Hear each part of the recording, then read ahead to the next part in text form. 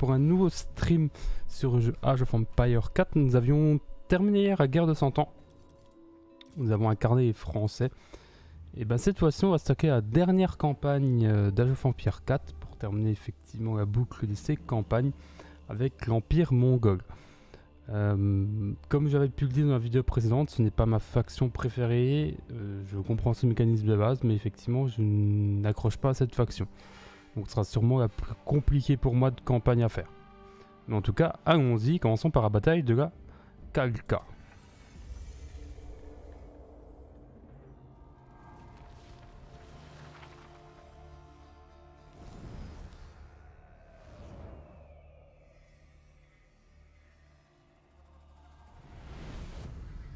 Venu des vastes étendues de la steppe mongole.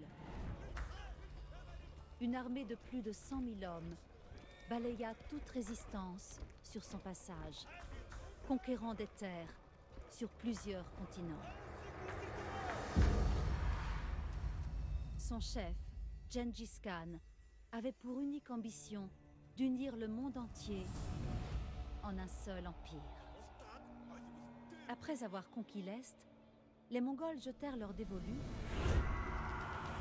sur l'Ouest, où ils devraient affronter certaines des armées les plus puissantes de l'Europe médiévale. Les guerriers légendaires de Gengis Khan trouveraient-ils des adversaires à leur mesure?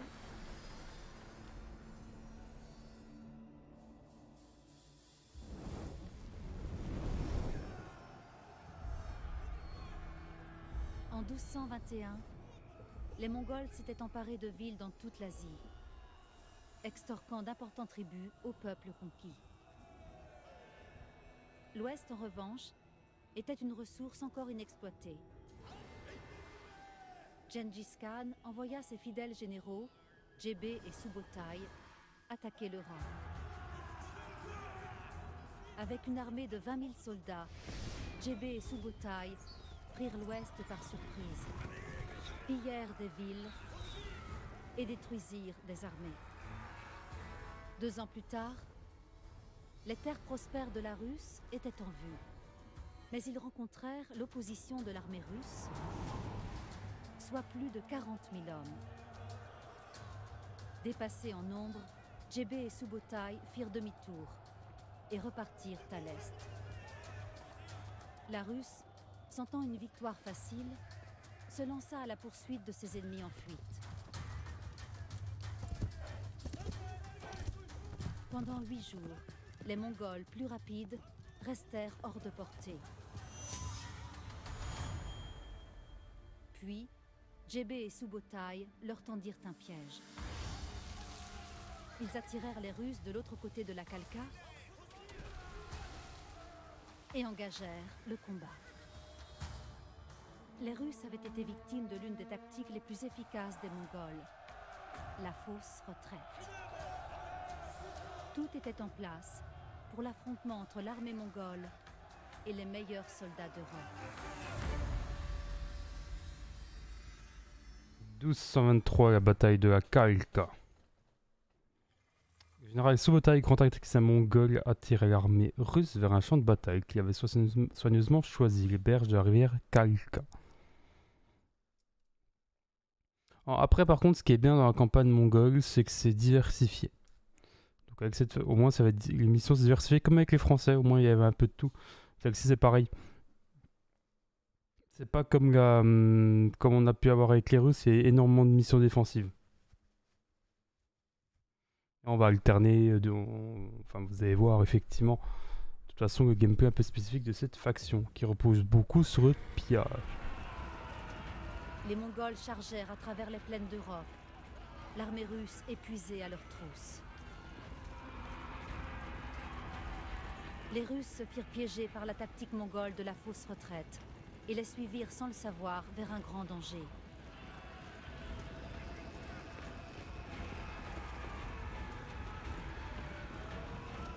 Le Ça, c'est le par le général mongol se referma spéciale mongole.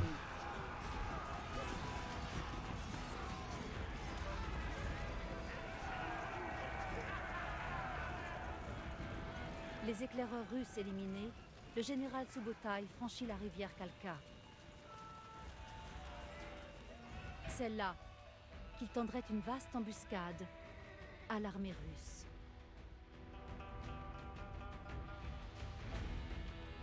Disparaître.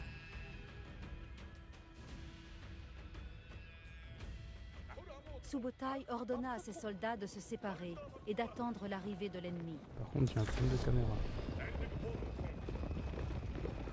J'ai un gros problème de caméra.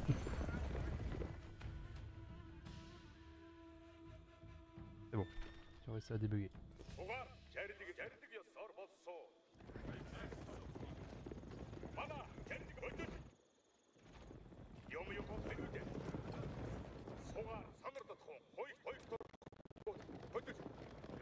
J'ai quand même quelques petits. Je suis en train de récupérer.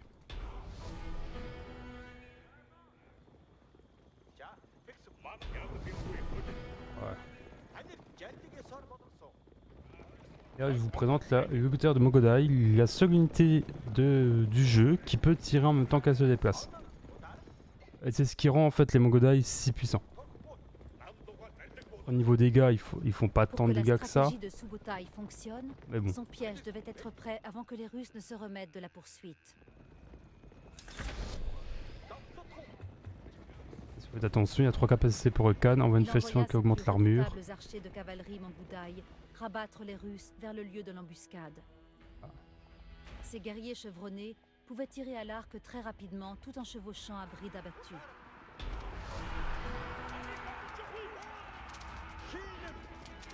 Les provocations des Mongols fonctionnèrent et les Russes s'élancèrent à leur poursuite.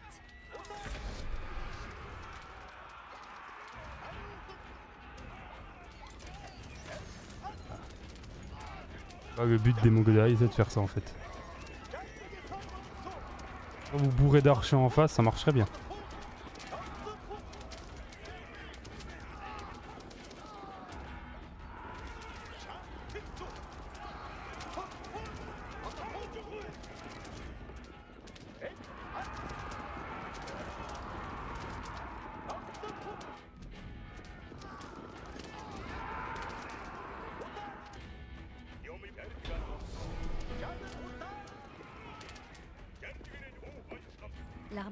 S'était laissée entraîner par la fausse retraite et fonça droit dans l'embuscade des Mongols. Une fois l'ennemi encerclé, les soldats de Subotai fondirent sur lui de tous les côtés.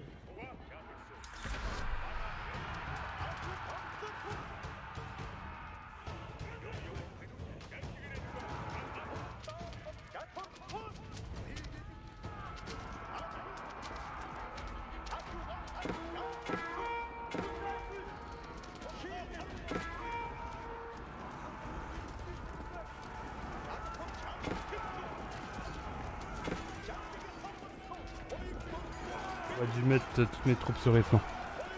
De cavalerie. J'ai fait le compte de pas tout mettre sur les flancs.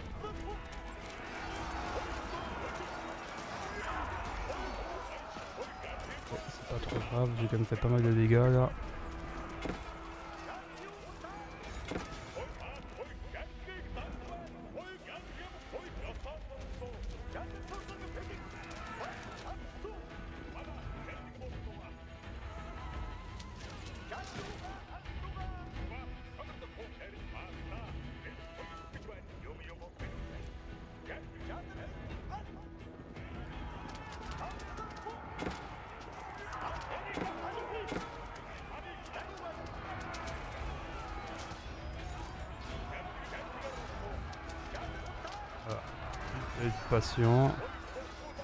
Dégommer tous leurs archers. Hop.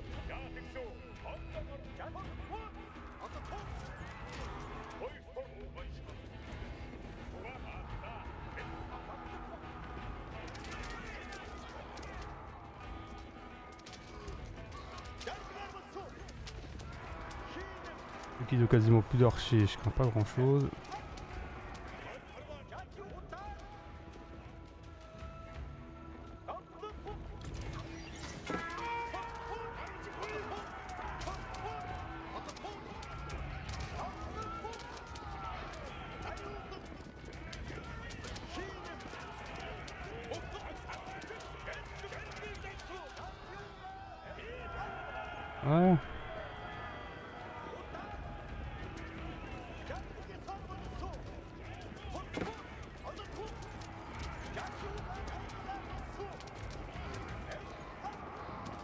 J'ai pas plus de monde que ça, sinon ça serait totalement n'importe quoi.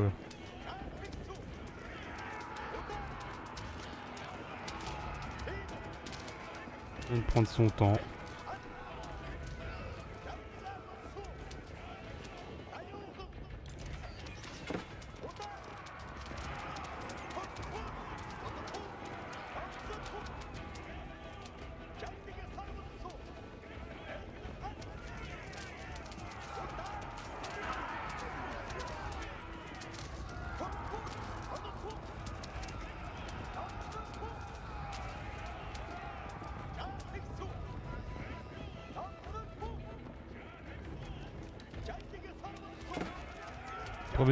Vous, jouez avec beaucoup plus de vous jouez avec beaucoup plus de mobilité, avec de la cavalerie ou autre, ça passe beaucoup mieux.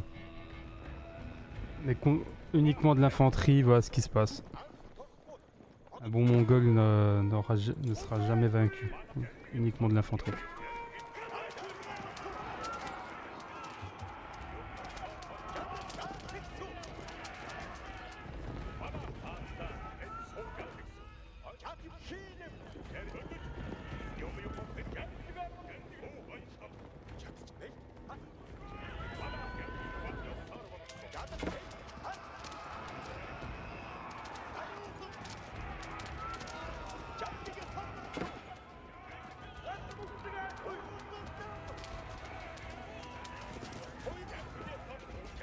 C'est derrière.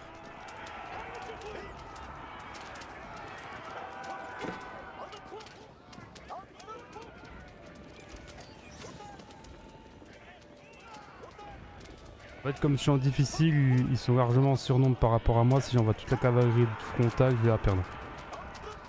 J'ai oublié de faire de cette manière-là.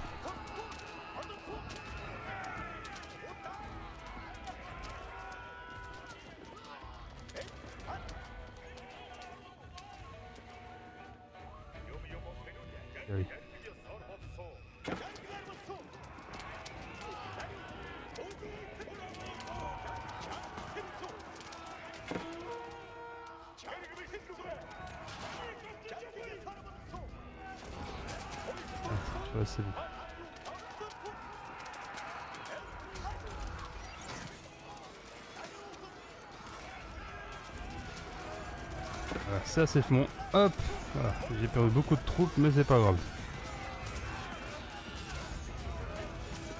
Je pense qu'on peut optimiser mieux que ce que j'ai fait. causa des ravages dans l'armée russe, qui fut réduite à quelques retardataires désespérés.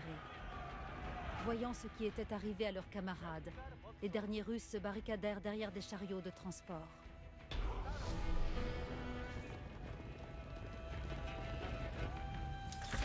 Je vous laisse imaginer si vous sacrifiez toutes vos troupes juste avant, ben le problème qui se pose ici.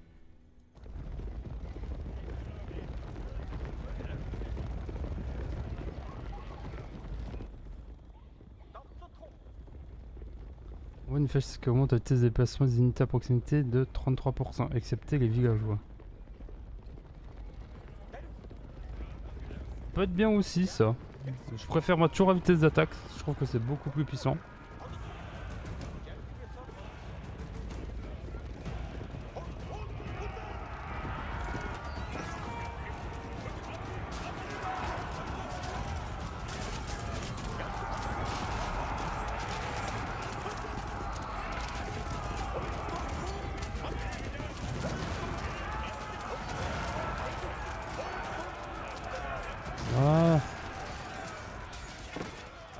Contourner avec le cavalerie au-dessous aussi. Ça serait bien marché aussi. Voilà, première mission vainc- vi- victoire.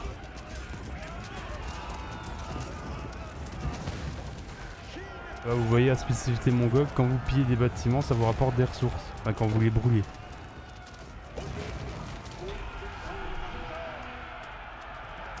Beaucoup plus encore en solo qu'en multi, ça a été nerfé en multi.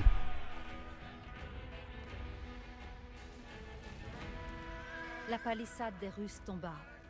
En dépit d'un dernier combat héroïque, les vestiges de l'armée russe furent anéantis. Encouragés par leur victoire écrasante à la rivière Kalka, les Mongols continuèrent d'avancer au cœur des terres de la Russe.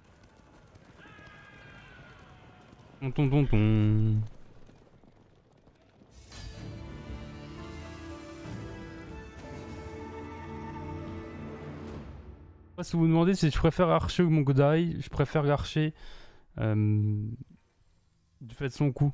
Le Mongodai coûte extrêmement cher. Sur les berges de la rivière Kalka, des milliers de Russes furent tués par les Mongols. Les chasseurs étaient devenus les proies. Mais dans les années qui menèrent à cet assaut mongol à l'ouest, Gengis Khan avait concentré ses attaques à l'est, s'en prenant à la dynastie Jin au nord de la Chine. Avec ses terres riches et ses routes commerciales, les villes des Jin regorgeaient de richesses. En 1210, le nouveau dirigeant des Jin se sentit menacé par Gengis Khan et lui ordonna de lui jurer fidélité. Gengis Khan refusa. Pour les Jin, ce refus était une déclaration de guerre. Les Jin disposaient d'une immense armée et leur territoire était protégé par de solides fortifications, connues aujourd'hui sous le nom de Grandes Murailles.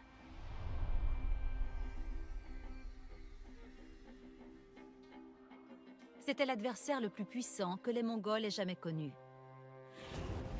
Gengis Khan savait que le seul moyen de vaincre les Jin était de s'emparer de leur capitale bien gardée de Zongdu, située de l'autre côté de la Grande Muraille. Gengis Khan allait entraîner son peuple dans une guerre longue et difficile. Cela en vaudrait-il la peine? Pour le savoir, il interrogea les dieux. Au sommet d'une montagne sacrée, il pria le ciel éternel.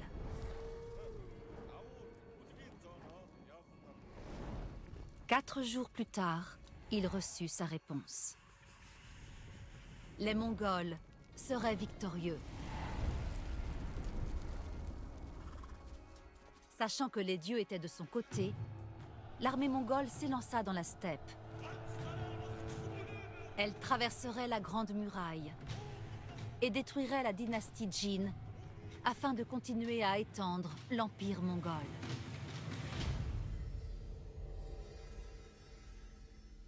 Il faut savoir que la Grande Muraille n'est pas euh, une muraille continue, c'est plein de morceaux de muraille entre différents endroits. Euh, par rapport à des grandes portions continues, bien évidemment. Mais c'est, on va dire, plutôt plein de, de murailles défensives ayant pour but de défendre. La tentative de Gengis Khan d'étendre son empire avait amené à la Grande Muraille de Chine, mais sur son chemin vers la muraille se dressait l'absente forteresse de Chine, de Zhang- Zhangxiosku. Excusez-moi, je, je sais pas comment on prononce. Shang... Shangxiaku, peut-être.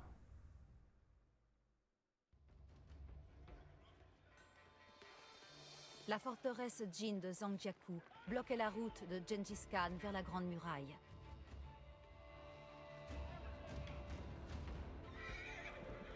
En voyant les puissantes défenses à l'avant de la forteresse, Gengis Khan envoya ses éclaireurs chercher une autre approche.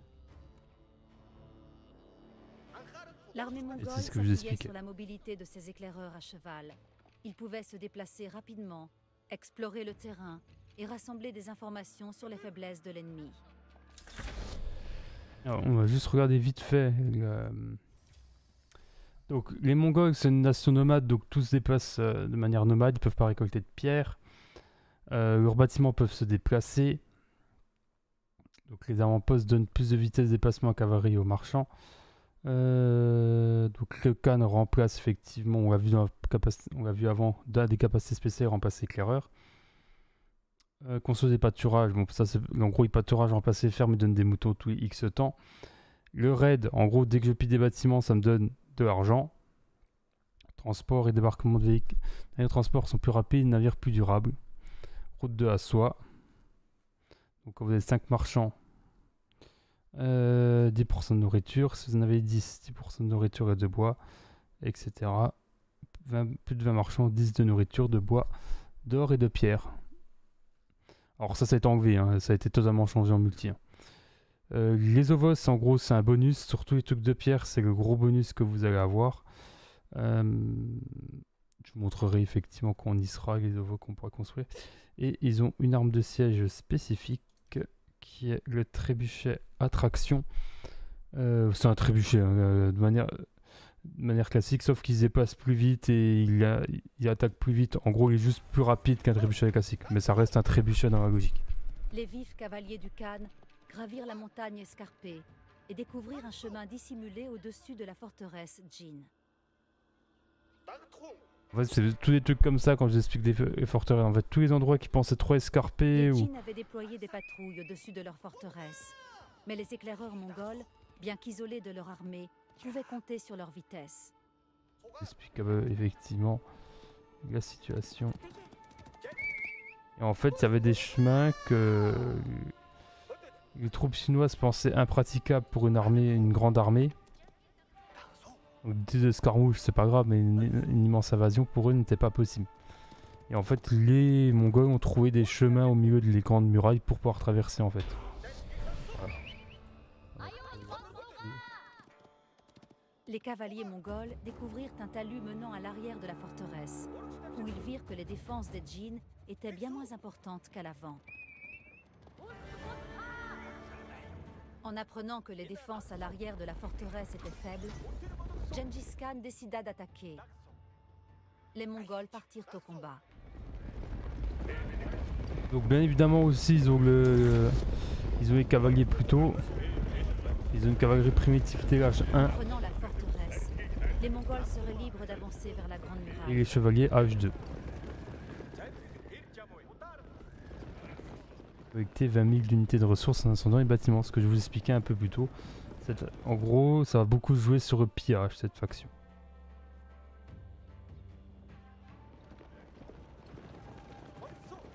Donc ça, je débloque H2, ça, je débloque H3, donc je vous cache pas qu'H2 c'est un meilleur.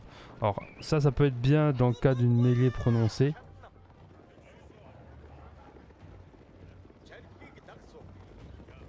Euh, ça c'est bien pour euh, se positionner et contourner rapidement des troupes.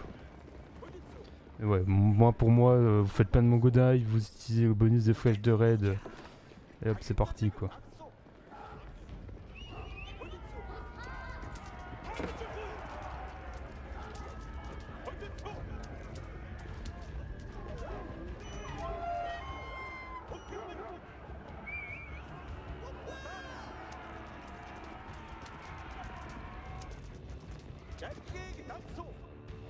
Ah, ça c'est bon. Récupérer ce petit trésor. On va dire non à des trésors.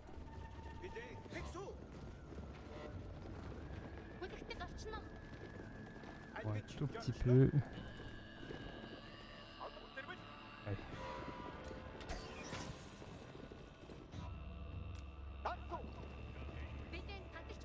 Oromos, c'est un bâtiment unique mongol qui se met sur les stocks de pierre. Et la pierre vous permet de booster votre production, et en solo vous permet de booster vos, euh, vos améliorations. Alors des améliorations beaucoup plus puissantes que ce que vous auriez de base.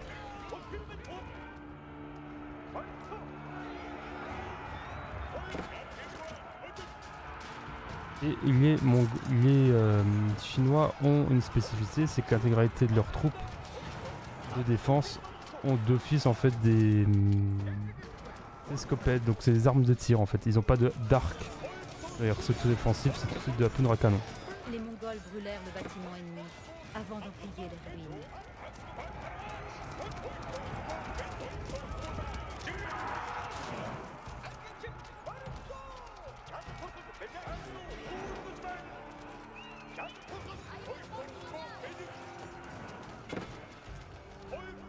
Problème du donjon.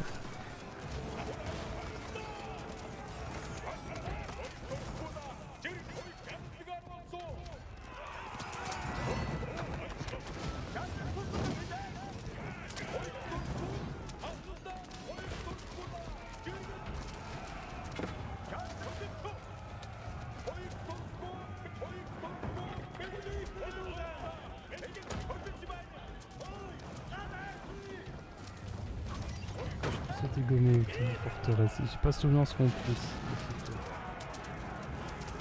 Si je me trompe, je serai la première euh, contente.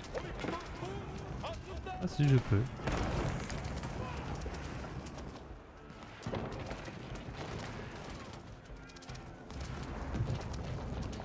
Vous avez, bon, vous avez vu le, taux le nombre de ressources que j'ai récoltées en pillant.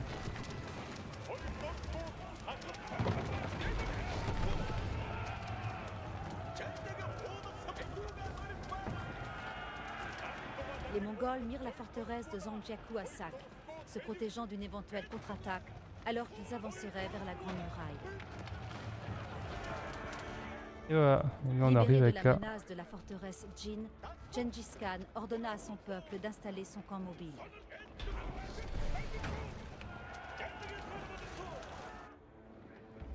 Les Mongols avaient besoin maintenant d'une base proche de la Grande Muraille. Ils prirent pour cible le village Jin de Yangping.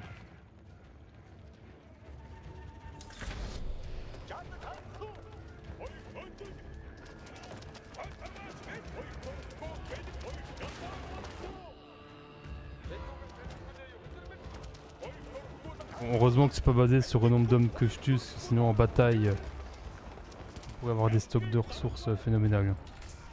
Donc ça c'est mon forum, je vais l'installer. L'installer ici. Je vais l'installer ici, parce que la pierre je peux pas récolter. Les pâturages, c'est ce qui remplace mes fermes. On va pas dire non, ça c'est une caserne. Ça c'est un gère, c'est ce qui me permet de récolter des ressources. Ça c'est un deuxième pâturage, on va installer là. Et ça c'est mon forum qu'on va installer là.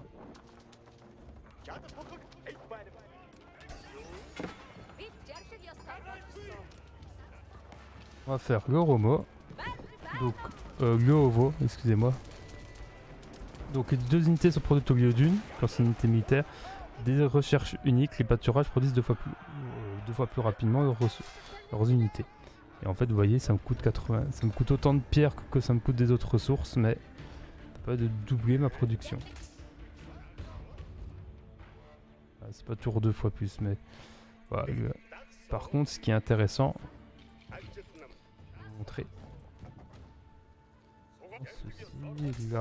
Bon, bien, évidemment, vu que c'est une faction mongole, je n'ai pas besoin d'habitation.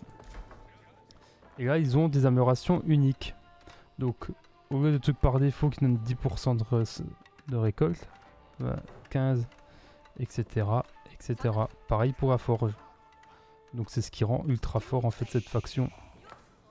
Et surtout ici, pour la recherche là. Donc nous on va viser à faire en premier euh, l'arbre d'argent, c'est pour le commerce. Nous on va viser à faire la pierre des serres. Et en gros, le truc que je recherche au plus vite, c'est récompense de raid améliorée, augmente le raid revenu en raid en nourriture en bois et en or de 175.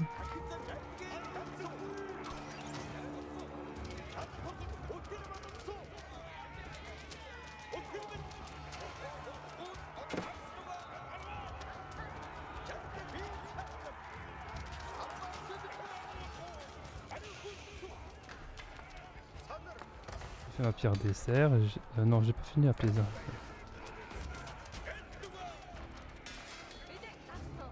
Ici, moi j'ai le droit à l'écurie à, à DH1, comme je vous expliquais un peu plus tôt.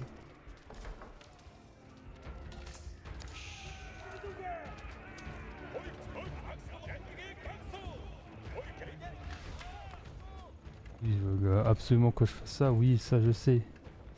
Augmenter donc 150 en plus. Flèche sifflante. À durée de flèche sifflante du can de 19 secondes, leur portée de 3 par 7, augmentation est de 4 secondes, donc en gros plus grande portée et autres.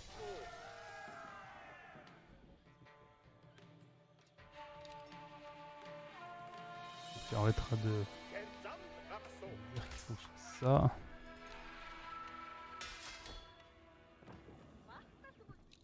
On va faire ces améliorations là.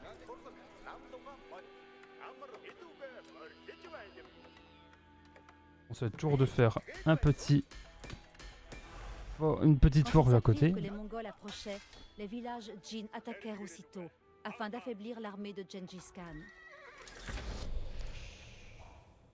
Là, des cet âge là, vous voyez bon ça coûte horriblement cher à Mogodai par rapport aux autres unités. Au moins, le cœur pour envoyer un faucon, ça sert à rien. Et là, augmente les dégâts corps à corps de toute unité hors siège de 2. Alors ça on l'a qu'en solo. Hein. Mais je vous laisse imaginer que c'est-à-dire vous pouvez avoir un plus 6 en bonus d'attaque par rapport à un plus 3. Ce qui est énorme. Euh, toi ici, tu vas me faire ça. Moi, capacité de transport de 7%. Donc,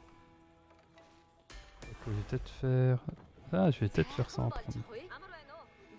Me faire des camps de tir à l'arc.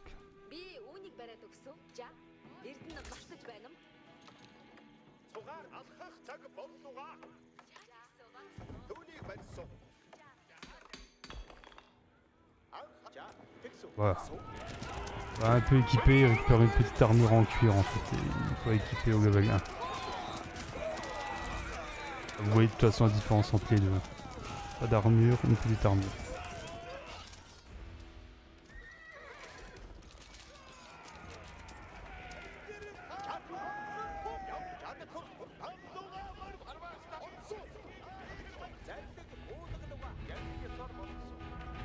Je vais les envoyer là-haut, puis un bon coup.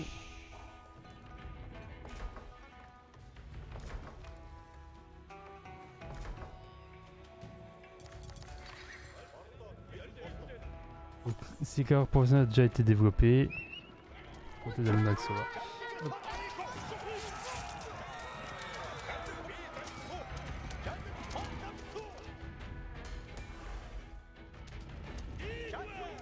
le problème de, alors, le problème ou l'inconvénient, c'est que ma pierre, je la récolte beaucoup plus lentement. Vous voyez, je la récolte beaucoup plus lentement. Comme je peux avoir qu'un seul bâtiment comme ça pour la produire, ah, vous la récoltez très lentement. Hors commerce, bien évidemment. A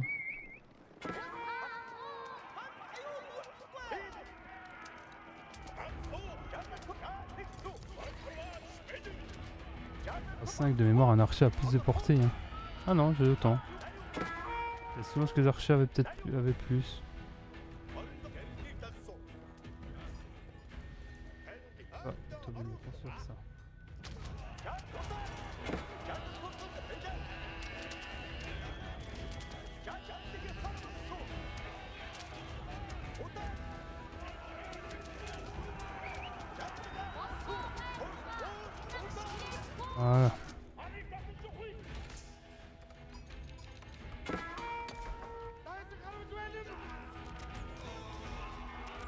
Ces recharges prennent aussi plus de temps, je crois, que les recharges de base. 45 secondes.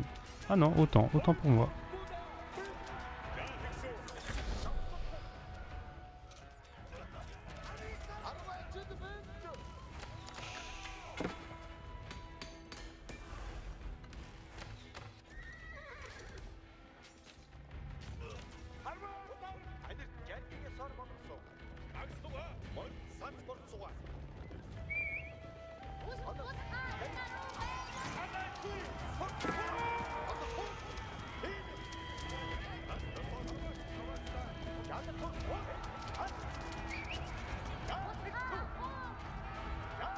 Détourer via, réduira les harcèlements.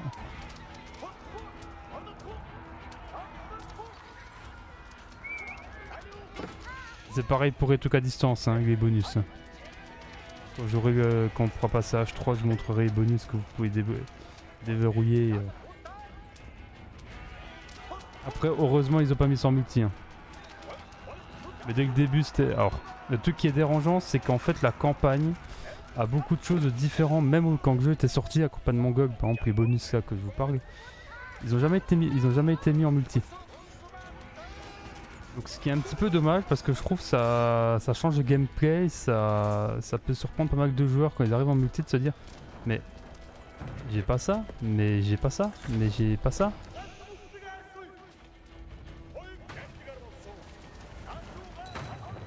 Et là le pillage va commencer.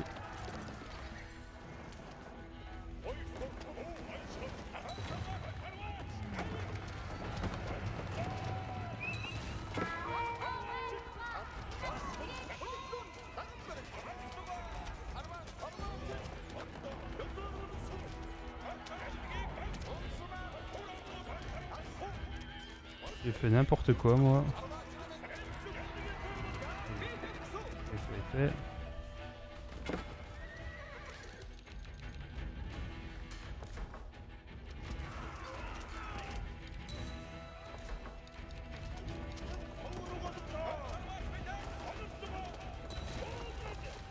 Et en fait, c'est comme ça que ça se joue. Beaucoup sur le pillage, etc. Donc, euh, un village de pillés.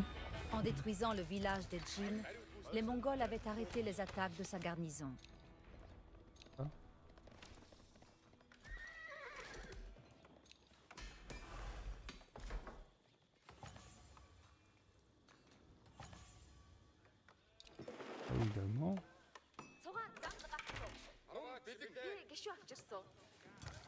J'ai euh, un stock de production de nourriture qui est lent.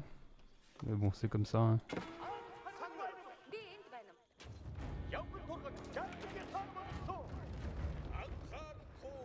Euh, les archers, vous allez aller là-bas, vous me ralentissez.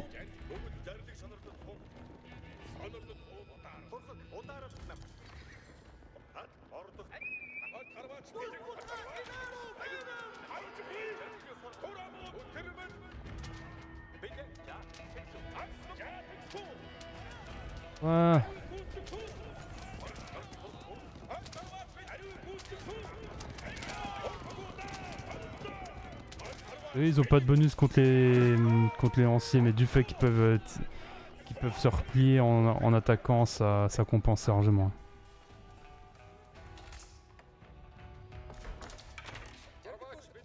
Vous voyez que j'ai développé haute technologie, ben l'autre en fait je peux toujours faire amélioration manquante que pour de la pierre. Et je crois que la durée est beaucoup plus courte, je crois quand j'ai que 45 secondes.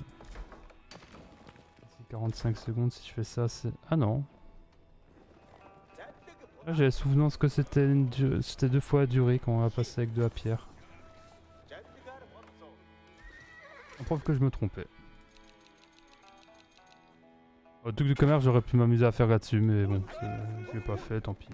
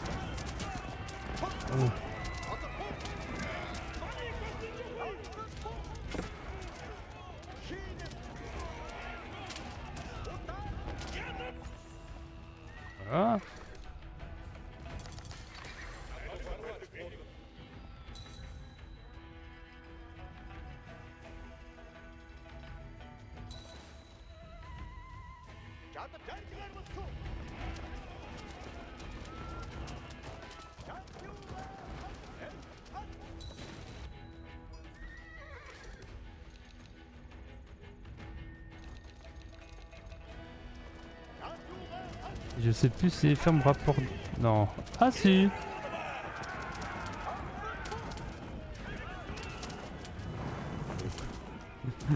Ah ouais, donc les fermes, ouais, c'est le jackpot une ferme dans ce cas. Va à flèche sifflante.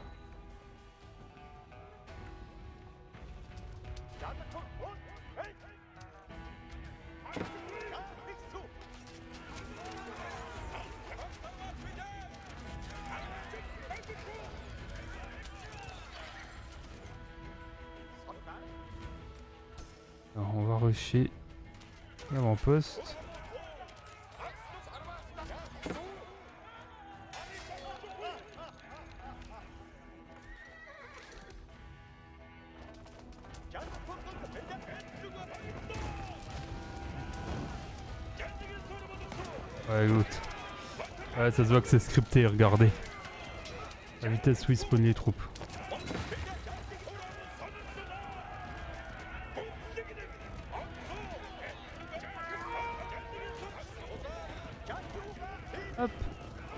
À savoir qu'à zone d'influence des Omo, vous pouvez les avoir avec les monastères à H4 avec, une technologie.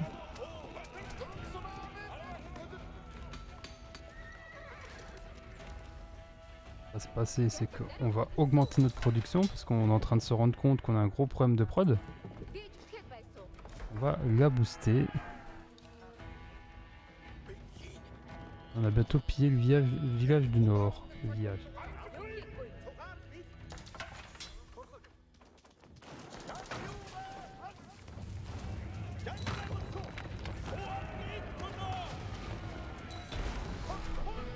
Du nord pillé. Ici mon Oromo a déjà bien été vidé.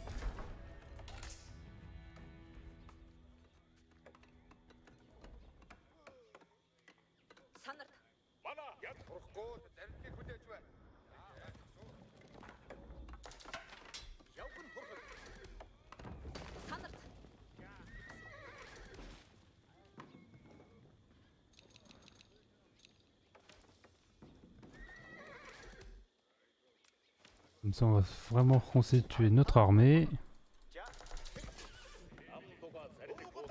Les ressources qu'on récolte en pillant sont quand même démentielles.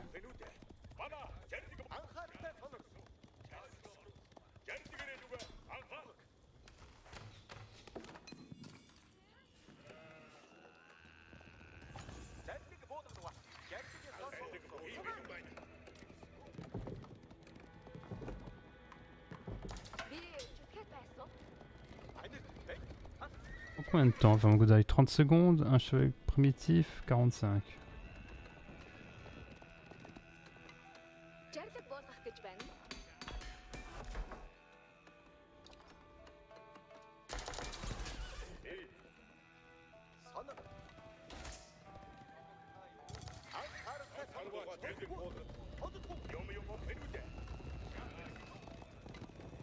Ah, comme ça, on une bug, petite armée. Et quoi, c'est déjà celle-ci qui va attaquer le village de gauche.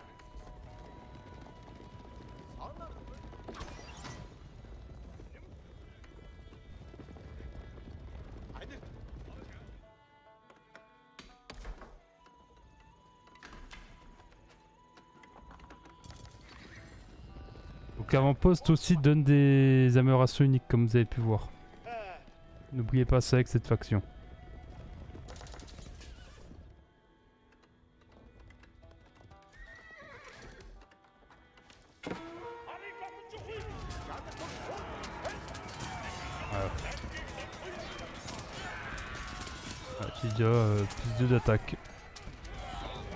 Défense, plus 2 d'attaque. Alors que les autres sont limités à plus 1.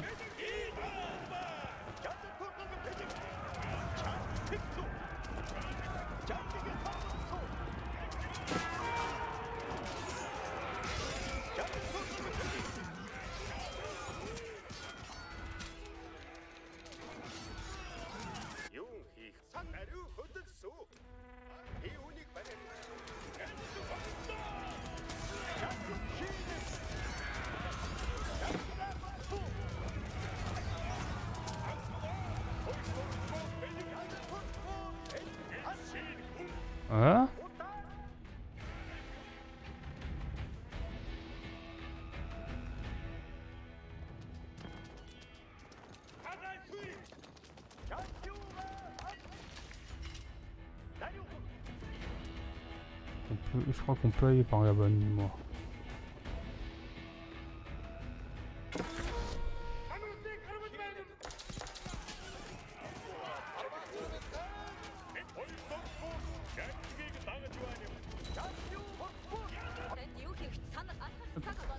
On va voir que ça. Hein.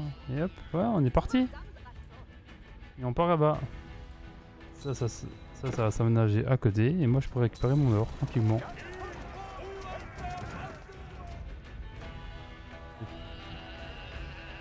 Une fois que j'aurai détruit tous les villages, j'aurai plus de raids chez moi.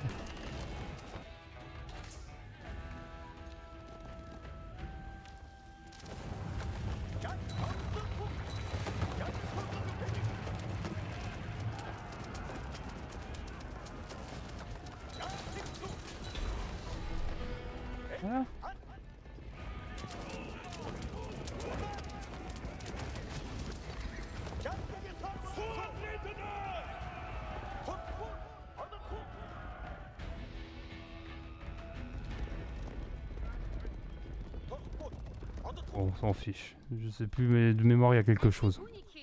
J'envoie un éclaireur. Ça, ça speed.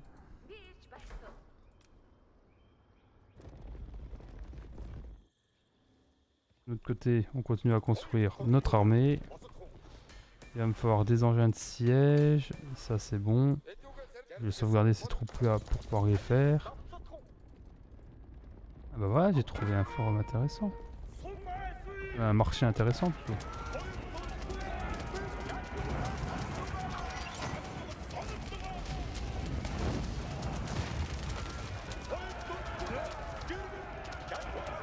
La pierre ça. Ouh, ça c'est bien.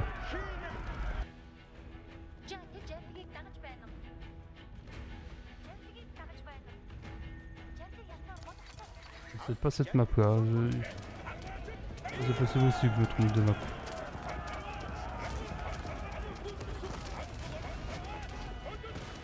J'ai la souvenance qu'il y avait quelque chose là-bas. Je peux me tromper.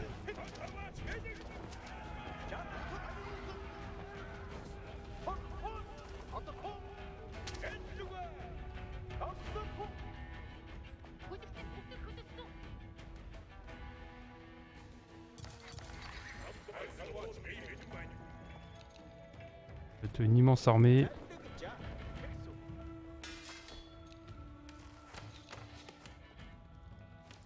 armée. On sera bon pour la suite.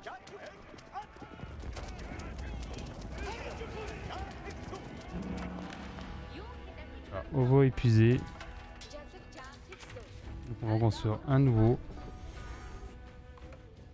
Celui-ci était fini.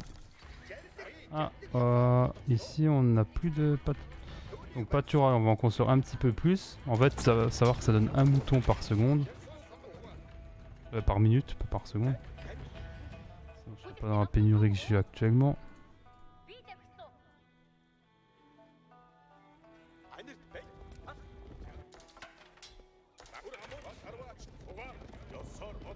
Donc cette armée là qui va aller à Samping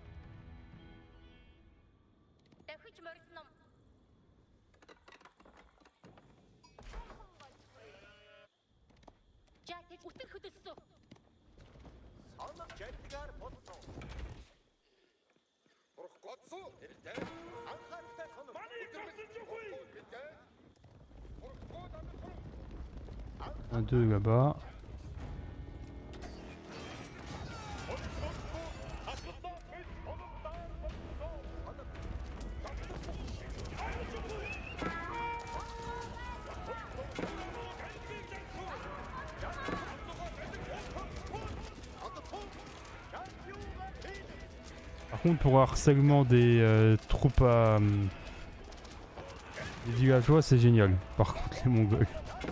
Avec les Mongols, en fait, vous pouvez tirer autour sans devoir vous arrêter ou autre, c'est. Destructeur.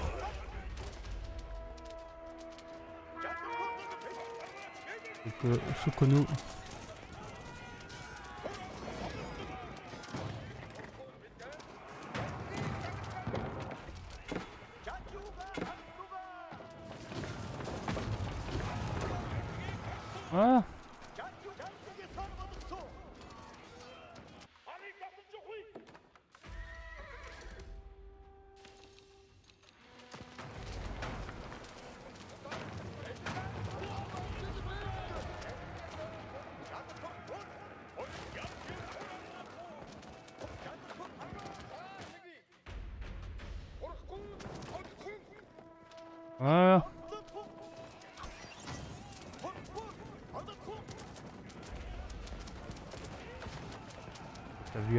Hein.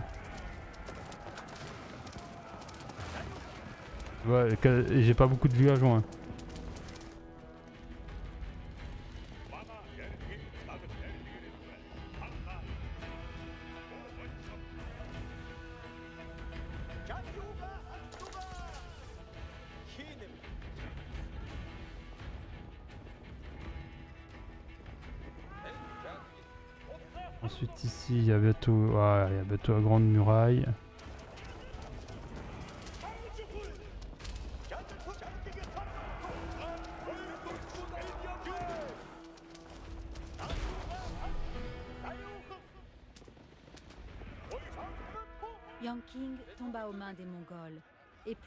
Séparait désormais Gengis Khan de la Grande Muraille.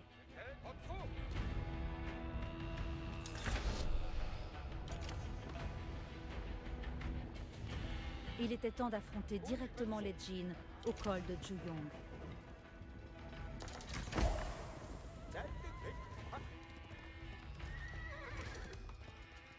Voilà, on va stopper ça.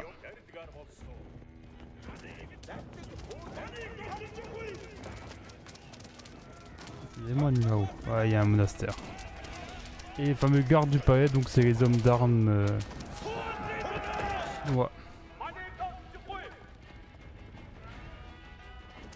Pour que l'assaut de Gengis Khan se déroule comme prévu, il lui faudrait rapprocher sa base de la Grande Muraille.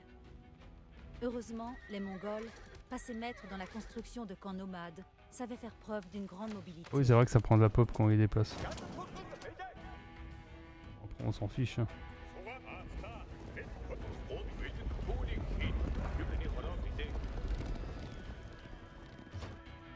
Ah J'ai tout pillé ici.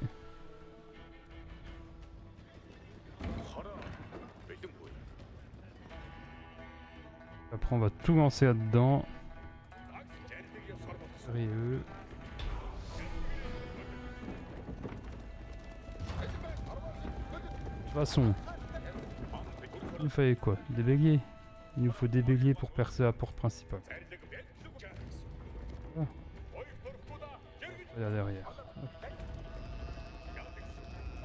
On va garder ce contingent d'infanterie pour une raison très simple. Pas pour monter sur les, sur les murs, mais pour reconstruire des béliers en cas de besoin. Ça, ça dégénère qu'on puisse quand même.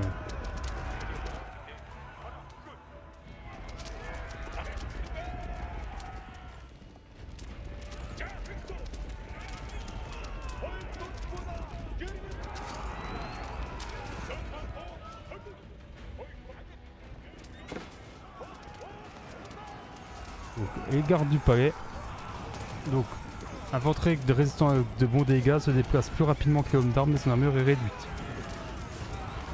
N'a aucun bonus.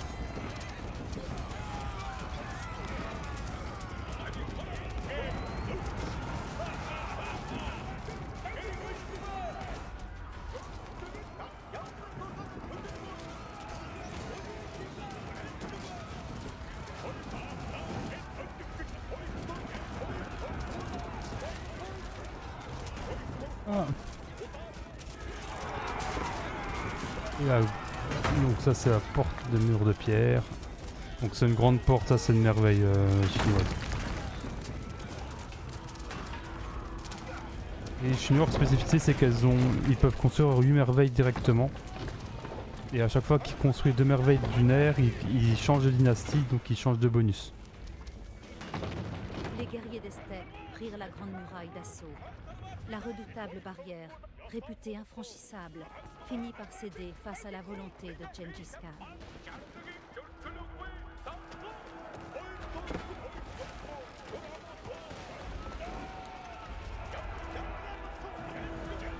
Et voilà, c'est fini. C'est over.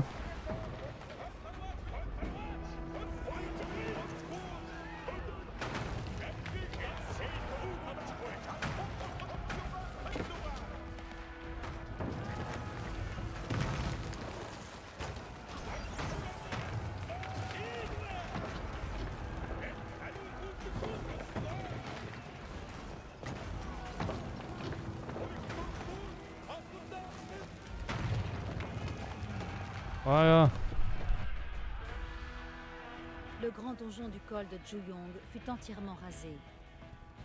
Les Mongols avaient désormais accès au cœur du territoire des Jin, ne laissant derrière lui que des ruines fumantes. Gengis Khan s'enfonça dans ces nouvelles terres vers son ultime objectif, la riche capitale Jin de Zhongdu.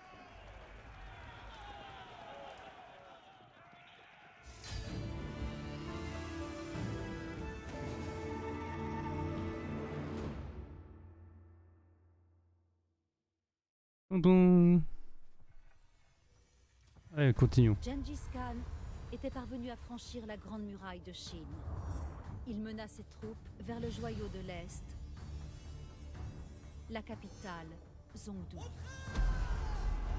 Il assiégea la ville, conscient du fait que ses habitants ne pourraient pas tenir éternellement.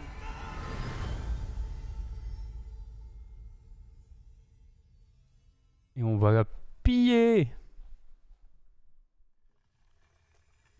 Zhongdu était à, la pointe du commerce, de la science et de la technologie. Pour s'approprier cette vie, Genesis employait une stratégie lente mais fiable, la famine.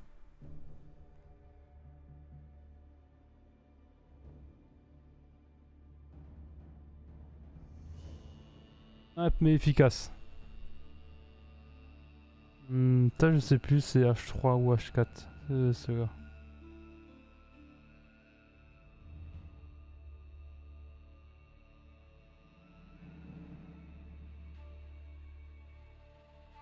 Ils sont quand même un peu moins pixelisés, mais.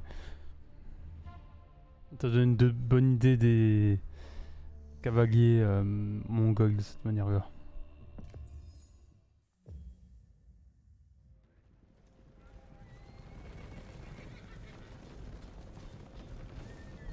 Concentrant ses forces sur la capitale brillante de Zhongdu, Gengis Khan leva la bannière noire de la guerre contre son ennemi historique, la dynastie Jin. Pour s'emparer de la capitale fortement gardée, les Mongols devraient affamer l'armée de Zongdu en éliminant ses fournisseurs. Ouais, J'ai confondu un, un endroit. Le euh, Khan ordonna à ses guerriers d'attaquer les bâtiments des djinns et les villages autour de Zongdu.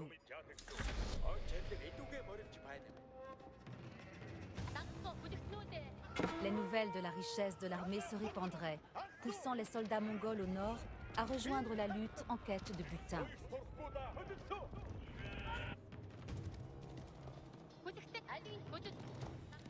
Et moi, c'est ça, c'est bien dans celle-ci où je peux monter.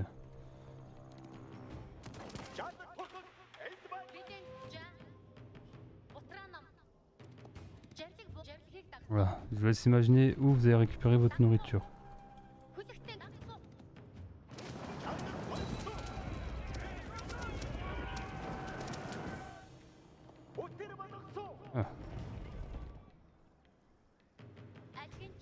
Voilà, ici c'est 1, 2, 3, 4, 5, 6, 7, 8. euh, enfin, vous avez facilement des milliers de unités de bouffe là, dans, dans ces cols-là.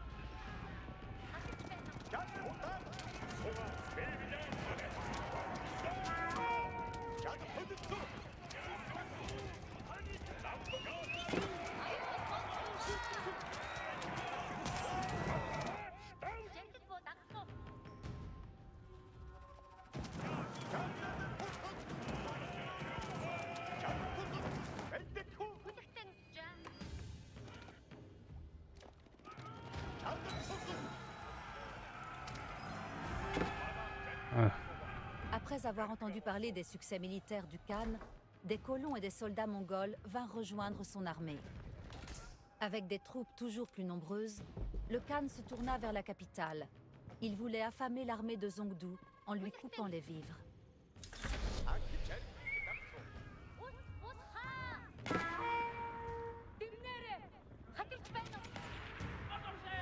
Ah, et maintenant il faut dégommer les marchands de.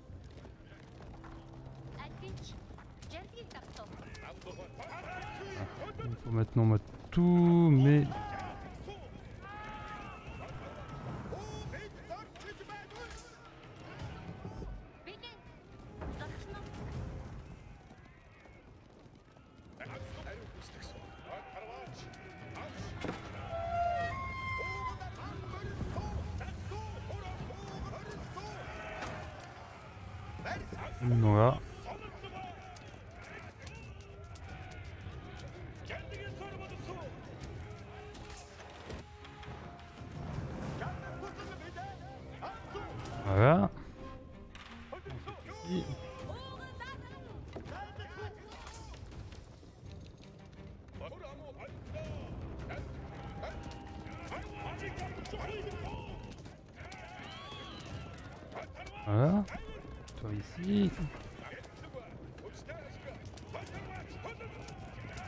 attention, voilà, je suis en train de regrouper vraiment tout.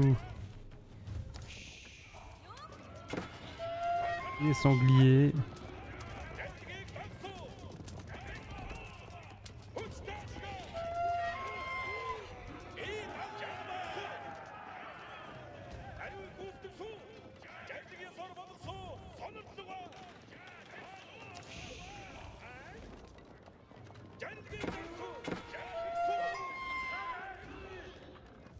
J'ai déjà, déjà déjà pas mal.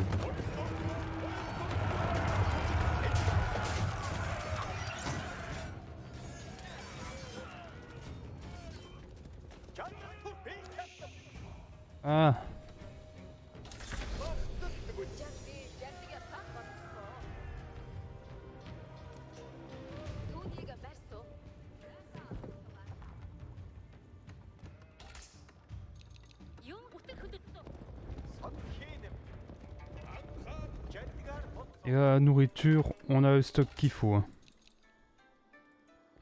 1, 2, 3, 4, 5, 6, 7, 8, 9.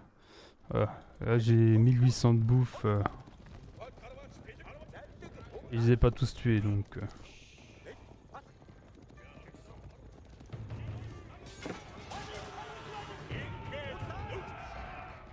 Après généralement on se met ici.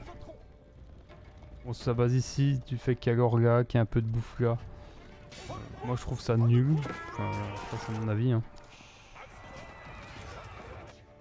Non parce qu'ici il y a tellement plus de ressources. Tout simplement. Aussi bête que ça. J'ai toujours optimisation de, des lieux de ressources. Donc euh, je, je trouve que le plus important d'avoir le plus de ressources possible rapidement. Notamment en bouffe. La pierre c'est un peu surfait au début donc euh, on s'en fiche un petit peu.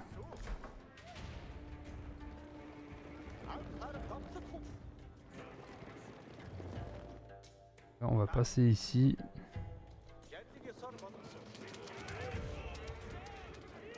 Ah voilà. J'avais souvenance qu'il y avait un truc comme ça.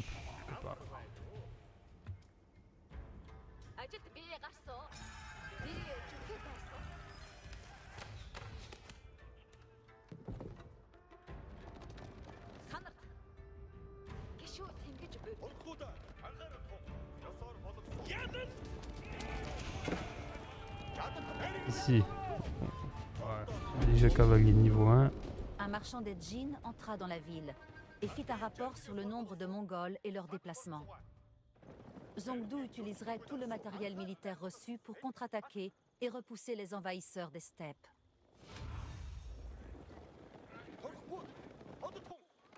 Vous avez l'explication de pourquoi c'est important de s'en occuper.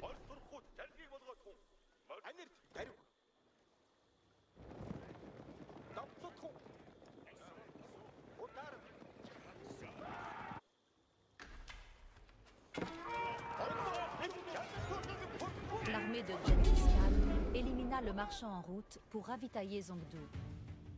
Pour chaque marchand tué, Zongdu perdait plusieurs jours de vivres. Les Mongols resserraient leur emprise sur la ville et affamaient sa garnison. Ouais, ça on est bien.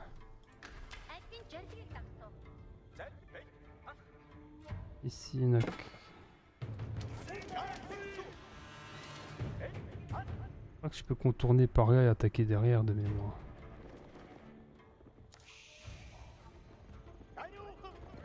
Ah c'est ça, éliminer les marchands ou les marchés pour arrêter l'approvisionnement.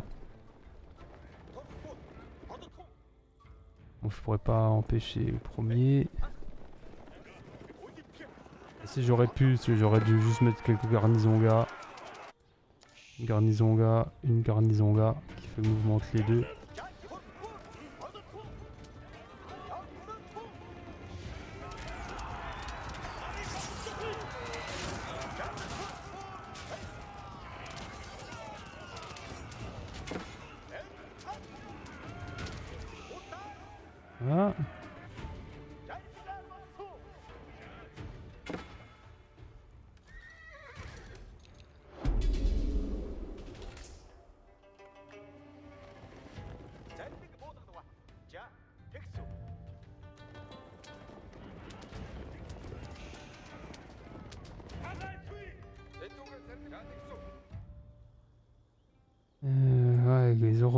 Celle-là, les homos, c'est compliqué d'avoir.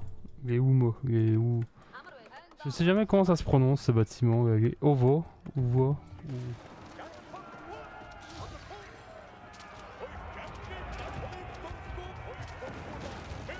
La pierre, je trouvais surtout ultra fort. C'est pour les, bah, comme vous aviez pu voir, pour les unités de recherche euh, de la des djinns étaient entrés dans Zongdu pour réapprovisionner entièrement son armée.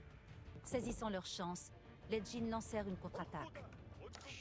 Ah, ouais, ils peuvent lancer un contre-attaque, hein. Situation. Ils sont dans une situation précaire.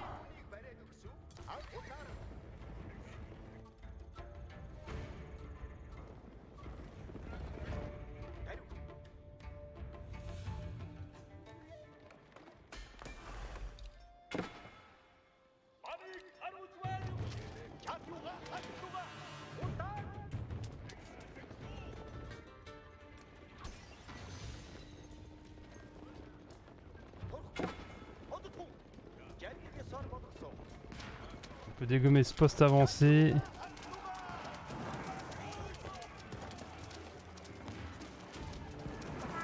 Une très très belle victoire.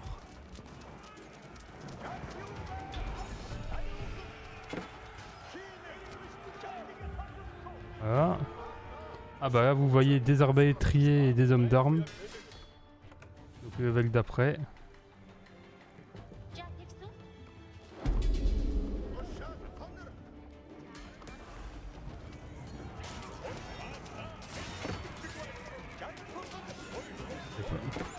À... euh, Ah ouais, je suis bloqué à, à l'âge 2 sur cette mission, c'est ce que je pensais. Les Mongols repoussèrent la contre-attaque des djinns. Mais une autre viendrait bientôt si les marchands des djinns continuaient de ravitailler l'armée de Zongdu.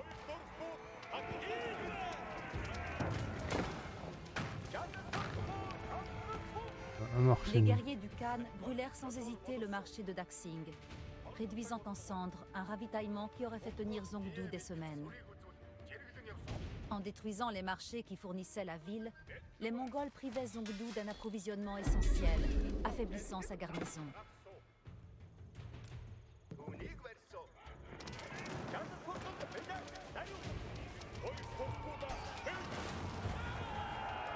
Ah. C'est bon, mon économie est lancée. Enfin, est lancée. Plutôt. Je vais réussir à... avoir ce que je veux.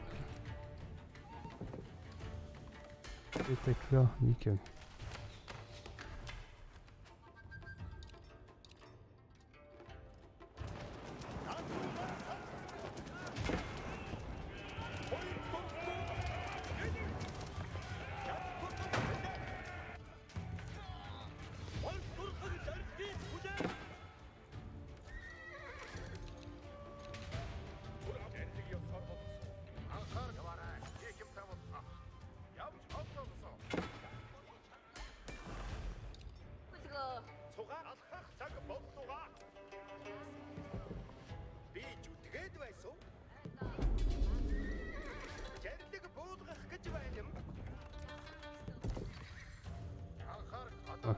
Forum infini ici.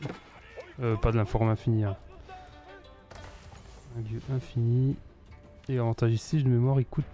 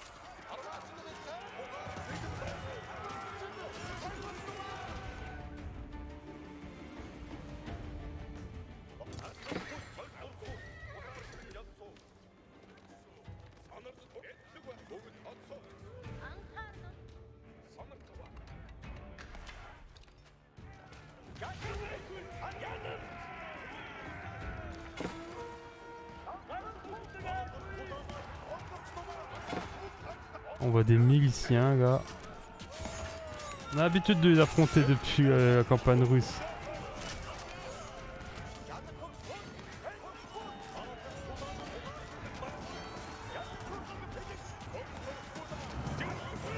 Ah, J'ai récupéré tous les soldats que je pouvais récupérer.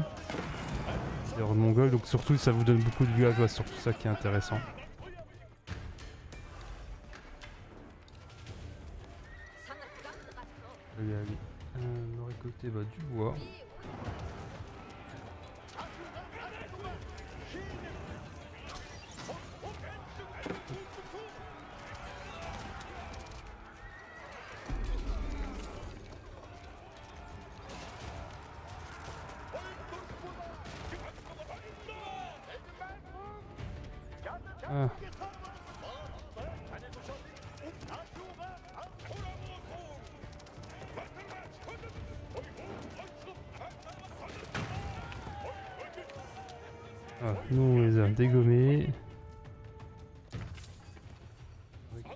Ce groupe d'armées là.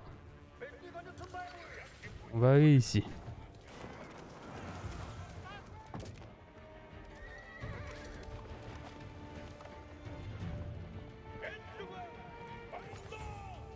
Malgré les efforts des Mongols pour les arrêter, un nombre suffisant de marchands des Jin était entré dans Zongdu pour réapprovisionner entièrement son armée. Saisissant leur chance, les Jin lancèrent une contre-attaque.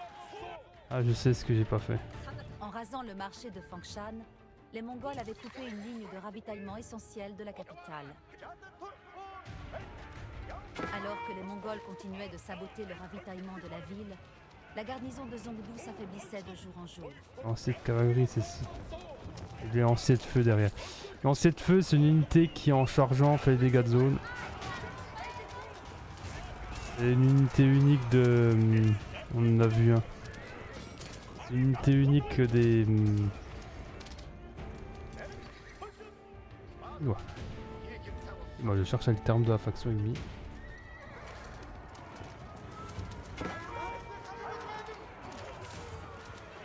Lancier de cavalerie, cavalerie classique.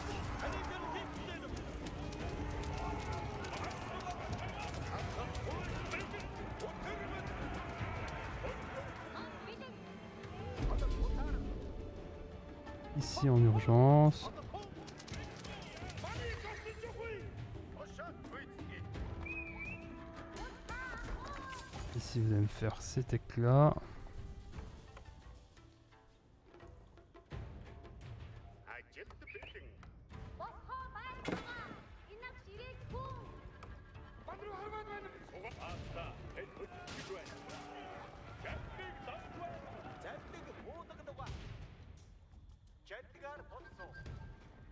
Un marchand de plus qui a rejoint, mais c'est pas grave.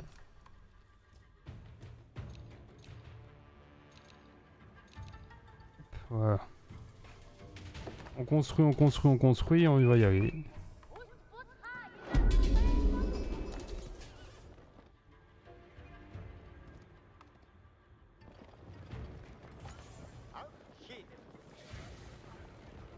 Trop lent, ça trop trop lent. Faut qu'on accélère le mouvement.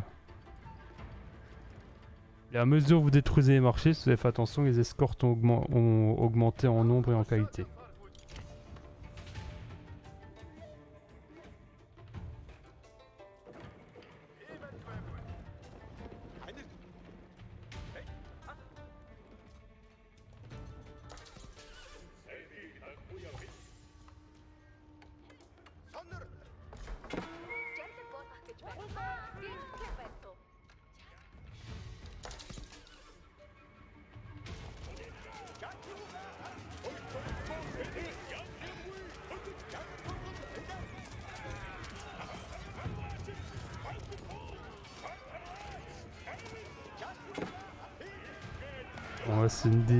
Je trouve toujours que c'est la plus compliqué à faire tomber celle-ci.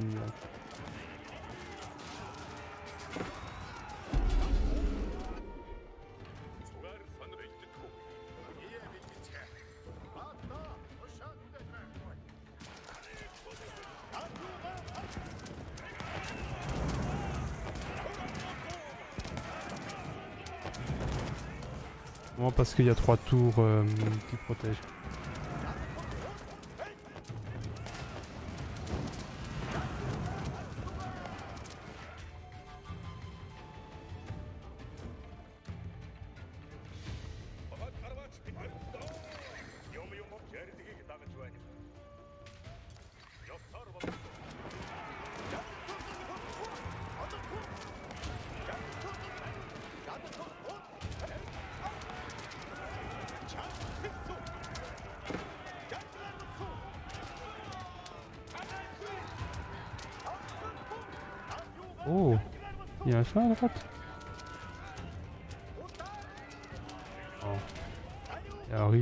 Pas... Ouais, c'est parce que je pensais qu'il y avait la rivière, ça me paraissait bizarre. Donc là, les béliers, je vais les envoyer ici, ils commencent à faire des trous.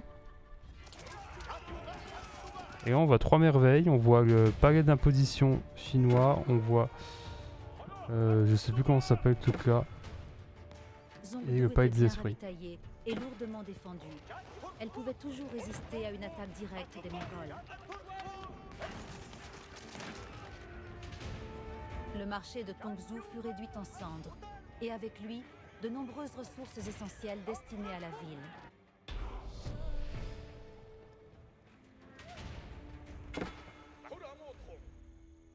Zongdu était ravagé par la famine, et les murs de la grande capitale des Jin se vidaient de leurs soldats, ne laissant qu'une petite garnison. Désespéré et isolé, Zongdu ne pouvait plus résister. Le temps était venu pour Gengis Khan de lancer son assaut sur la ville.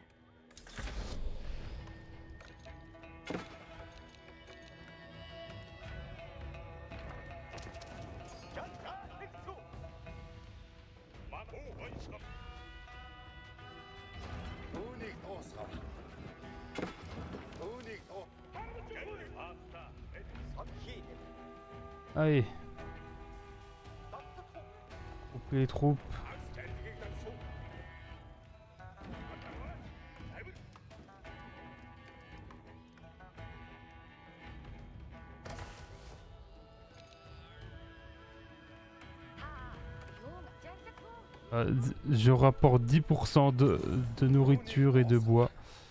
En plus du reste, par contre, j'ai un problème avec les...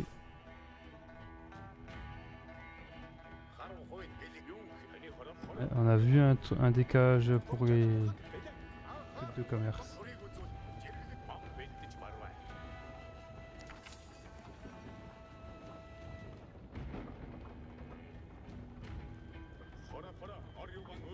Un canon Pourquoi il tire plus?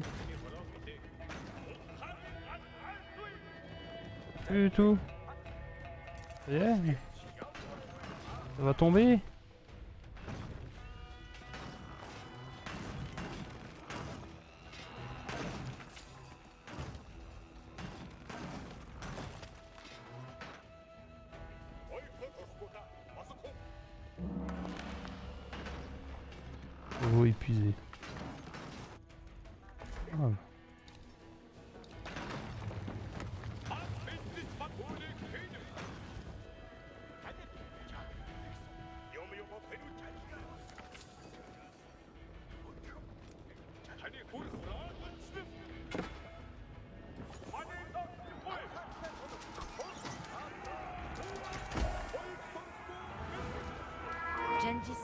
Déchaîna la fureur des guerriers mongols sur le cœur de la cité assiégée.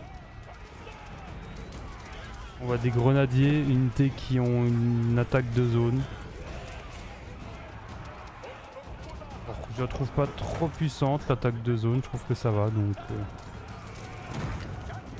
Les escopirs seront, je trouve, sont meilleurs que des que ces unités là.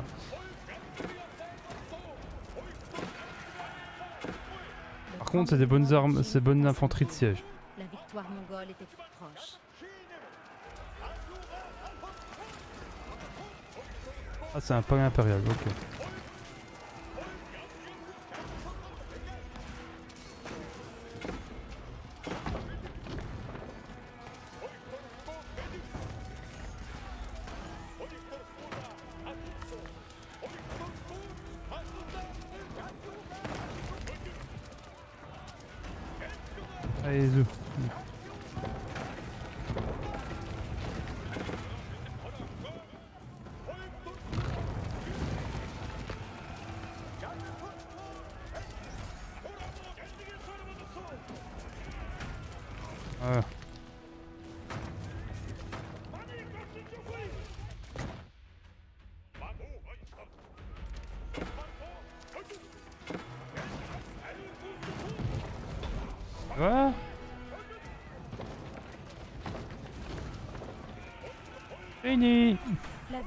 le point de tomber, victime de la destruction semée par les Mongols.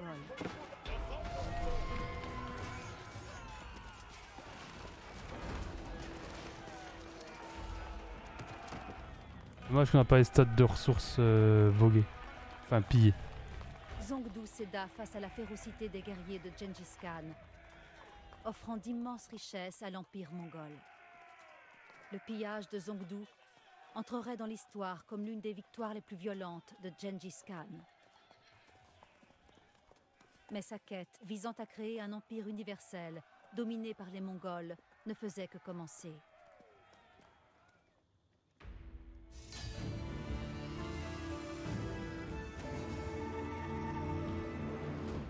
Bon, on a déjà fait un tiers d'émission mongole. Le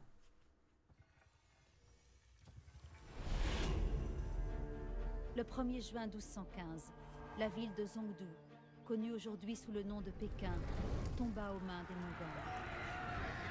Ils pillèrent la ville, renvoyant chez eux des caravanes remplies de richesses. Cette victoire sur la dynastie Jin serait l'un des plus grands triomphes de Gengis Khan.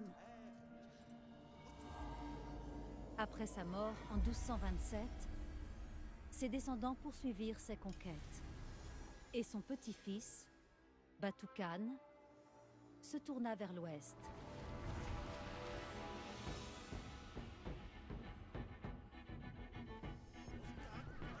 Les raids mongols des années 1220 avaient montré que les terres de la Russe avaient des richesses à exploiter. Du, du- du Les pognon, du parmi russe, et leur défense était affaiblie. Batu Khan leva donc une immense force d'invasion, déterminé à faire des terres de la Russe des vassaux de l'Empire mongol.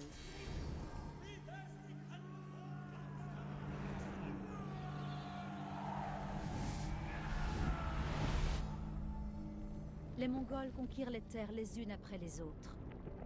En 1240, ils jetèrent leur dévolu sur la grande ville de Kiev.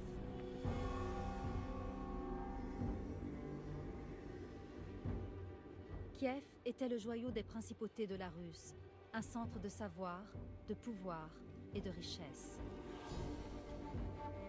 Monke, le cousin de Batu, fut placé à la tête des forces avancées prêtes à attaquer. Les chroniqueurs racontent l'admiration de Monke pour la beauté de Kiev. Il répugnait à la détruire. Monke envoya ses émissaires dans la ville pour exiger sa reddition. Mais le commandant de Kiev refusa et tua les émissaires mongols. Monke ne tolérerait pas un tel manque de respect. Son armée mit le cap sur la ville et se prépara à attaquer. Elle n'aurait aucune pitié pour Kiev. Je crois qu'elle était surnommée la... Il n'y avait pas Porte Dorée à Kiev ou un truc comme ça à l'époque? Furieux de la défiance de Kiev, Monk Khan sut qu'il devait faire un exemple de cette ville orgueilleuse. L'Europe allait entendre parler de l'erreur que Kiev payait. De Kiev payé en sang et en cendres.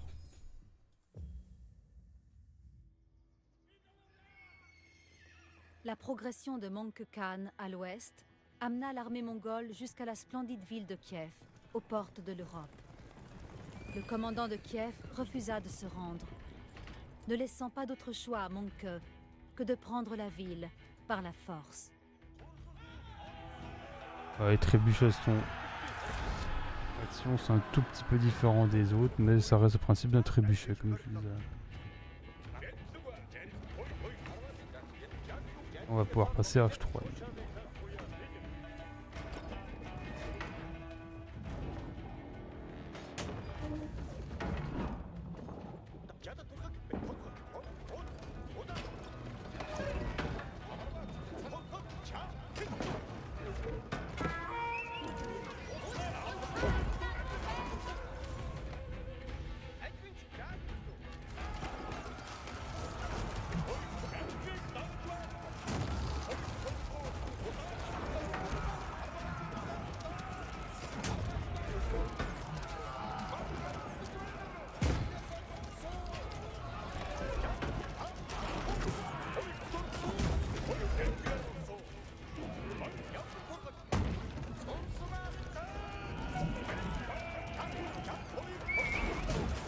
C'est le temps au temps.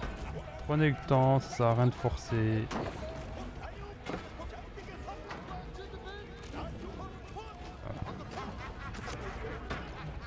Ah, on peut ah qui me donne 150 de ressources par pillage. Attendez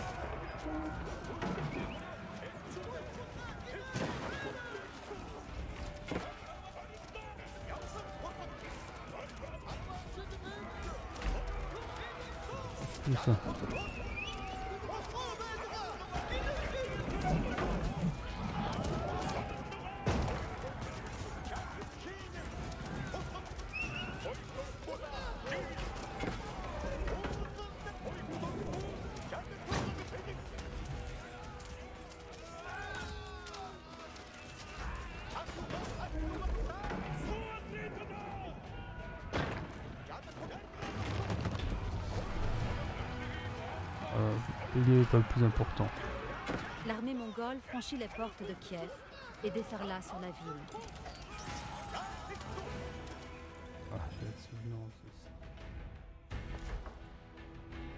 Monk Khan appela son peuple à installer leur camp mobile, tandis que ses forces lui libéraient un emplacement.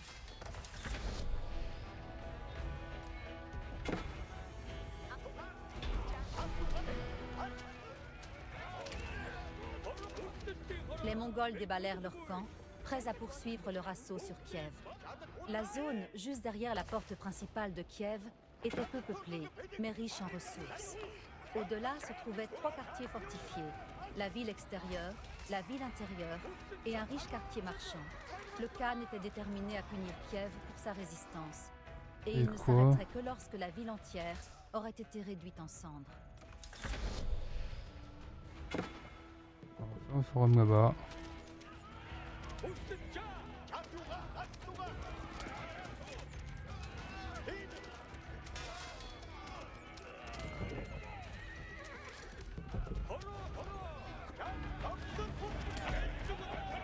Qu'en fait, plus on, plus on étudie le truc, plus on se rend compte que je suis en train de perdre toutes mes troupes.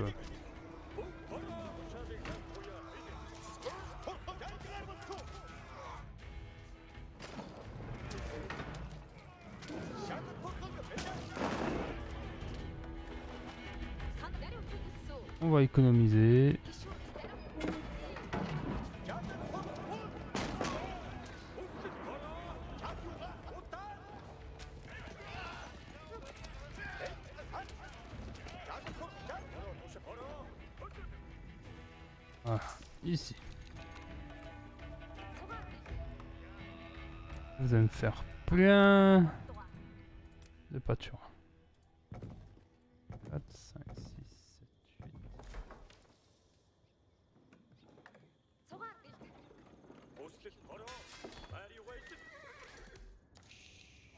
vu que ça s'est très, vu que l'assaut s'est très mal passé, je change de plan.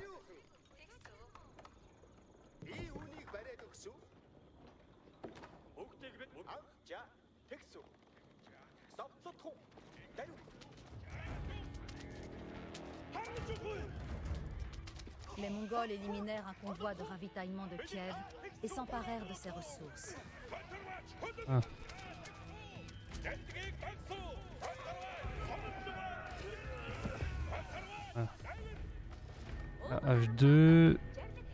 Sert de gère, donc ça sert de dépôt.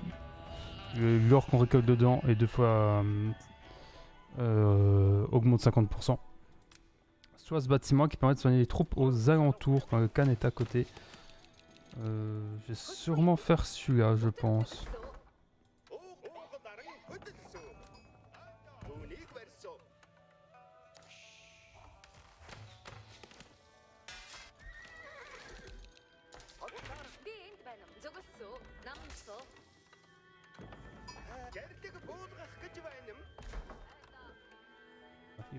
l'instant en train d'être fabriqué.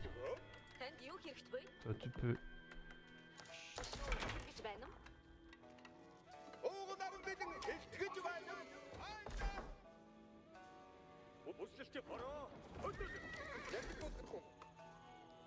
Ah, l'économie est en train de se lancer. Il y a un camp ici. Ben, un camp là, il y a un camp là. De toute façon, on les voit.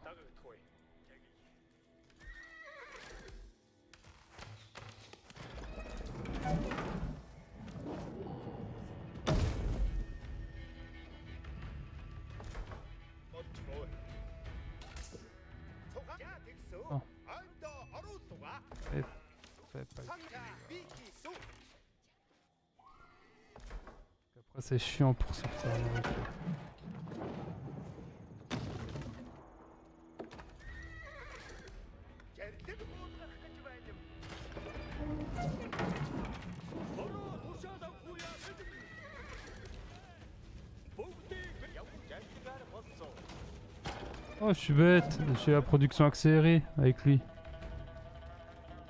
Go, on produit.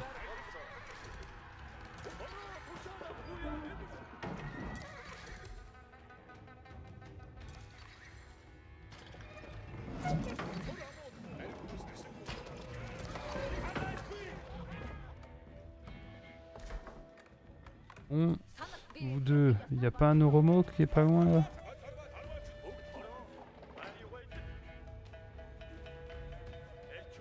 Ah bah, c'est parce que je pensais qu'il y avait une énorme armée. Si, il y a un Oromo là. Pour un nouveau. Et j- J'arriverai pas à dire ce foutu nom.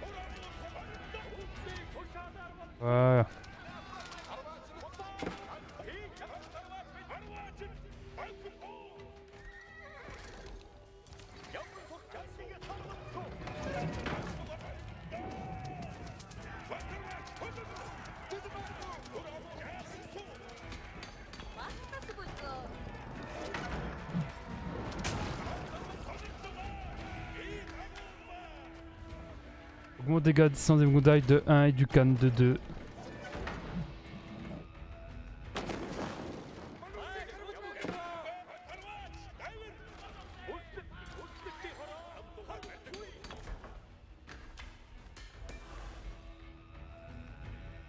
Production 35% plus rapide. Voilà. On va commencer à faire nos recherches pour la nourriture.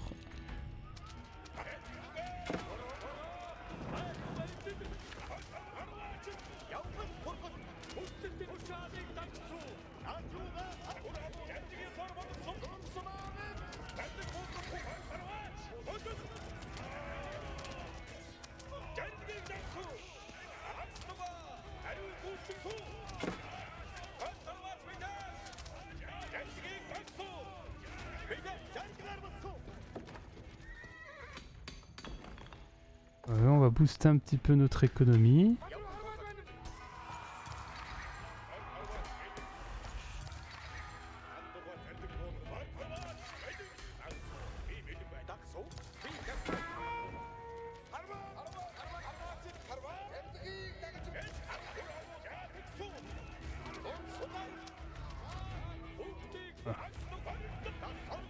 On va économiser un petit peu.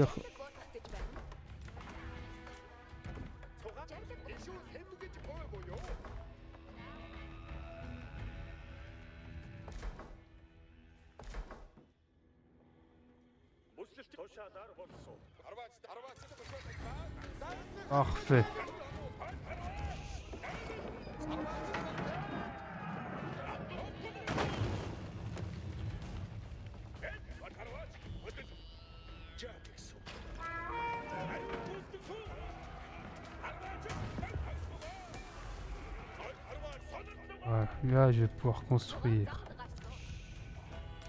Je vais construire ça pour sonner mes troupes. Parce que bon, euh, j'ai déjà pas beaucoup d'hommes. Je vais quand même économiser les hommes que je peux.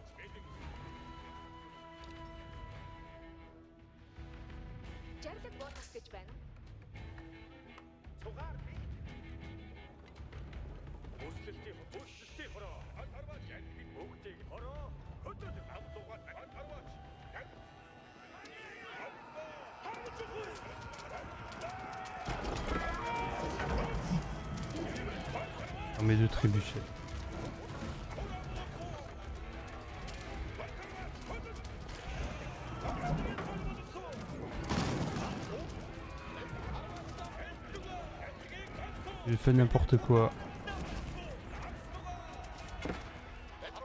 On sait que ces unités allaient prendre l'aggro, j'ai pas voulu être prudent, donc au final je perds mes unités bêtement. Ça m'apprendra. Alors fait de la merde. Je vais perdre mes troupes, sans aucune surprise.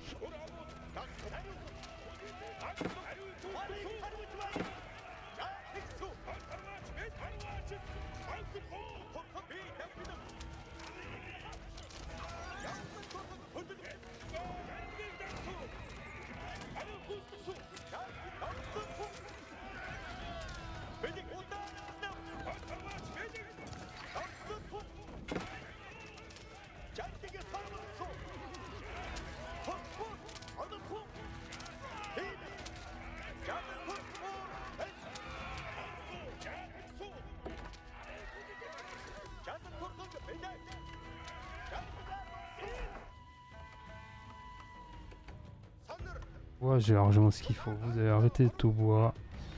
Vous allez aller ici. Le bois, ça se remplace facilement.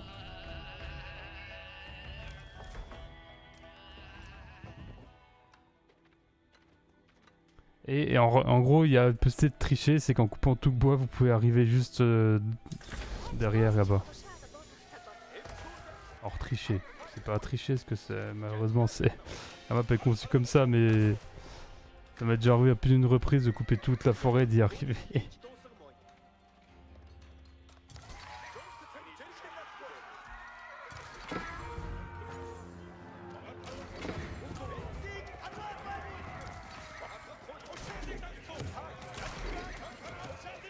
Ah, perdu, putain Vraiment m'agacer en face, putain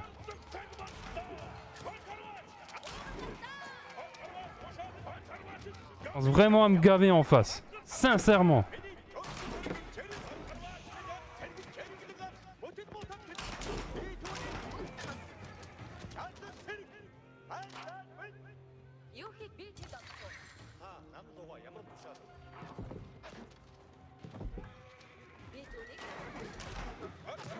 Attends de mettre en place mon économie.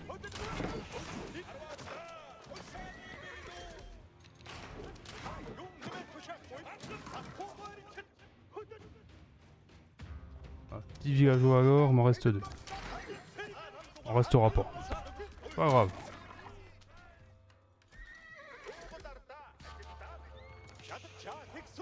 Ah, il me reste. Punaise, fais chier.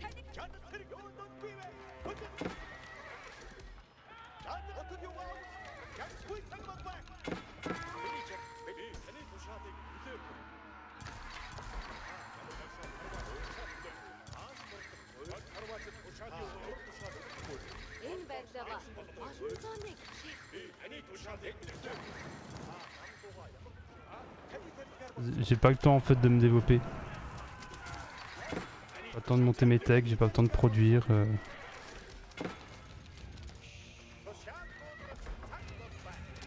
Ah, c'est vu que j'ai pas d'or, pas d'or dit pas de... Hmm. Pas d'amélioration, pas d'amélioration, pas plus de ressources, pas plus de ressources, je suis dans la merde. Je suis bloqué avec des unités d'un de, inférieur.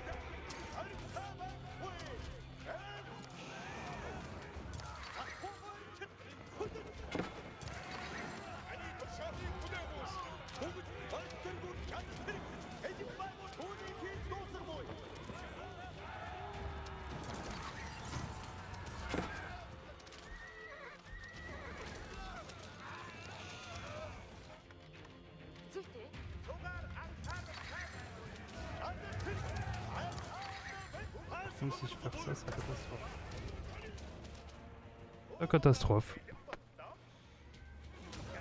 Ah putain de bon dieu, de dieu de merde, faction de mes couilles, putain. C'est vraiment une faction de daubes les mongols, mais sincèrement.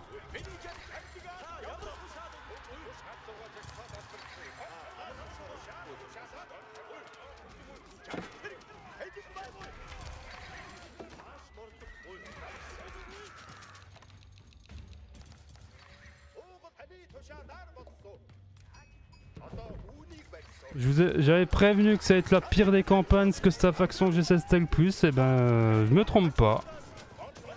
C'est la pire des campagnes, ce que c'est la faction que je teste le plus.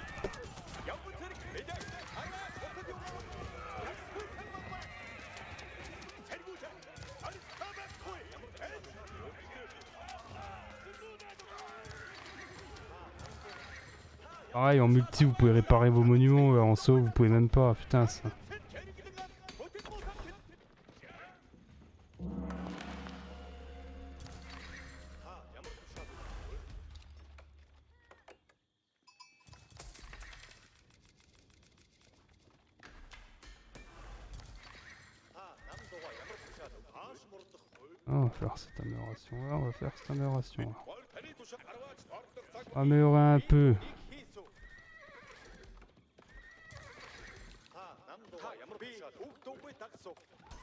On va se remettre, c'est pas grave. Ça m'agace, mais bon.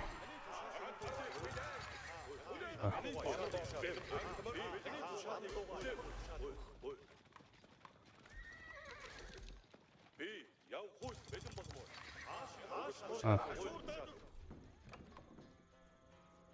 Ah. Par contre, toutes les factions peuvent pas faire ça. Ça, ça je dois avouer. Ah, là, j'ai reprendre un peu.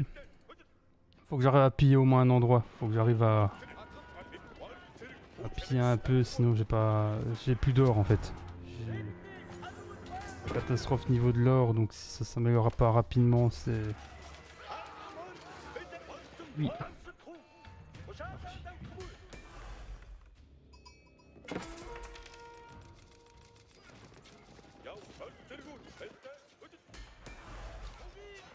J'aurai les dégâts.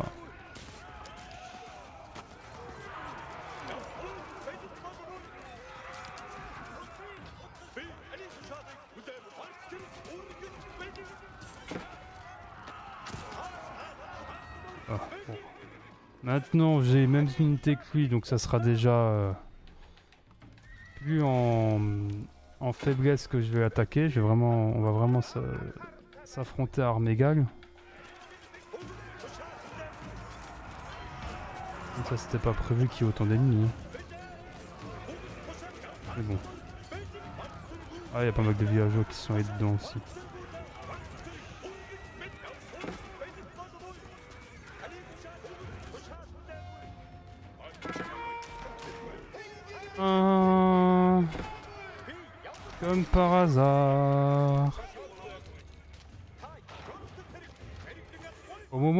Au moment même où je m'installe mon or.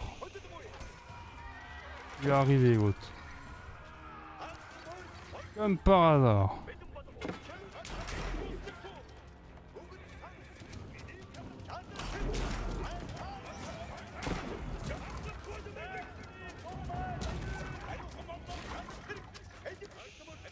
M'installe, allez hop, il arrive. Ah putain. Ça, c'est pas une coïncidence.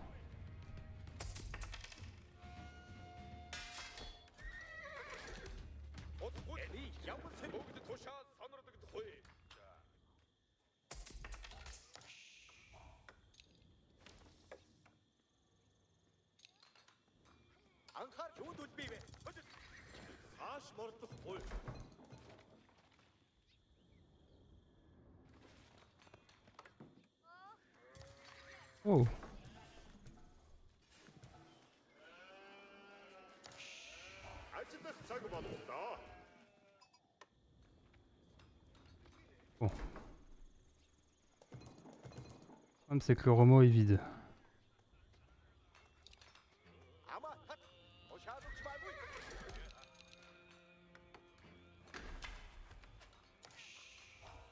Augmente les dégâts des torches. Euh,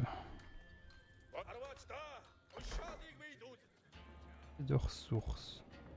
Bon, pas grave, on arrive à se remettre dedans, ça va prendre du temps, la mission va durer deux fois plus de temps que prévu, mais bon. Ah, c'est le jeu. Hein.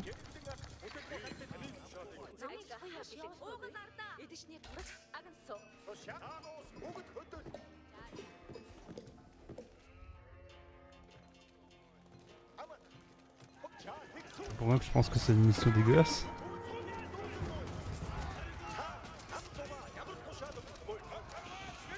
En plus, j'aurais dû améliorer de 3 points la résistance de mes unités. J'ai fait n'importe quoi avec ma compétence.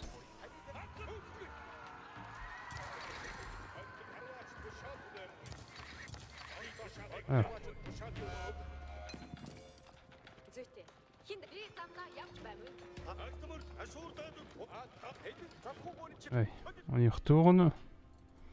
But, finir ça.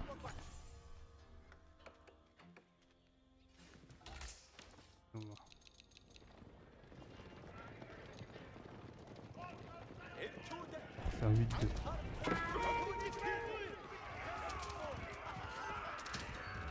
Ah, là cette fois-ci ça devrait être bon.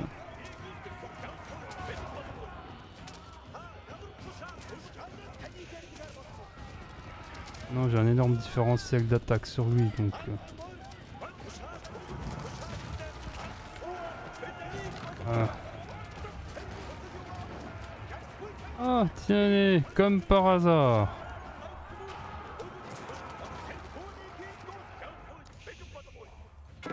Comme par hasard.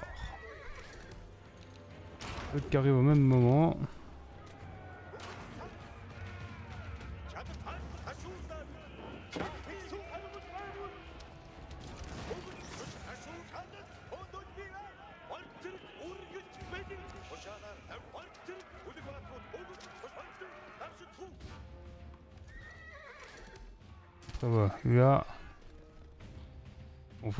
Faut vite qu'on rase ici pour qu'on puisse avancer, parce que sinon ça va pas le faire.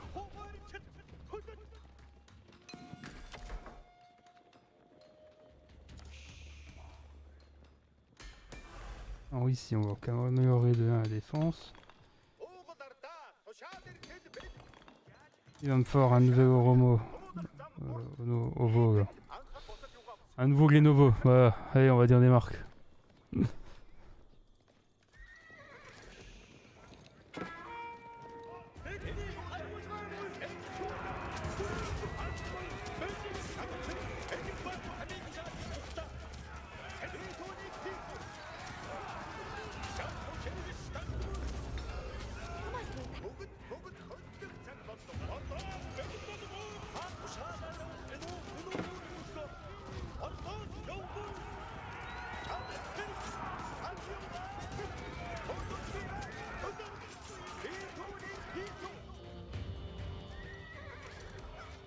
Ah. On reprend l'initiative là. Voilà. Détruisant ce camp là, on va détruire une revoler des ressources.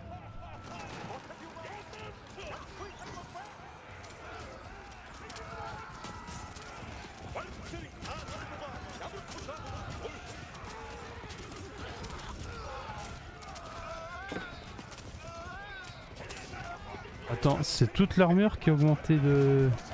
C'est à la fois protection... Je pensais que c'était que l'armure de corps à corps, mais c'est toute l'armure, c'est fort en fait.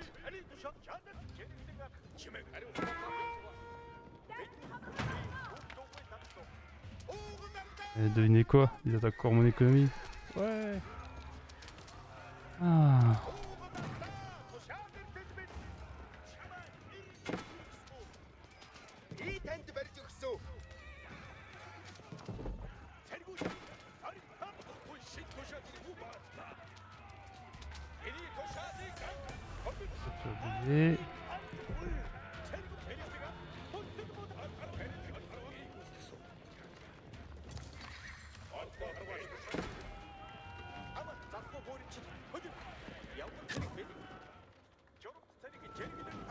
Mais Pourquoi ils attaquent? J'aurais pas, de, pas donné ordre d'attaquer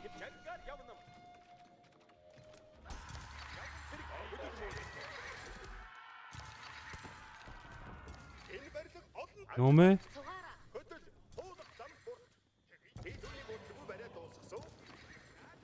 150% de soins.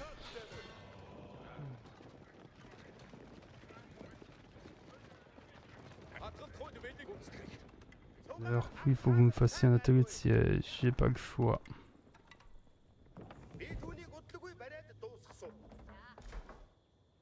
Euh.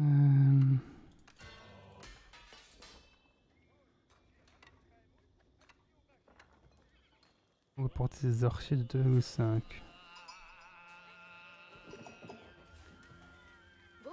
Bon, la bouffe on est bien.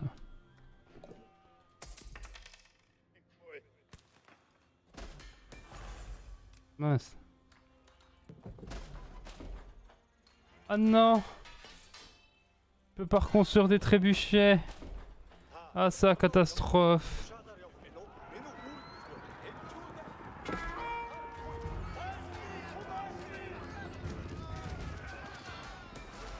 catastrophe.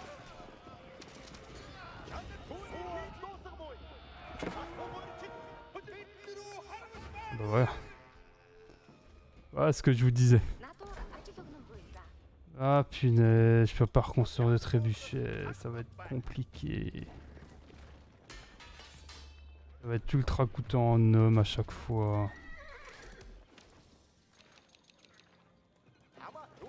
J'ai pas trop le choix dans ce cas, faut que j'aille bourrin percer- percer la porte.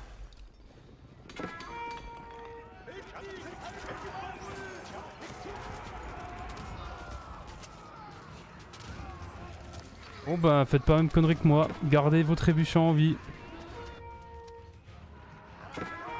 Ouais, je perds mes villageois Toujours pareil. Viva One Murphy dans ce jeu. Vous faites un truc, tout va vous arriver dans la gueule.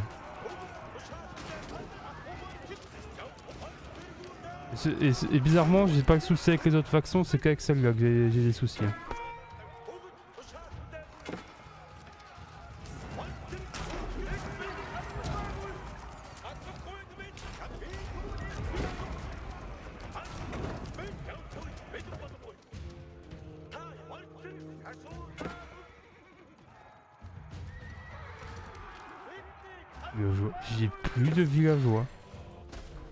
Catastrophe, quasiment. Enfin, plus de. C'est avec cela. Voilà, faut savoir qu'on peut dégommer ça comme ça, donc à un moment, ça me les brise.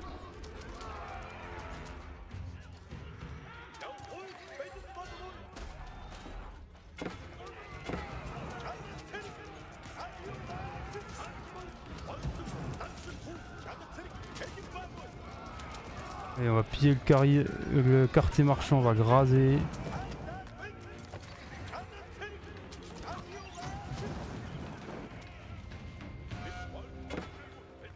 Bon, toi, les... Économiquement, je ne suis pas bien.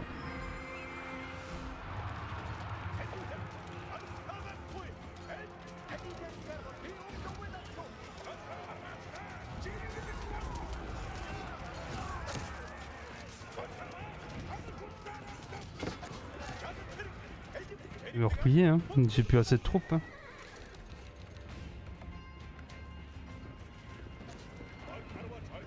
Assez de troupes pour pouvoir continuer l'assaut.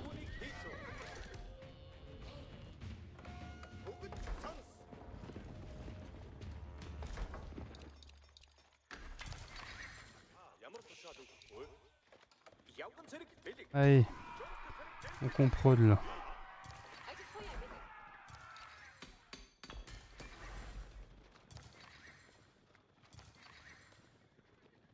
Attendez, des disait Springite des trébuchets. Ah, euh, non, mais normalement, je peux pas en reconstruire des trébuchets. Sinon, j'aurais pu en reconstruire ici. Donc, bâtiment. À mon avis, ils vont me dire que je pourrais pas. Pareil qu'ils me diront que c'est pas possible.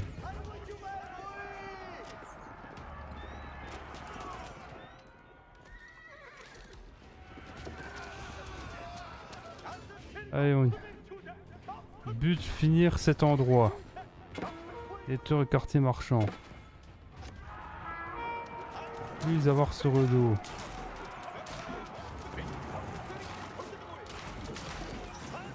Ouais, ça booste bien toutes les, ça booste bien toutes les armures, donc c'est fort. Très très fort. Voilà. Et là, c'est fini. Ça y est. Enfin, on se libère le front sud.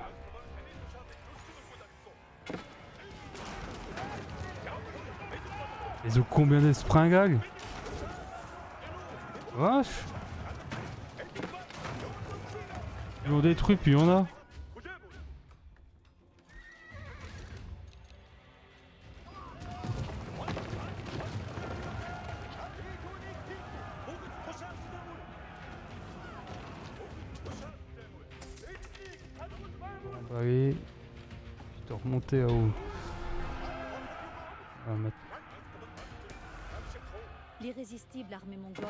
le quartier marchand de Kiev, paralysant le ravitaillement de la ville principale.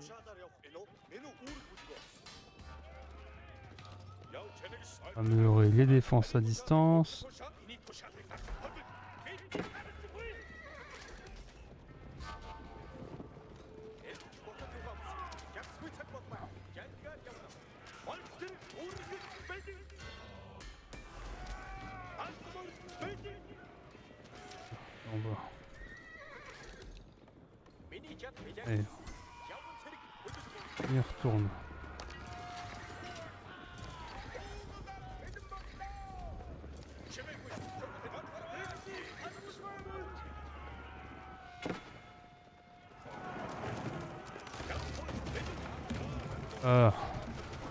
Ah, ils m'ont. Sincèrement, ils m'ont agacé. Ils m'ont vraiment agacé, les ennemis.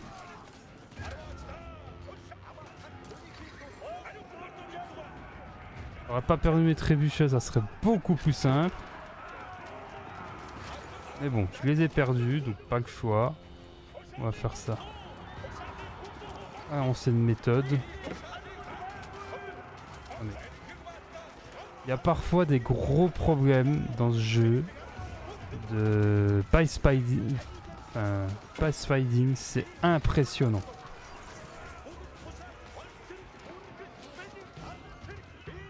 Les unités, d'a- j'ai demandé d'attaque clic ici, ils, ont, ils retournaient là-haut.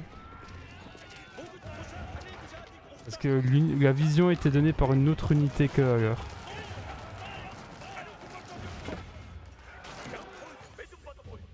Comme prévu, tout le monde est en train de mourir.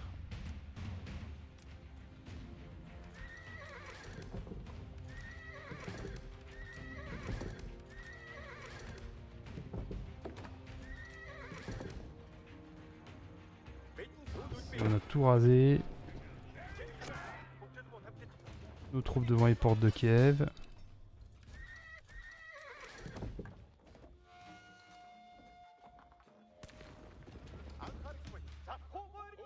Alors,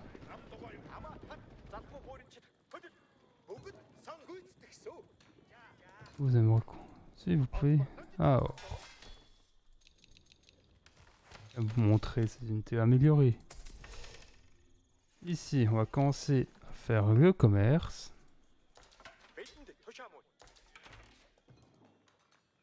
Avec toi.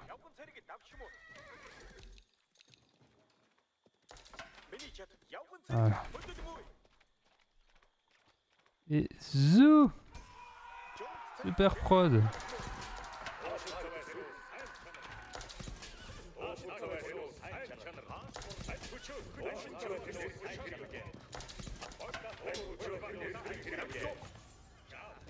Voilà.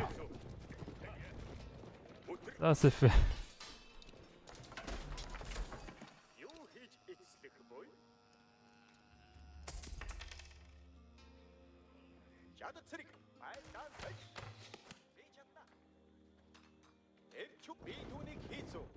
D'accord, je peux pas construire de... Exactement. Donc, faites pas mon erreur que j'ai fait en début de partie. Conservez vos trébuchets.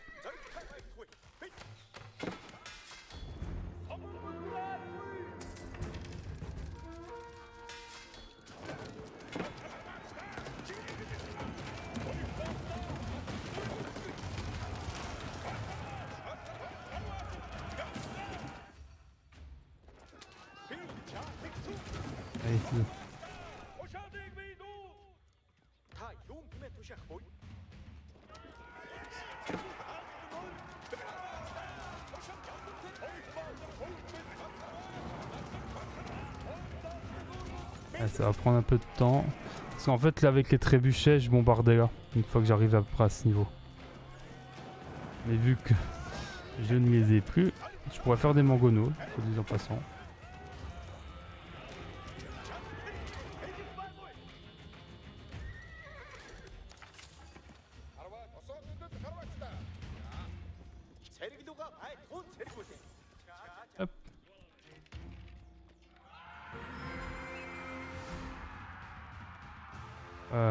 Extérieure va être détruite. Voilà.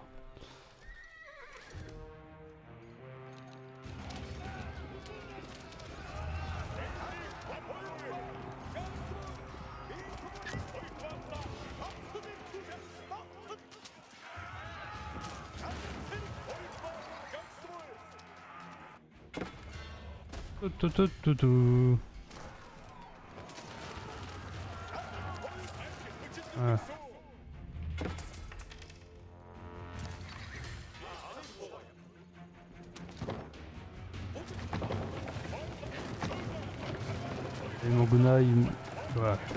Faire beaucoup de dégâts.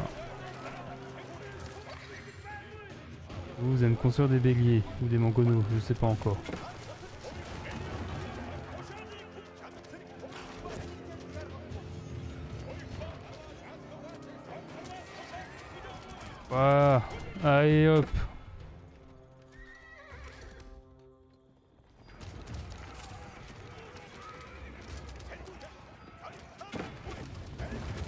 Était bourrine, mais elle marche.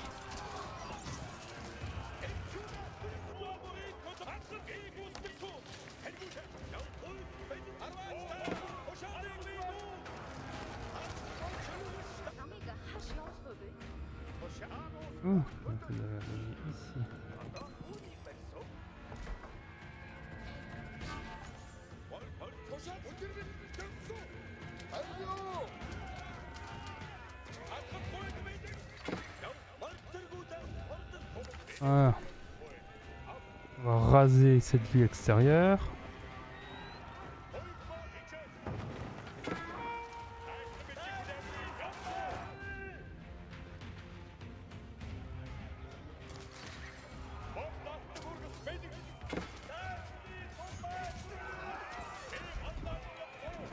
Eh ben dis donc, cette mission était bien difficile pour pas grand chose.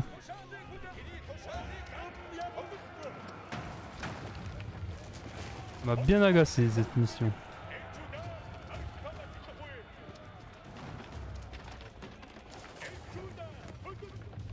Et encore, c'est pas celle que je déteste le plus de mission, celle-là.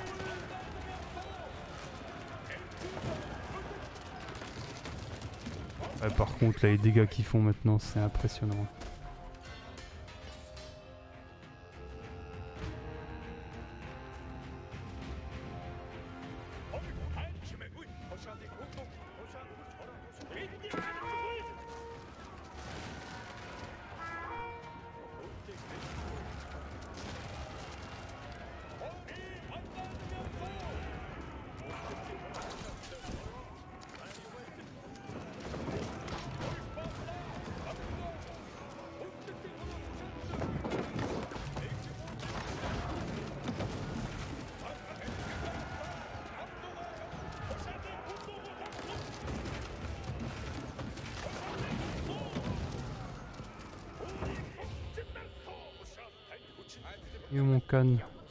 Ici.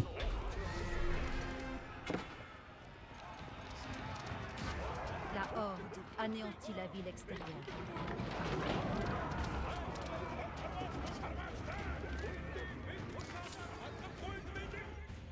Euh, il va faire maintenant un recherche de portée.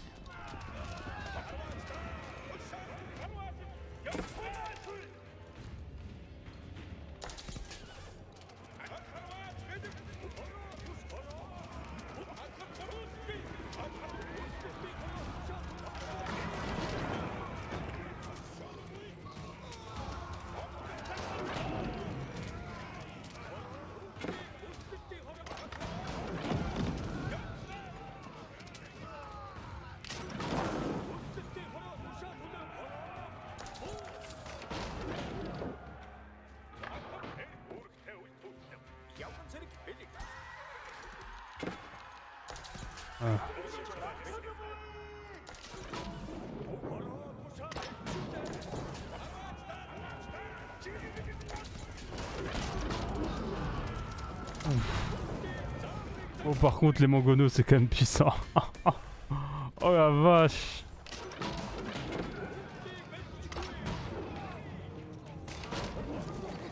J'avais oublié que c'est leur puissance là quand même.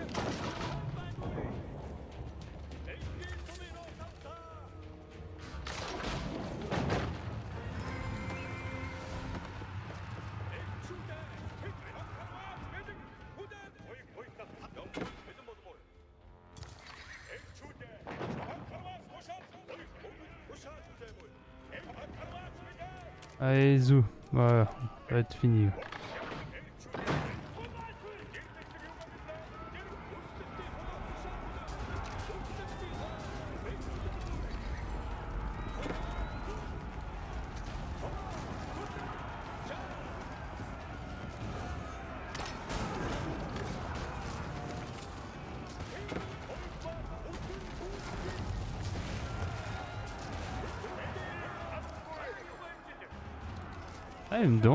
Kiev était pas surnommé à Porte Dorée, hein. ou n'y avait pas un truc qui s'appelait à Porte Dorée à Kiev?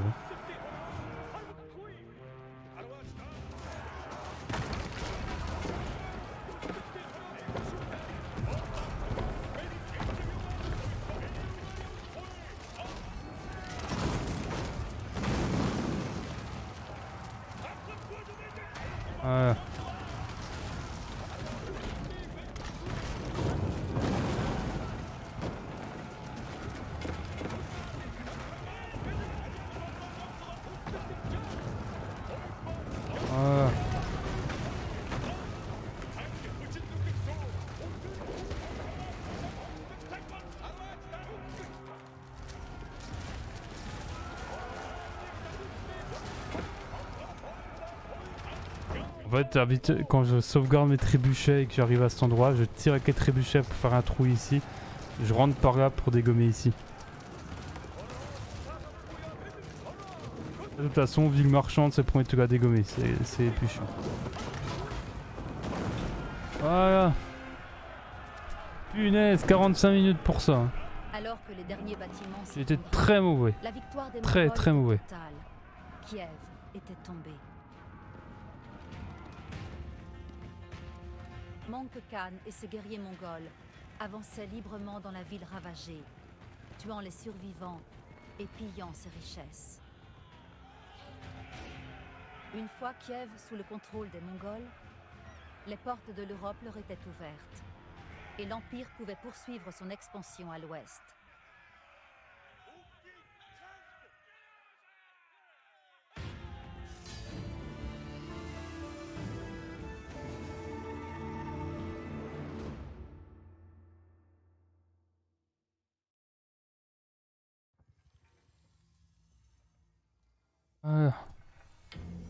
Bon, Kiev c'était sous quand même difficile. Les Mongols préparèrent un assaut coordonné plus loin en Europe.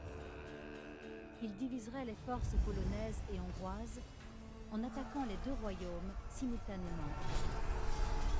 À Legnica, les vieilles armées d'Europe allaient devoir faire face aux tactiques de combat mongoles. Bon, c'est celle que je pense, elle est pas, elle est pas trop mal. J'aime bien.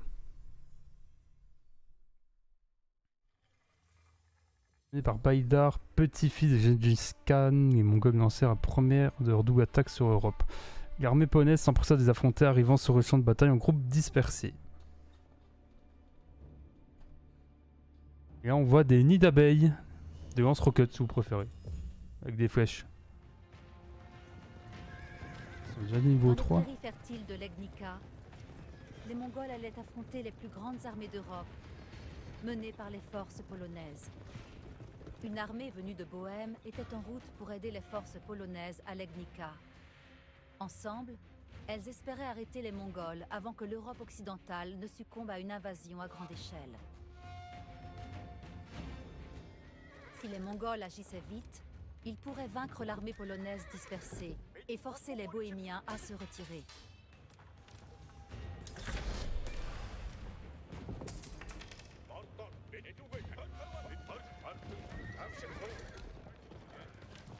Les Mongols avaient adopté la technologie de la poudre à canon de leurs sujets chinois et faisaient désormais usage du redoutable nid. Ce projectile explosif leur permettait d'envoyer un tir de barrage dévastateur sur l'ennemi. En attaquant les terres agricoles ennemies, les Mongols pouvaient piller de précieuses ressources.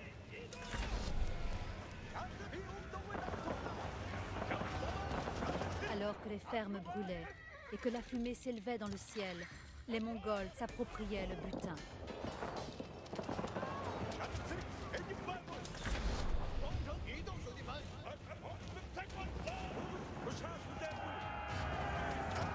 Il faut que peu, un peu plus de troupes parce que pour le moment j'ai pas encore assez de troupes. Là c'est que de la bataille. hein.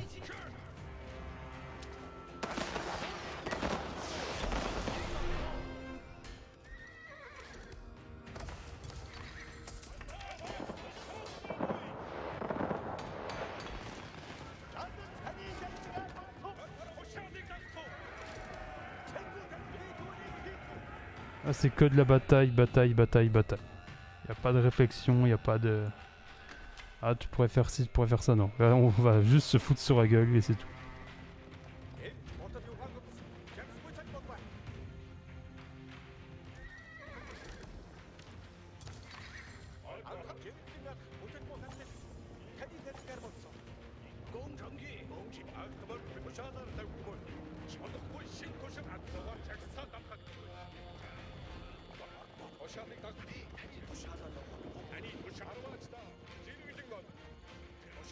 C'est juste d'attirer.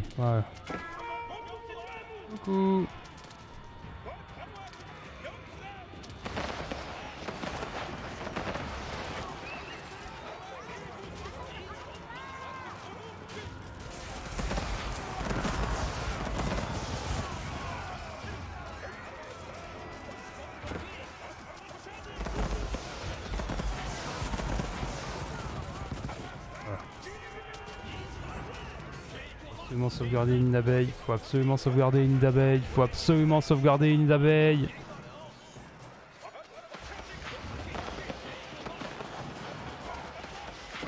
Je les perds, c'est. je- restarterai directement.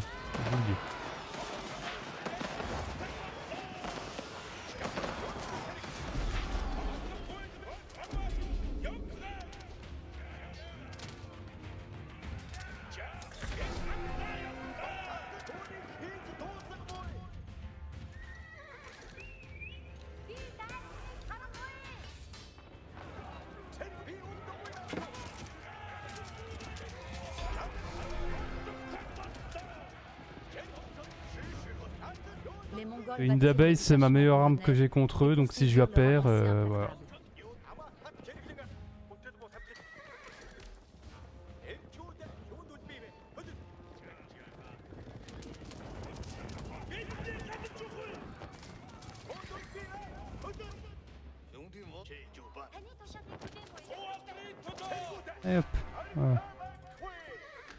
J'ai perdu par contre beaucoup d'hommes. Beaucoup trop d'hommes. C'est une catastrophe. Bon, tu dois dégommer un tiers de leur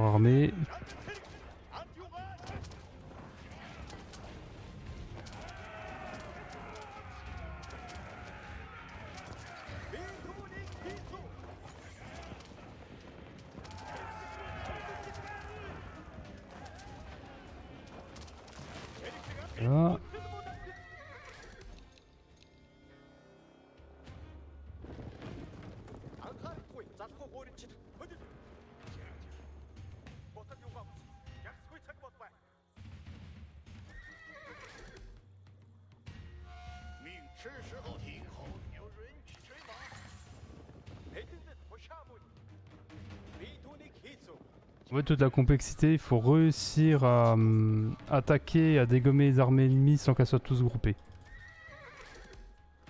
Ça, c'est la vraie complexité de ce niveau.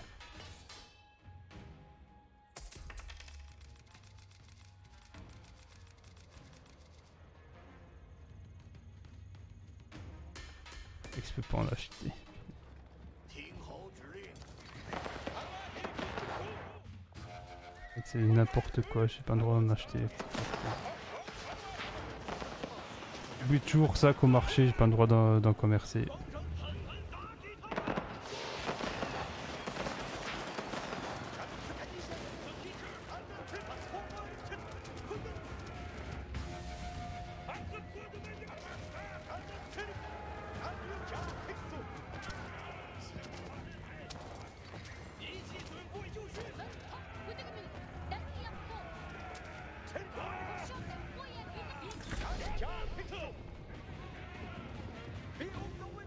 Ah, c'est c'est l'élite de l'élite là.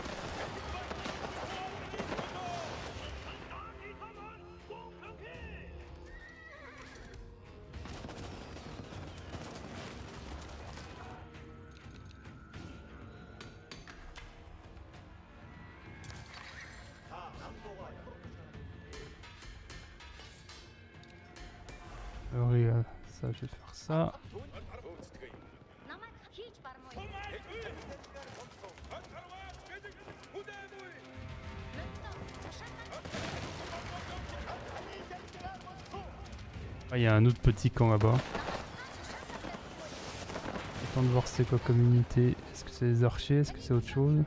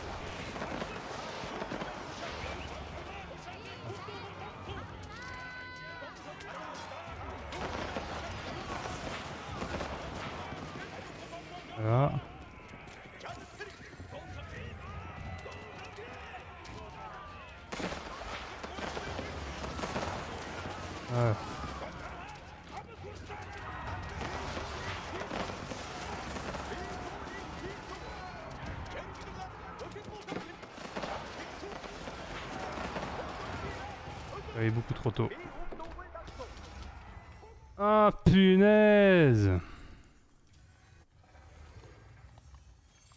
Ah, Je vais pas perdre de temps, je vais recommencer.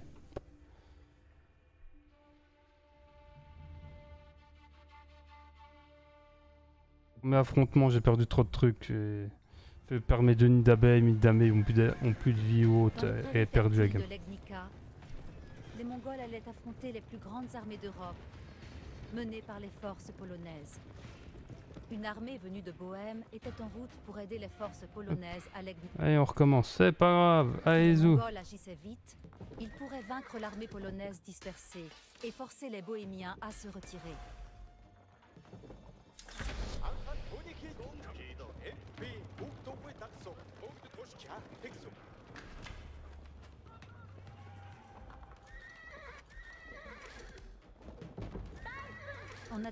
Terres agricoles ennemies, les Mongols pouvaient piller de précieuses ressources.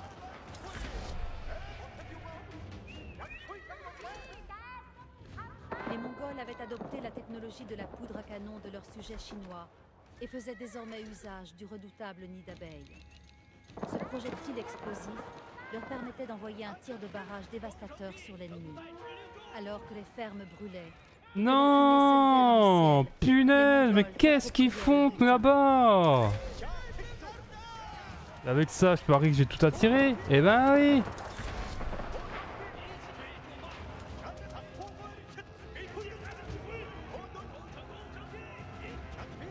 Putain, mais qu'est-ce qu'ils sont faits là-bas?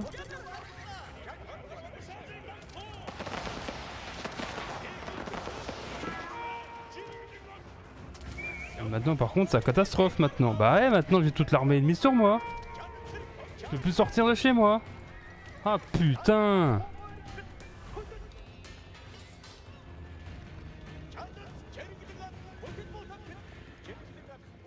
Ah, il est bien ce jeu.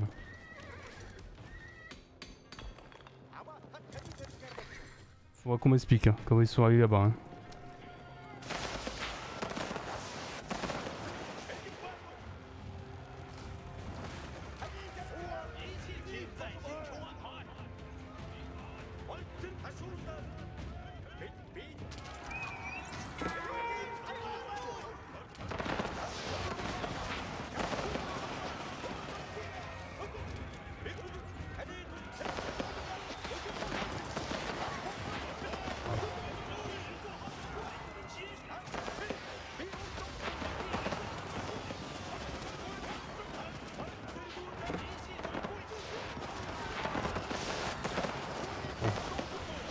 J'arrive à affronter les petites armées, donc au final je rattrape un peu le problème qu'il y a eu en début de partie, mais bon.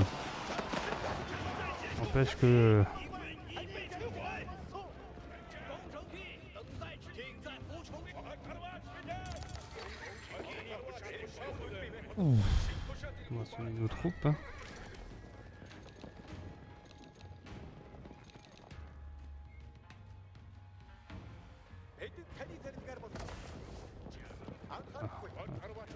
Soigne vite.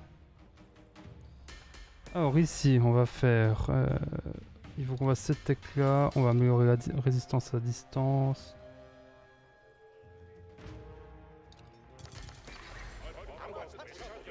Euh, le bois de toute façon je vais en avoir de... je vais en avoir à appel donc on va vendre le bois.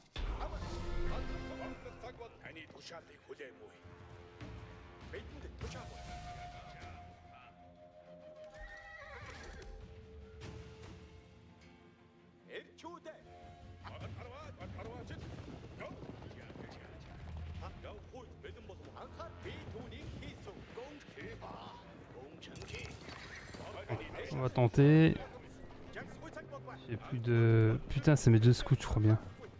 Ah je crois bien que c'est mes deux scouts qui, ont, euh, qui sont partis dans... Je ne. Qui sont partis dans un pampa.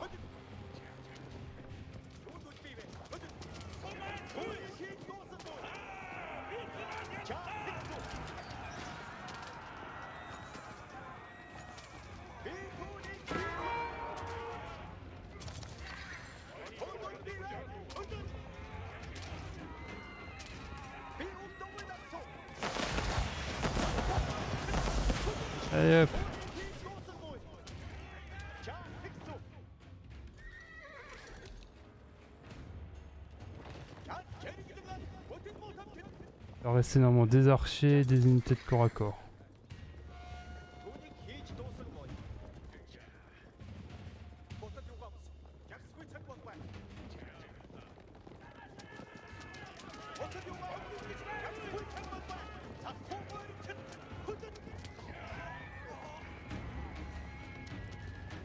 Quoique les archers, je crois bien que je les ai dégommés.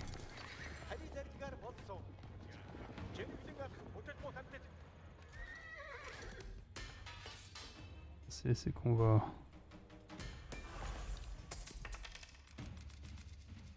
Peut-être ça, hein.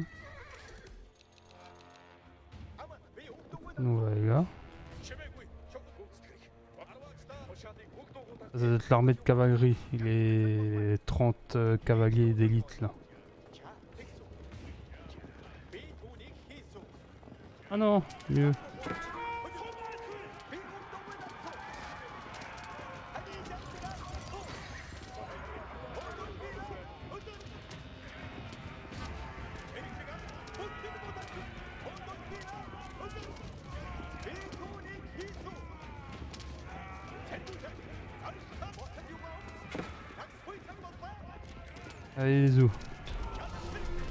Ça se passe mieux, bizarrement. Malgré le problème qu'on a eu au début. Eux, ils vont aller à droite. C'est vrai que j'aurais dû faire ça avant.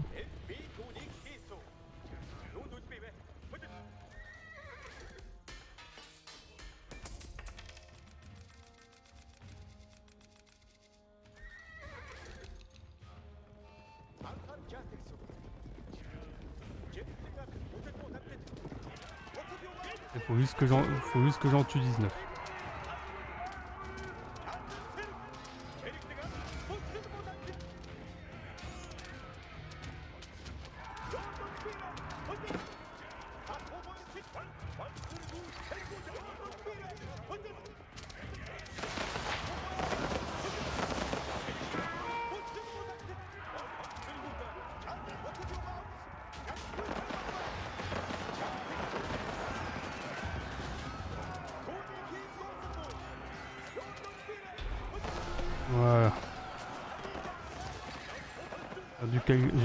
Cavaliers classiques, mais ils ont perdu les chevaliers. Portant un coup critique aux forces européennes.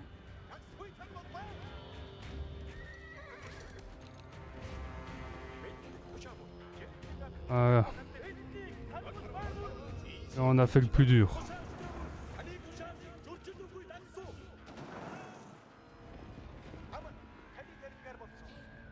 On a fait le plus dur. Maintenant, on va améliorer la portée, euh, les dégâts. Euh, Peut-être améliorer la résistance. On va déjà y piller, puis après on se posera ces questions à plus tard.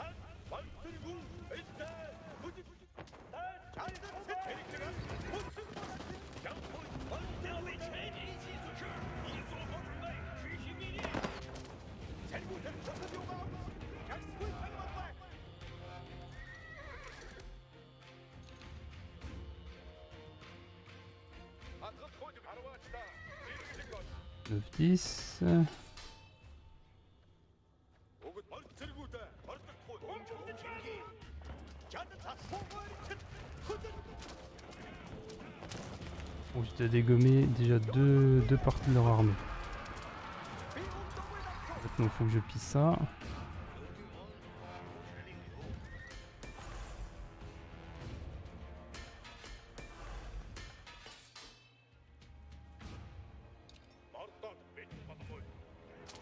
La question ça s'applique aux archers de cavalerie.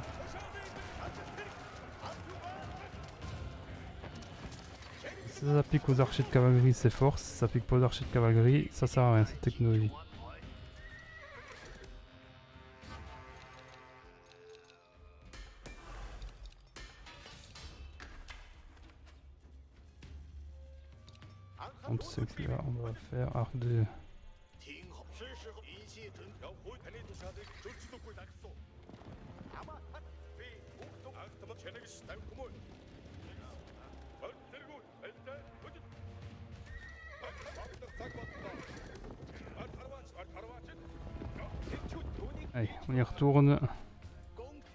C'est bon, je crois que je me souviens de la mission euh, hongroise suivante. Je passe... Est-ce que je passe un palier en...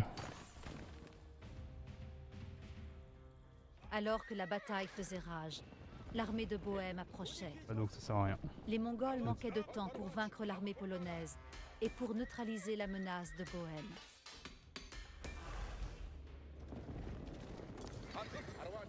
Merde. Je viens de faire une tech qui m'a coûté euh, beaucoup de ressources pour rien. Augmente pas la parcelle de mes troupes là.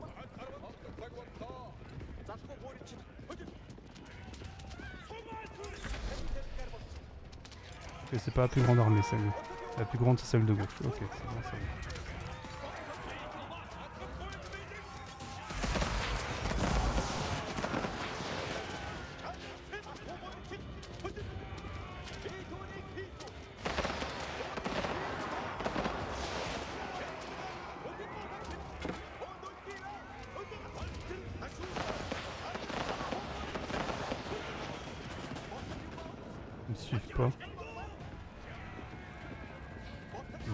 Ça va bien se passer en fait.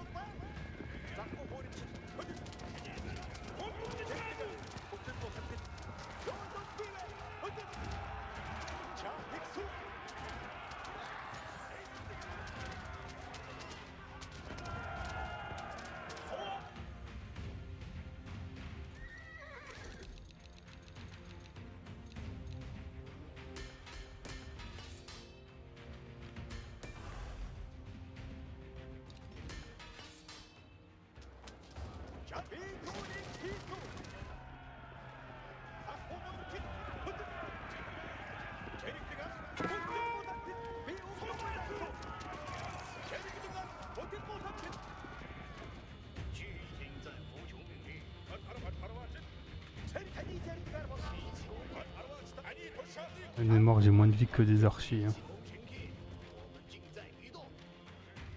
Trop de temps sur cette.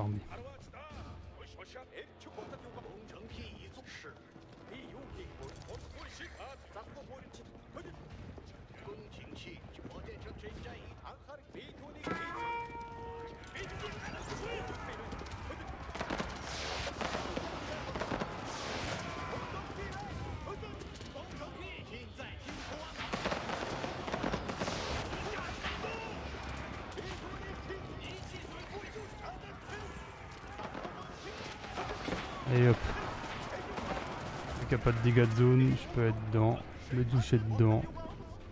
Je subis rien.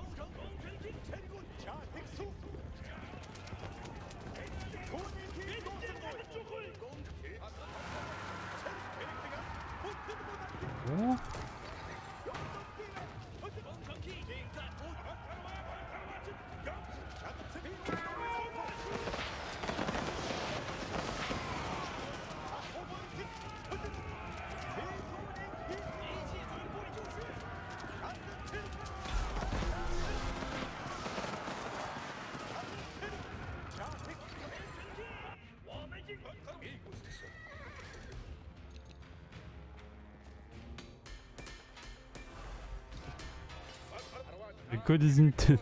J'avoue que j'ai fait une composition, mais je suis en train de me rendre compte, j'ai pas même pas besoin de faire d'autres unités. C'est largement suffisant.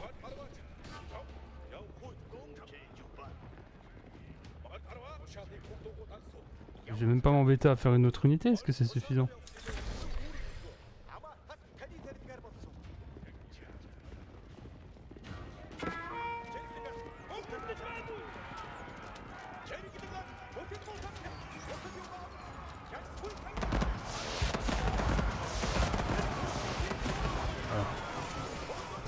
Deux fois de plus, ça serait bien.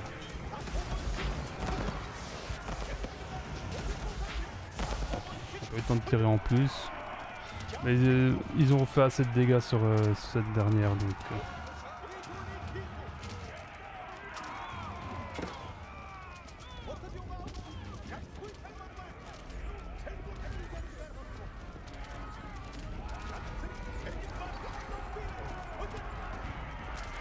Voilà.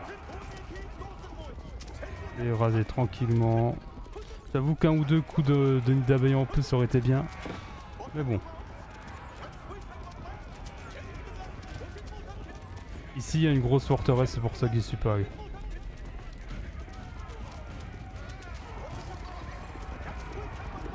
Et les archers ont quasiment autant de vie que mes Mogudai. Ils coûtent beaucoup moins cher, ils coûtent pas d'or notamment. Jamais vous avez une économie qui est pas assez forte en or, ben et que vous arrivez à vraiment tuer Mogudai ennemi, ben vous gagnez. À attrition.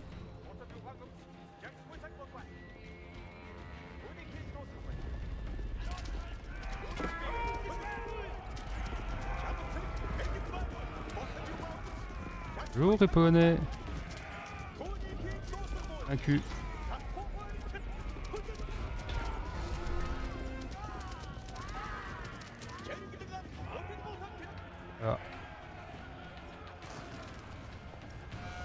Ait le problème du début. Par rapport aux armées européennes, et mes scouts, les Mongols l'emportèrent.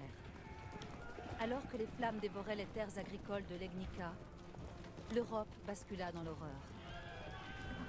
L'ingéniosité de l'Empire mongol avait introduit un nouveau genre de destruction terrifiant aux portes de l'Occident.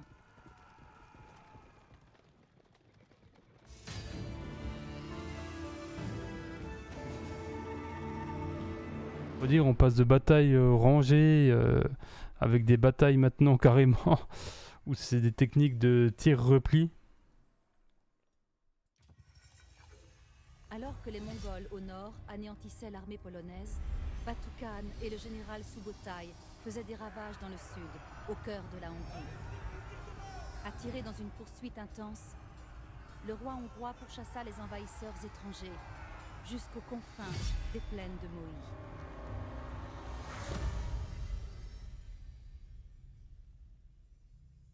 En sachant que ce recul-là, c'est des unités de cavalerie légère. hein. Attirant à Mongois sur un champ de bataille judicieusement choisi, Batukhan et le général Subotai préparèrent guerriers à un nouveau combat tactique.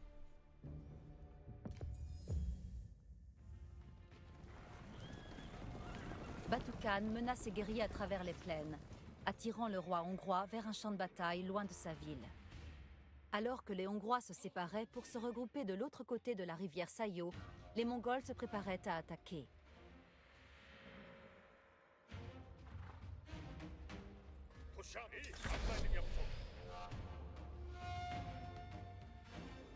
Le général Subotai rejoindrait bientôt Batu après avoir escorté le camp mongol jusqu'au lieu de la bataille. Pendant que le Khan attendait son général, l'avant-garde mongole alla tâter le terrain de l'autre côté du pont, au nord.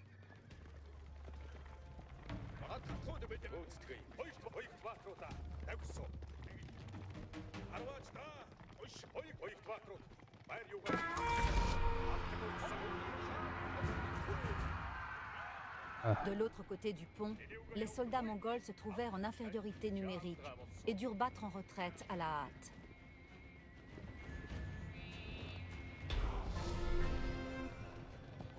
Bon, ça c'est fait.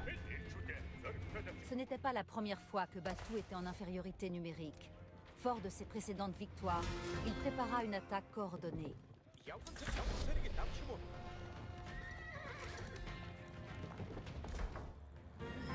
En approchant de la rivière Sayo, les Mongols découvrirent un guet praticable.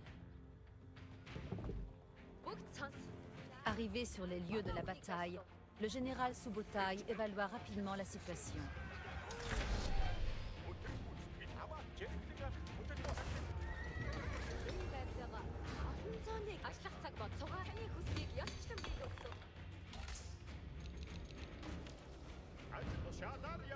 On se vite ça. Ça. Euh, je crois que a une... Sa portée de vision du général est améliorée et je peux lancer beaucoup plus sans mes flèches.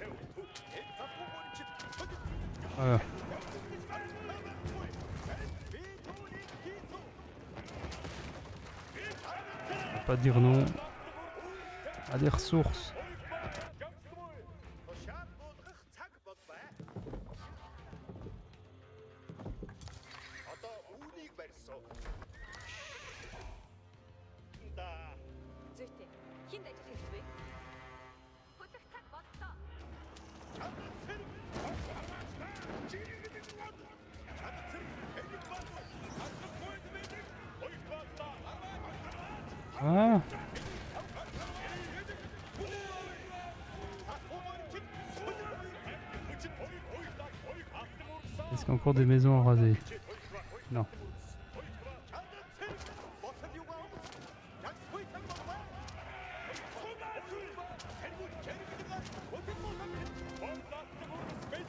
Les Mongols découvrirent un autre passage permettant de traverser la rivière. Un pont cassé.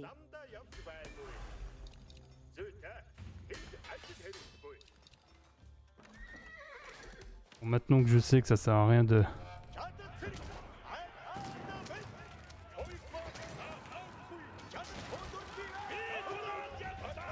Bon, toi, euh, 12 minutes pour se préparer, c'est rien du tout.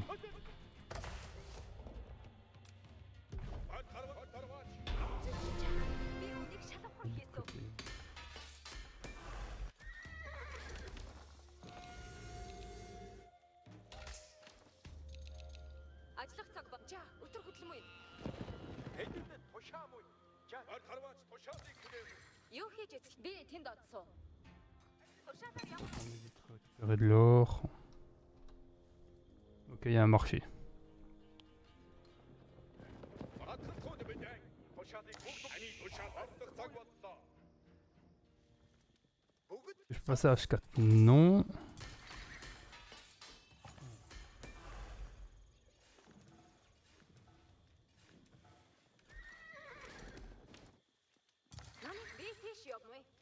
pas fait à tour, mais on est, je dois une recherche là-dedans qui va peut-être pouvoir m'aider?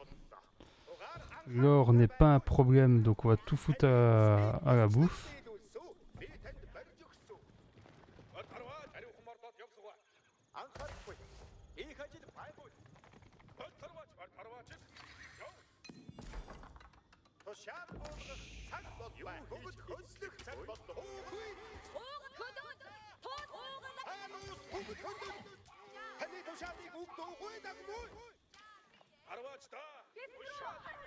ça, c'est un marché.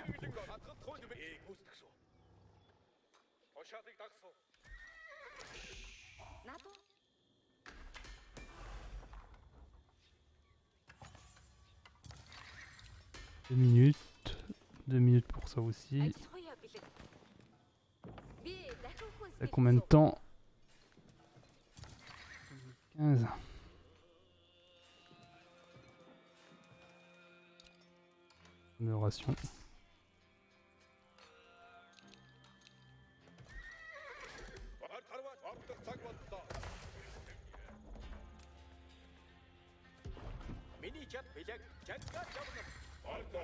but c'est de soigner un peu ses troupes aussi, parce que je suis pas sûr qu'il reconstitue ses troupes.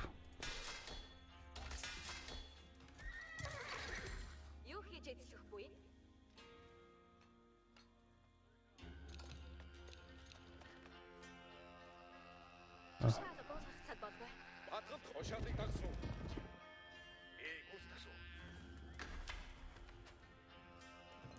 Minute 15. Ah si, j'ai bien raison. 15, une 30, c'est 45 secondes de plus.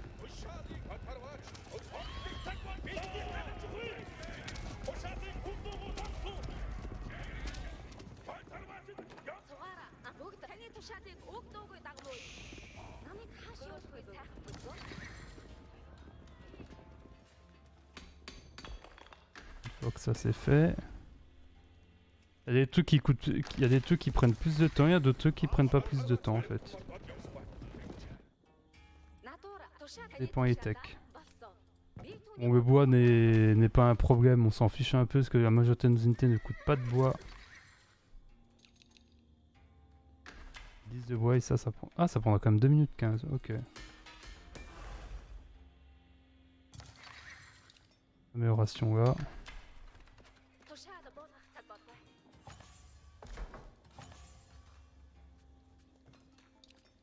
De la nourriture, Alors on va pas dire. Bouteille partait préparer son armée.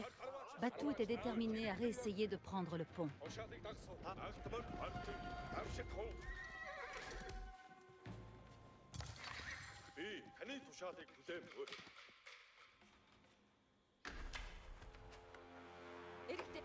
Oh. Ne coupez pas de bois, on s'en fiche du bois.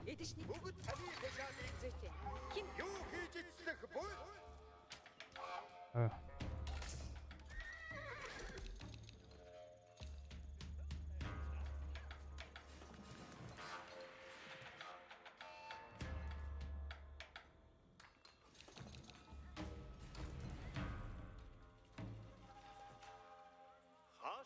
4, plus 4, plus 4.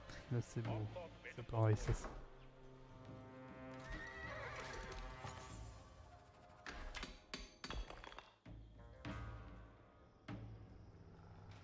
étrier beaucoup. On me un bas étrier ici. Ici je peux tout soigner ses troupes, nickel. Là j'aurai un meilleur taux de récolte de ressources. Ici, vous, allez ici. Ils aiment récupérer ceci. Euh, dans une minute, je vais avoir les ressources. Euh, dans une minute trente, ouais, à peu près. La technologie est un peu en retard, mais bon, je. J'aurai quand même dans un petit. un laps de temps assez proche.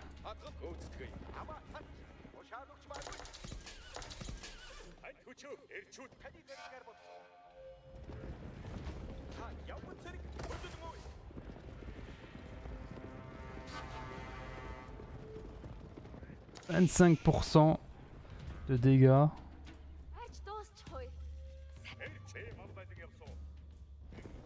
Ah ouais, donc on va...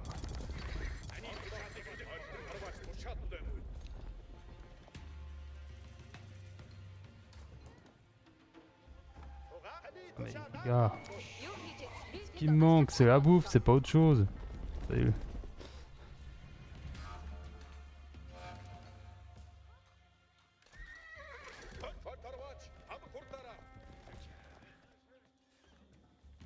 25% de dégâts. oh. Ça, je l'ignorais ce truc-là, plus 25% de dégâts. Et je vais pouvoir avancer de. Je vais pouvoir l'avoir pour l'assaut.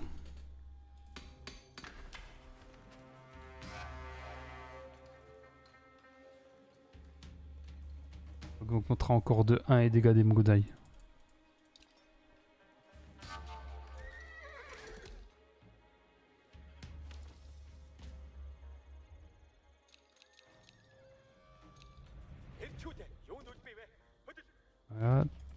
Maintenant que tout le monde est soigné, toi tu vas te remballer. Tu vas venir ici.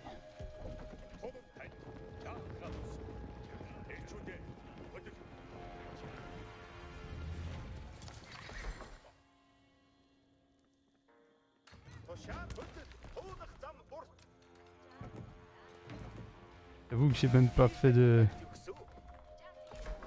J'ai même pas fait.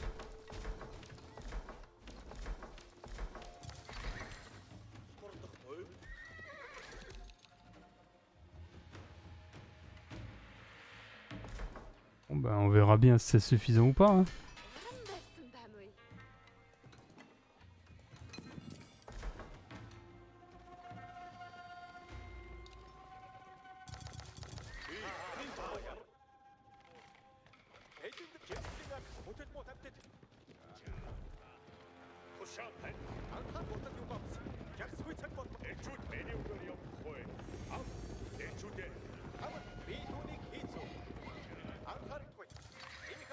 demandé si j'ai assez de troupes, mais bon... On verra bien, hein.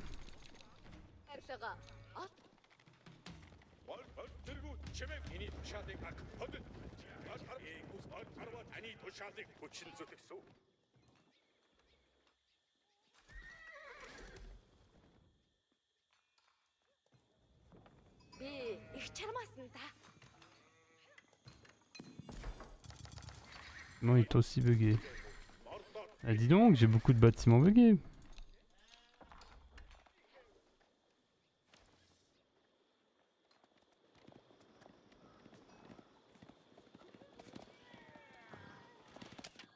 J'espère juste qu'il est pas. qu'il puisse pas mourir lui, parce que bon, ça peut vite dégénérer ça.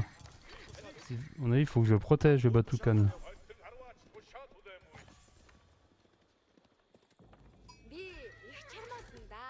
qu'il ait des renforts infinis.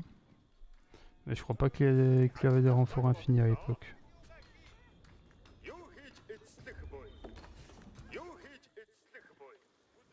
que j'ai joué à la viande que j'ai accumulée. Euh, mon armée est prête, mais bon, euh, on, va pas avoir le choix, hein, que dirais. Hein.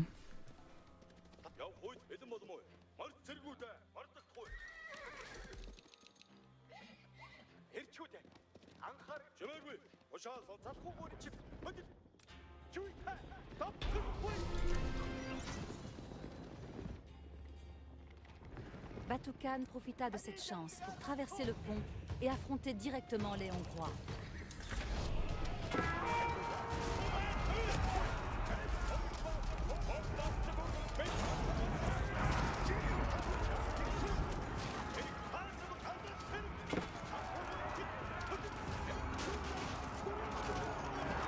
Moi, j'ai pris juste un, co-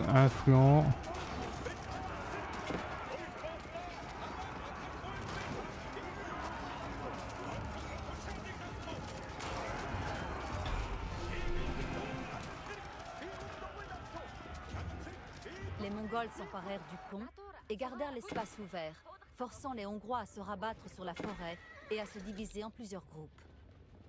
Les Mongols pouvaient désormais pousser les Hongrois à revenir vers leur camp, un espace réduit sans issue.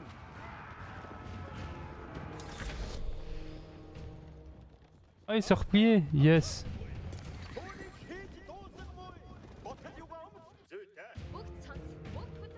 Bon, je pense que c'est une illusion. À mon avis, il va y retourner bientôt.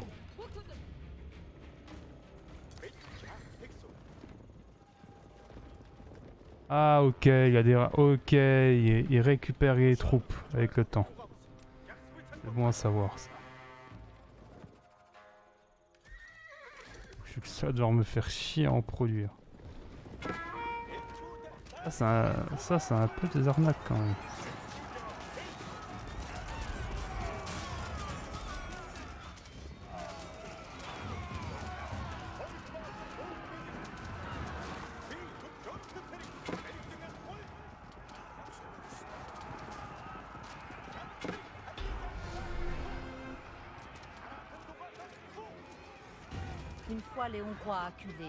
Les Mongols s'abattirent sur eux pour détruire ce qu'il restait de leur armée.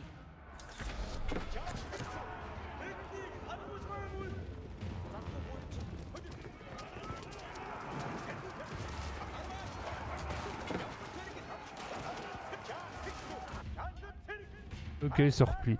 Ça c'est bien, ok, ça c'est bien comme nouvelle. Je, l'ignorais ça, je pensais qu'il qu'il attaquait Vitam Aeternam, mais non, il se replie quand il n'y a plus de troupes. Moi j'ai tellement d'archers que là... euh,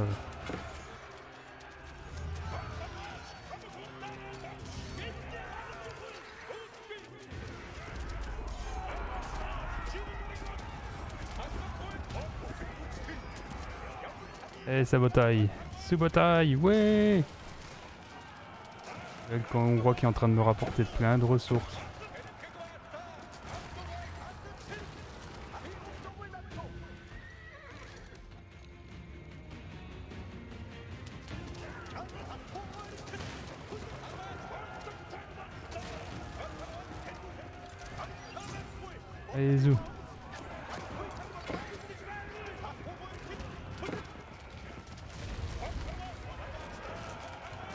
Celui-ci s'est bien passé, mine de rien.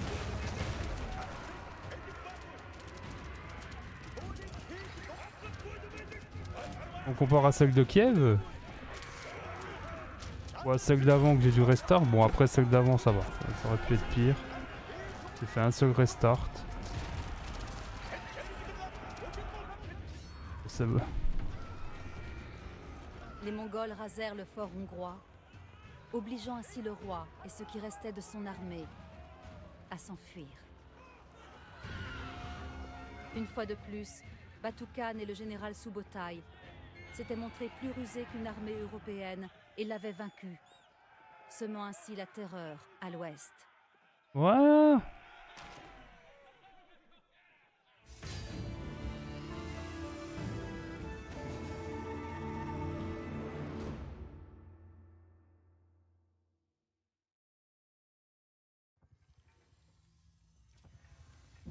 Arrive dans le dernier acte.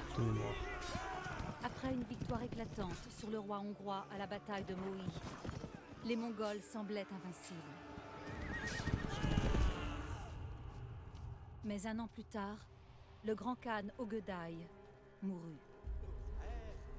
Les Mongols quittèrent l'Europe et rentrèrent chez eux.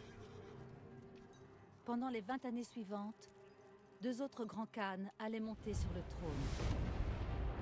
Leurs conquêtes contribuèrent à l'expansion de l'Empire à l'Est.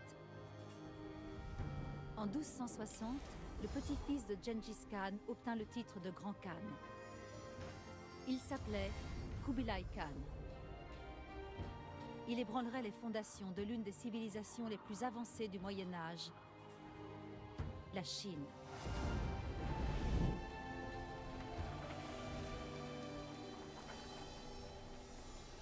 Crois qu'il est de Kubilai Khan, c'est pas le premier empereur de Chine euh, descendant mongol? Voici Shangdu.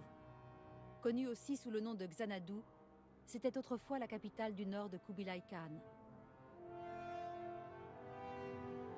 De là, il observait d'un œil jaloux les richesses de la dynastie Song au sud de la Chine. Il rêvait de s'emparer de ces terres et de devenir empereur de toute la Chine. La dynastie Song gouvernait le sud de la Chine depuis plus de 300 ans. Et le pays était prospère et bien gouverné. Kubilai Khan savait que pour remporter la victoire, il devrait s'emparer de l'une des villes stratégiques situées au sud de Chengdu. Cette ville, c'était Xiangyang.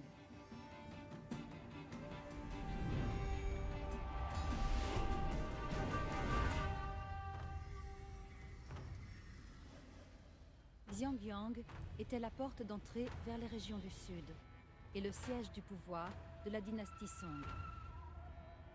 La ville avait le contrôle du fleuve Han, une voie d'accès vitale pour les villes situées le long du Yangtze. S'emparer de Xiangyang était le seul moyen pour Kubilai Khan de Ouais, c'est bien ça, il est devenu encore de Chine. La horde mongole devait conquérir la ville à tout prix. Je me suis pas trompé. Désireux de devenir empereur de Chine, Kublai Khan déploie son armée pour s'emparer des villes les plus riches de la dynastie Song, situées de part et d'autre du fleuve Hams. Les forteresses jumelles de Xiangyang et de Foshen se préparaient à l'assaut direct. Ah putain, oui, je me souviens de la mission. Ah, je l'aime pas. J'aime pas cette mission. Non content de gouverner ses propres terres, voulait s'emparer des richesses de la dynastie Song au sud. Confiant dans ses tactiques éprouvées, il ordonna à son armée d'attaquer les villes de Fancheng et Xiangyang.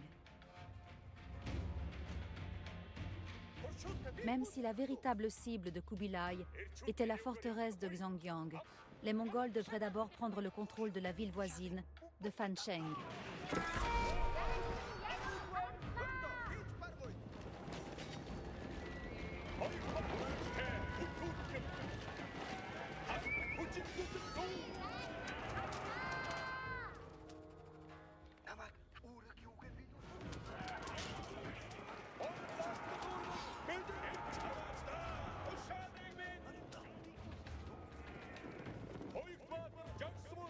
A des ressources. Moi, je récupère. Hein.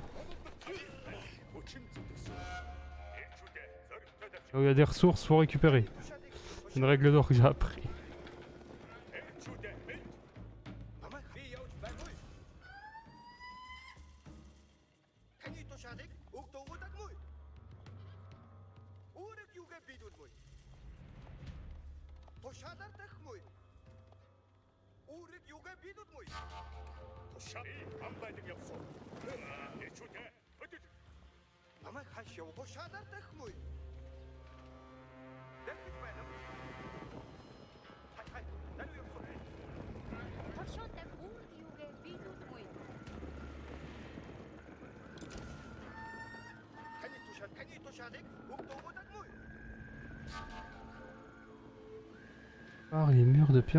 Proximité d'une seule section peut être réparée à la fois autant de 20 points de...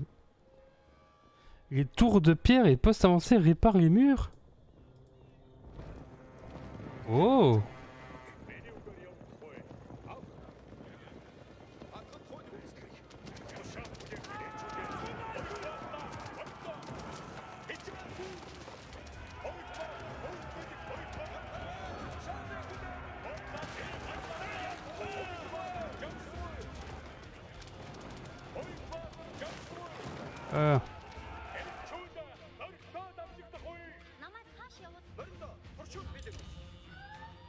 ça augmente pas beaucoup porter. hein.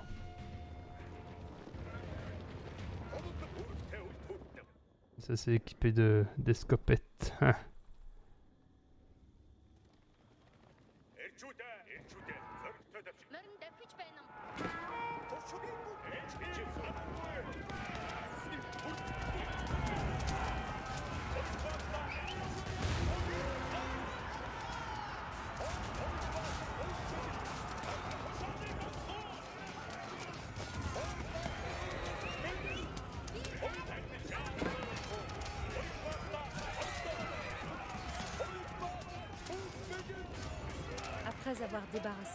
ses gardes, les Mongols reprirent leur marche vers Fanshen.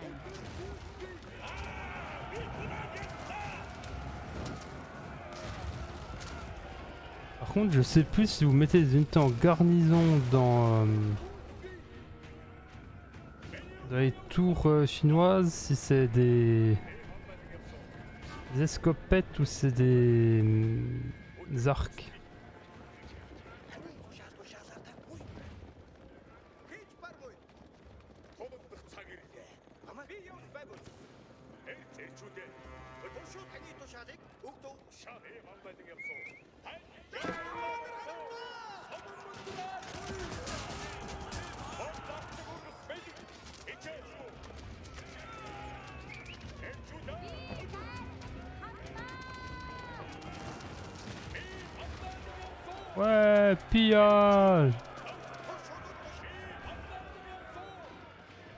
J'ai la technologie qui permet de piller la pierre. Oh, c'est bien ça.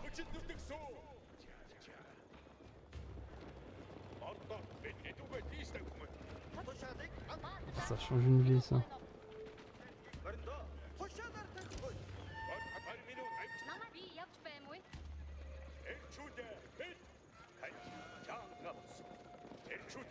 Ça y est, j'ai enfin la technologie pour piller la pierre.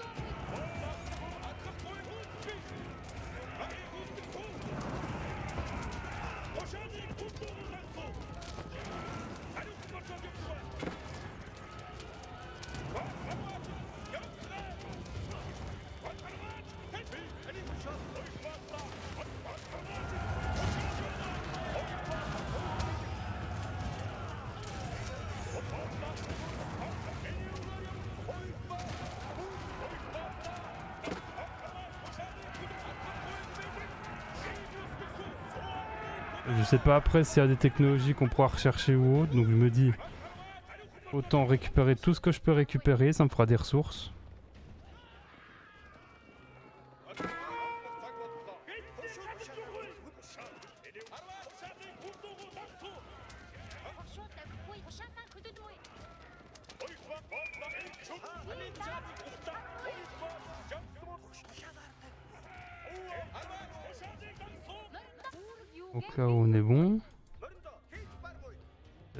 Là, est-ce que...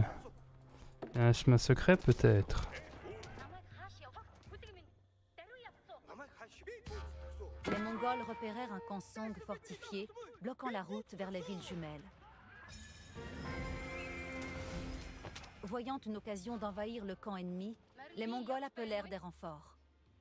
Ensemble, les deux détachements attaqueraient le camp chacun d'un côté, prenant les Song en étau. Voilà, donc là nickel.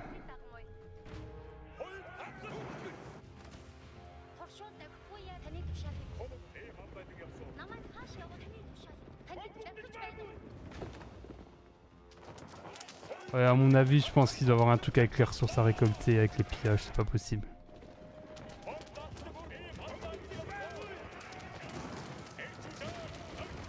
Il me paraît improbable qu'il n'y ait rien.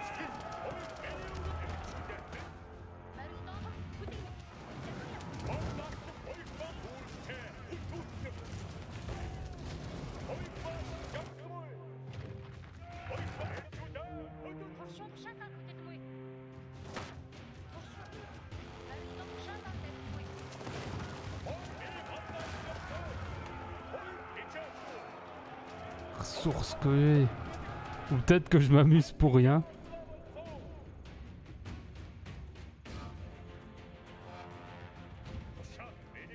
J'ai quand même perdu une grande partie de mes troupes.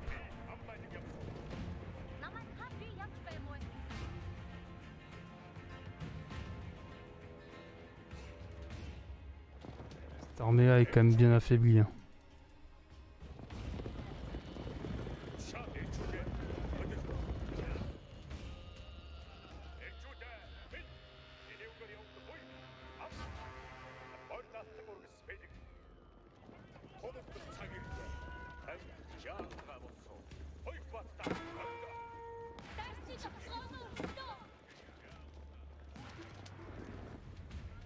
Trickett.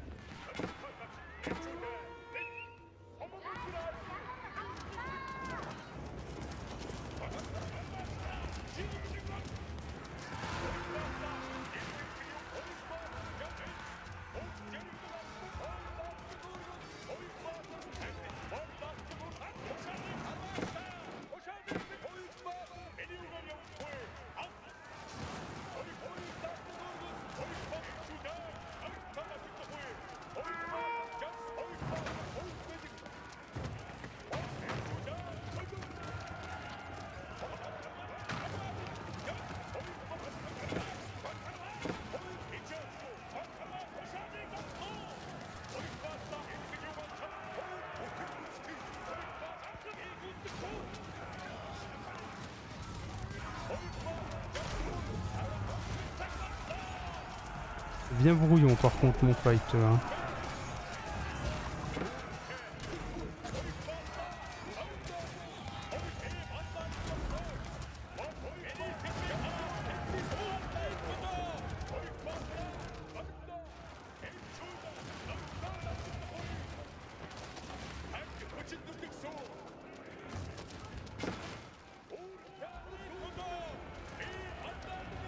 Les ressources que j'ai récoltées, je pense pas que ça soit un ou deux trucs de ressources en plus qui va changer la donne. Par contre, je suis curieux de savoir qu'est-ce qu'il y a là-bas.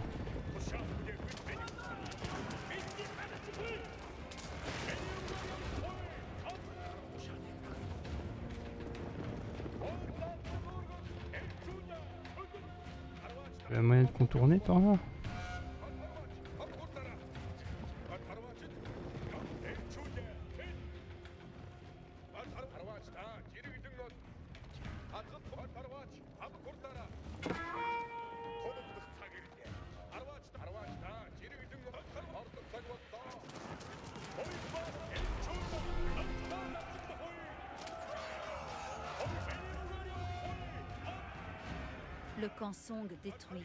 Les Mongols s'attelèrent à la conquête des villes jumelles. Tout d'abord, ils rejoignirent leurs alliés aux portes de Ah Fancheng. putain, je m'en souviens. Cette force d'assaut attaquerait les portes de Fancheng, tandis que l'avant-garde mongole défendrait les armes de siège qui tiraient sur les villes.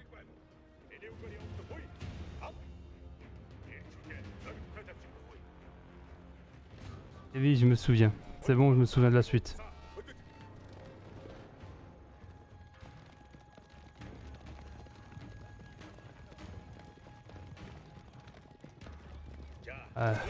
Ouais, vraiment nul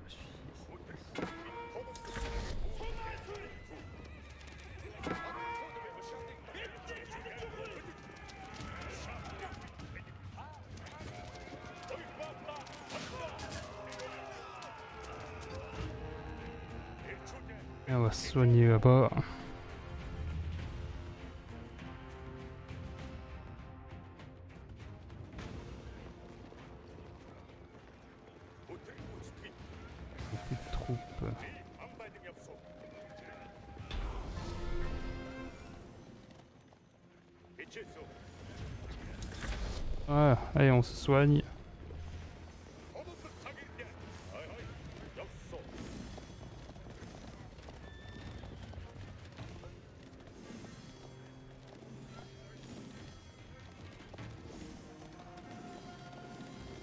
Tout, tout, tout, tout.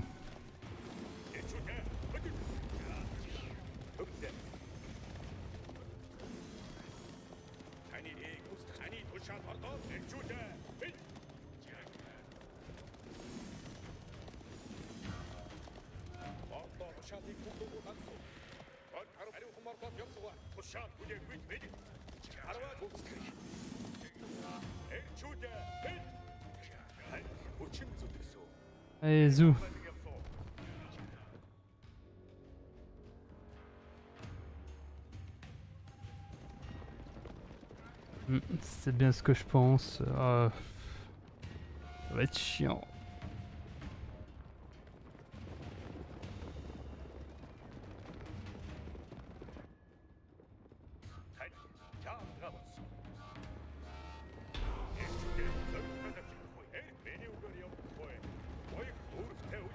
Rejoignirent les forces alliées aux portes de Fancheng. Alors que les forces alliées chargeaient les portes, l'avant-garde mongole alla défendre les armes de siège contre les attaques des Song.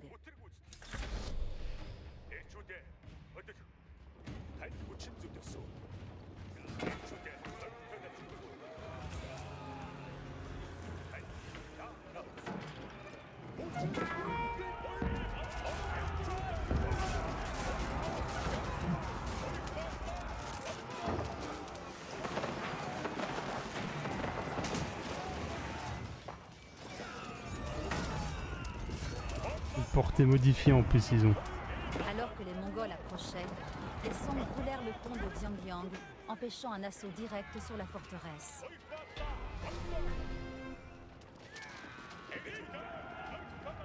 L'attaque de Fancheng fut accueillie par un déluge de coups de feu, forçant l'armée alliée à battre en retraite. M'étonne.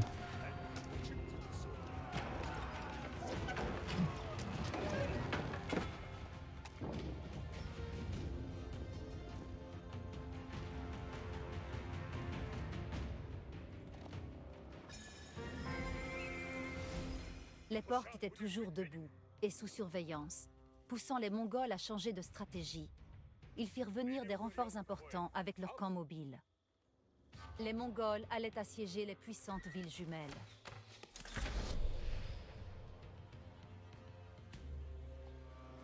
Les Mongols rassemblèrent des troupes sur la tête de pont. La stratégie des Mongols consistait à tenir les ponts de la ville afin que les troupes des Song ne puissent pas sortir et que les renforts ne puissent pas rentrer.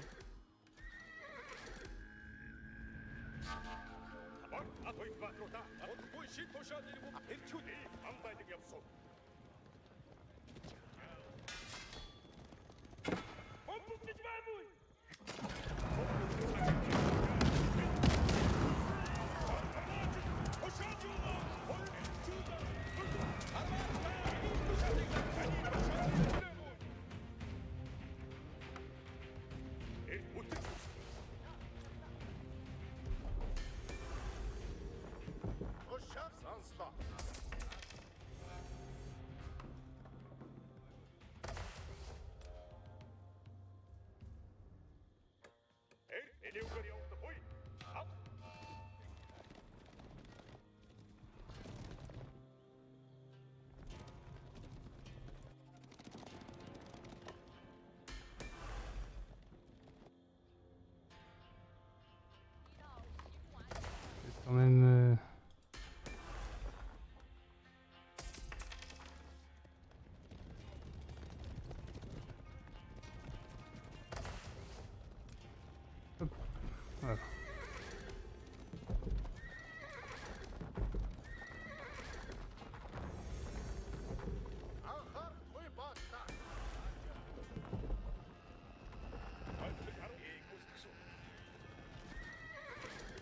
On va faire les améliorations.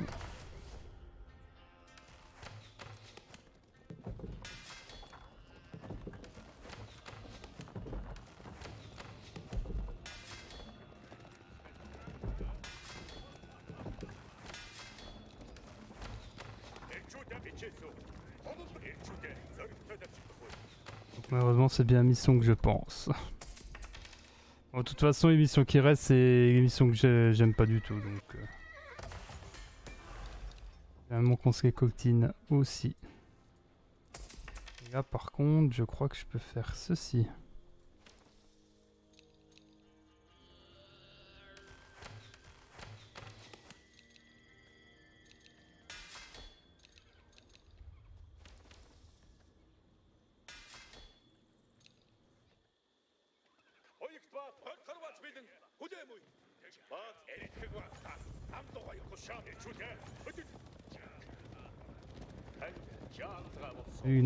Aguées qu'il y a, je peux, je peux dégarnir un peu. 일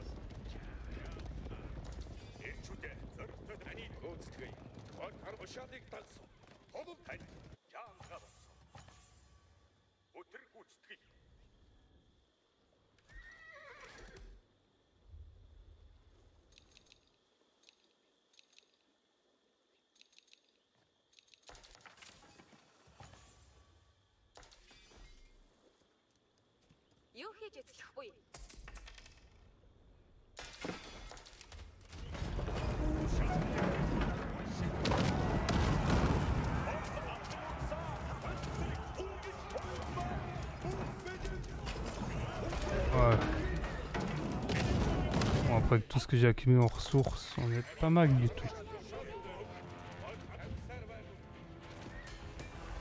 Voilà, ça, je suis en train de faire toutes les techs euh, militaires.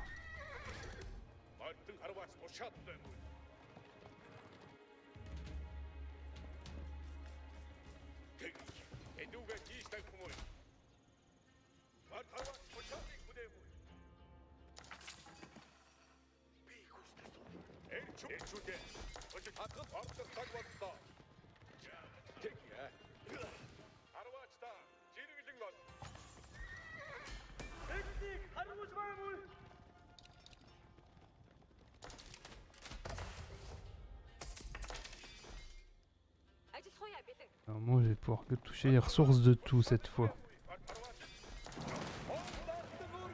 Donc j'ai raison de tout piller. Les ressources, on va en avoir besoin à ce moment-là.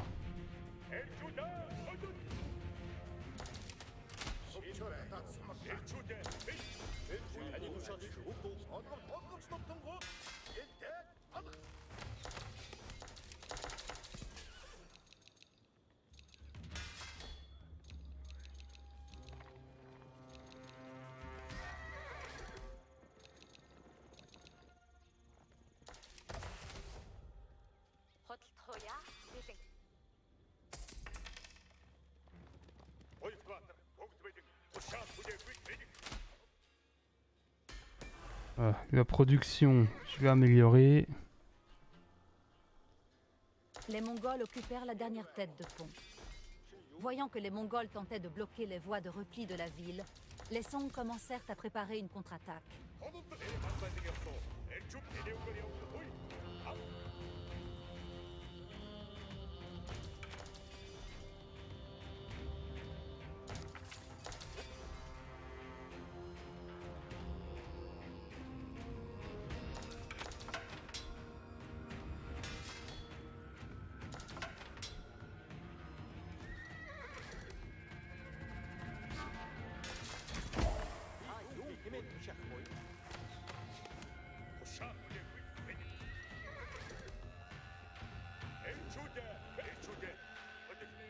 Allez, faut tenir.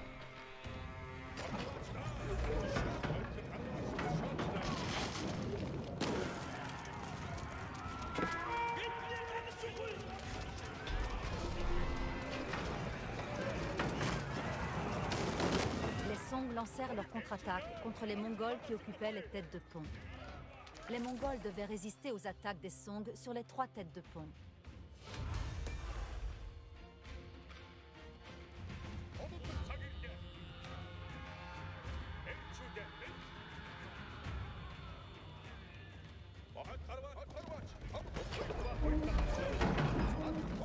Attention à pas trop avancer, sinon on va se faire démolir.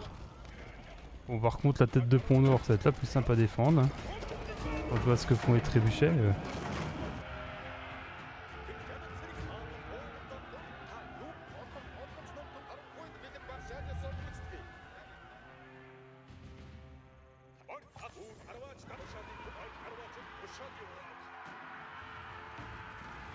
J'ai eu raison de faire des arbalétriers. Ah, j'étais pas sûr de mon coup avec les je pensais plutôt faire des archers, mais j'ai eu raison.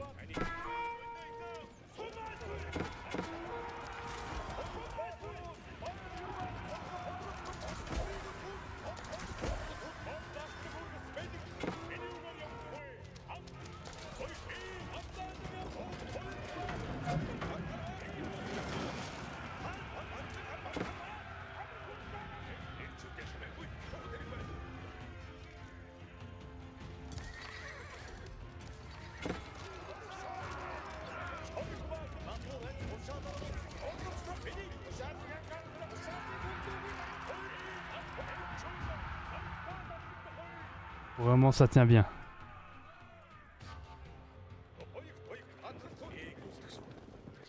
Vraiment, je crois bien que c'est la première fois que je tiens aussi bien.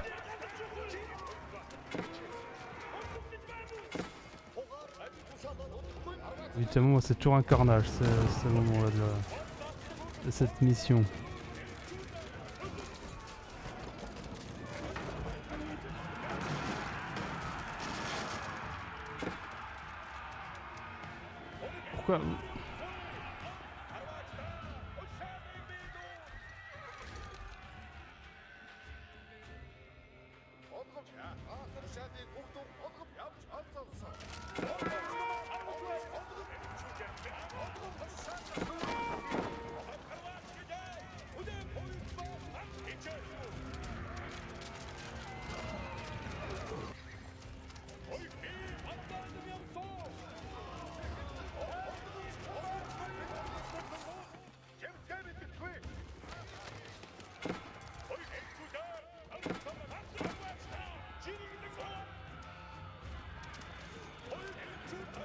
Qui tiennent mieux que d'habitude, des trucs qui tiennent moins bien que d'habitude. Oh, on tient encore, Guet Sud. Pas trop mal encore, Guet Sud. hein.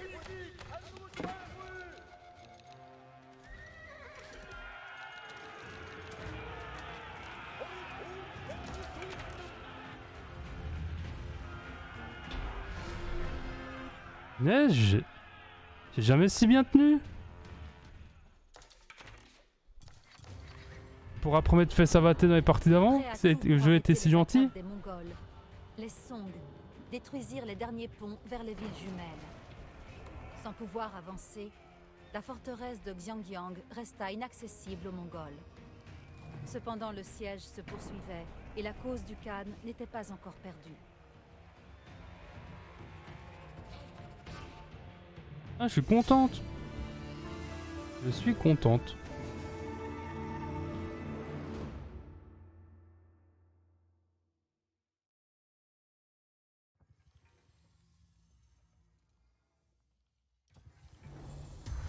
C'est la mission qui, qui, qui part toujours en n'importe quoi, de celle-là, à position défense de entrer dans la grande forteresse des Song.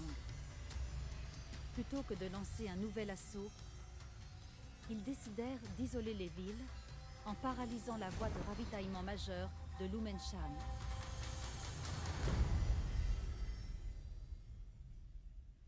Le barrage de Lumenshan. Il a construit un barrage. Fait expert expertise transfert chinois, général Liu Zhen, Liu Shen. Et mon gars employeur ses idées pour affaiblir les villes jumelles. Il a construit quoi? Il a construit un barrage pour tenir. euh, pour euh, amener la famine? Non. Ah, ça c'est. L'ancien général Song, Liu Zheng, informa Kubilai Khan que la meilleure stratégie pour prendre Xiangyang était d'installer un barrage pour l'isoler complètement. Liu Zheng mena l'armée mongole jusqu'à la route commerciale de Lumenshan et mit son plan à exécution. Le plan du général consistait à recruter des locaux pour ériger des défenses. La première étape consistait à éliminer la garnison des Song près du village de Lumen. Ouais, Je crois avoir vu des grands sciés de feu d'élite. Ces unités qui ont et font des des dégâts de zone.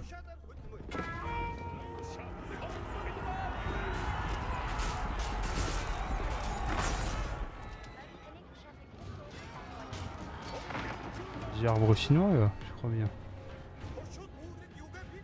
Je crois bien que j'ai arbre chinois là.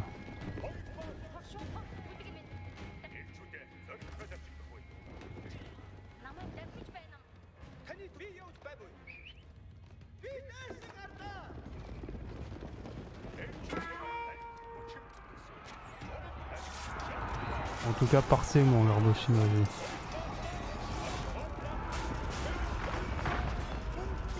Vous avez vu quelques explosions. Il lance, il lancier de feu euh, des unités. euh.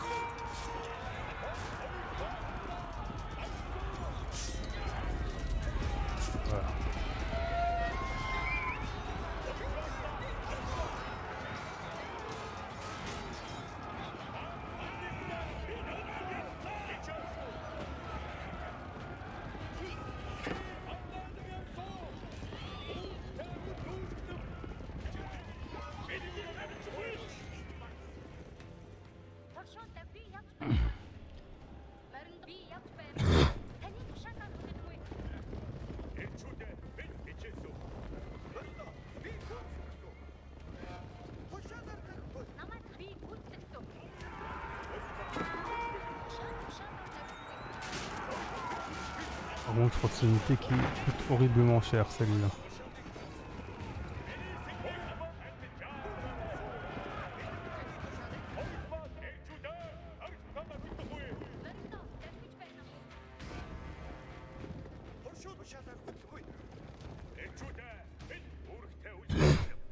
Bon, de toute façon, dans les missions que j'aime pas.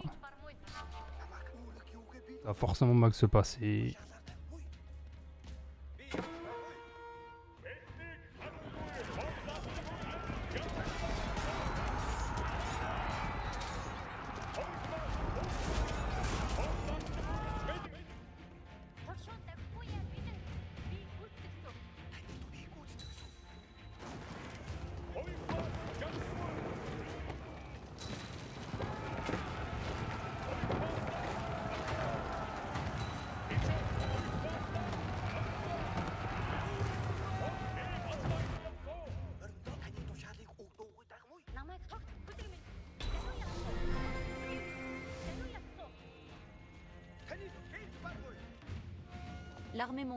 Écrasa la garnison des Song, et privé de ses gardiens, le peuple de Lumen accorda son soutien à Liu Zheng et Kubilai Khan.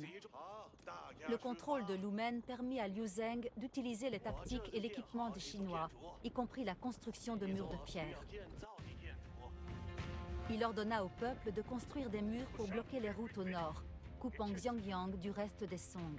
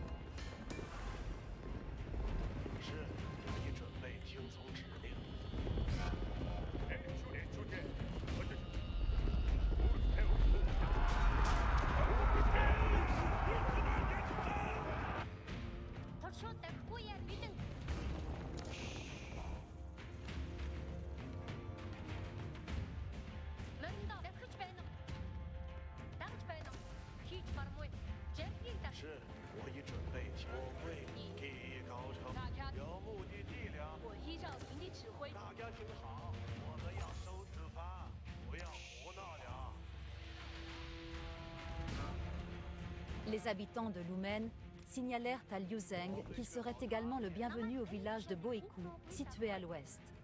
Si les forces du général parvenaient à Boeku, son blocus serait renforcé aussi bien sur le plan économique que militaire.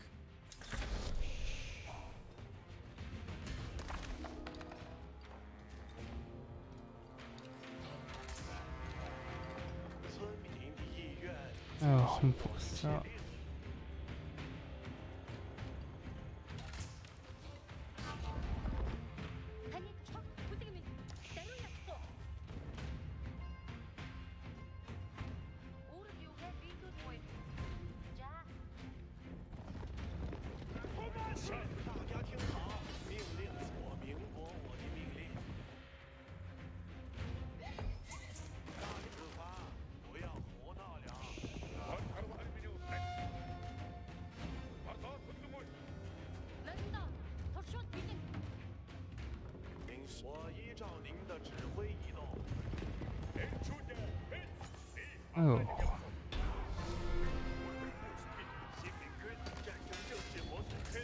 Non seulement les hommes de Liu Zheng furent bien reçus à Boeku, mais des membres de la milice locale se joignirent même à la cause mongole.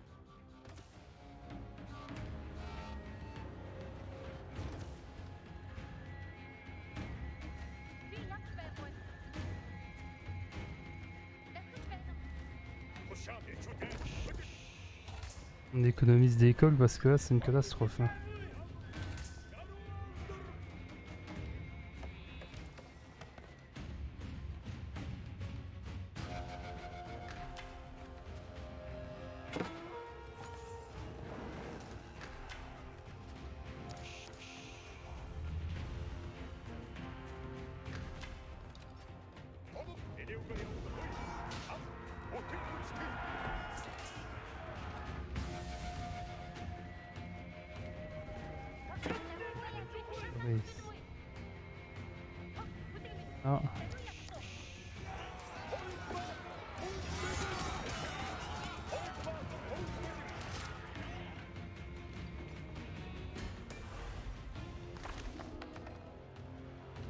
19, il y en a construit deux.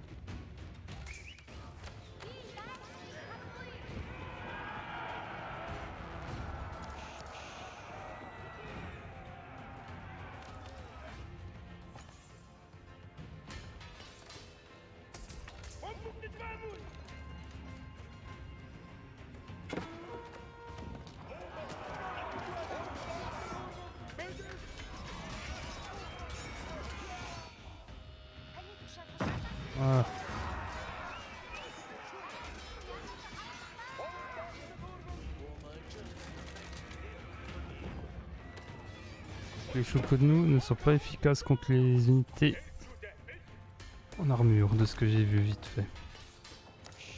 Les statistiques.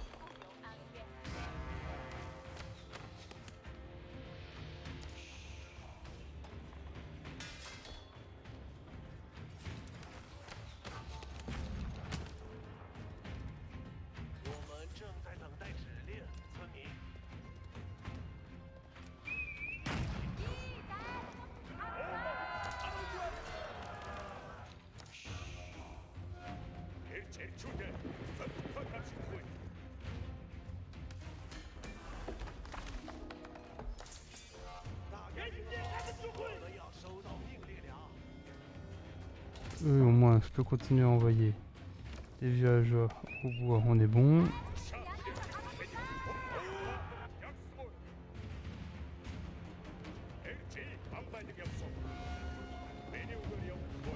Alors, des armes de siège.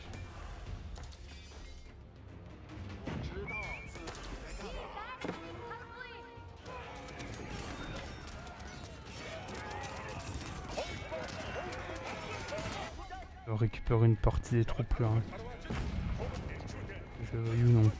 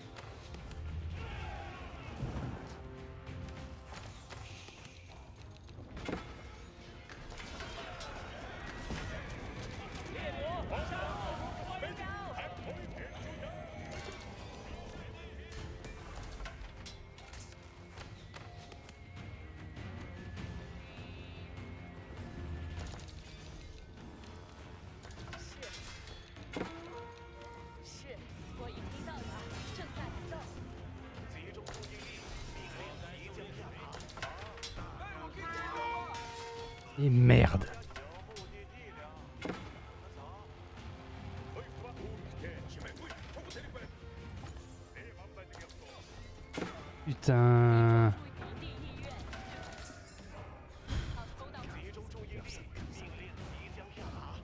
Jamais le temps de mettre en place ce que je veux mettre en place, c'est impressionnant.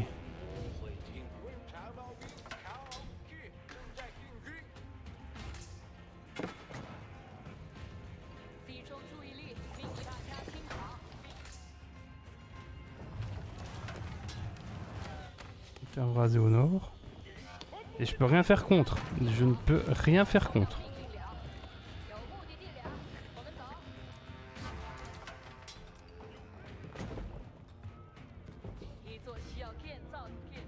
Ah, je vais faire raser tout le nord.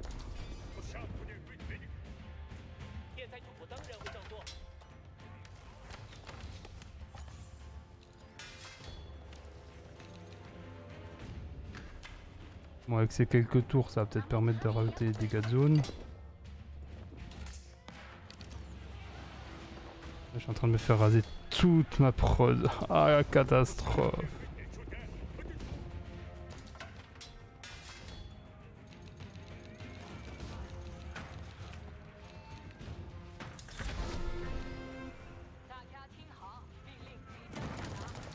Ah, la catastrophe. Ah, la catastrophe.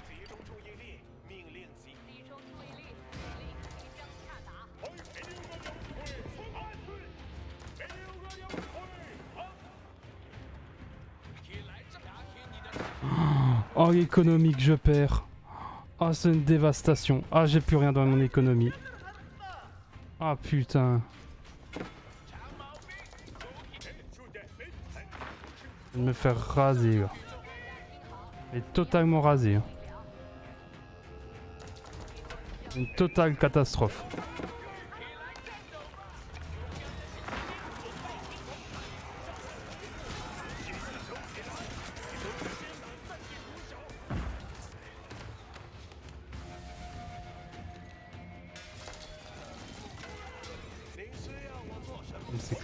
Ouais, j'ai plus d'économie, j'ai plus rien.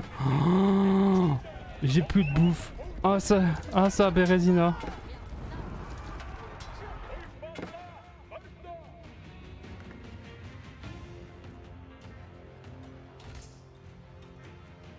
C'est qu'il me faut.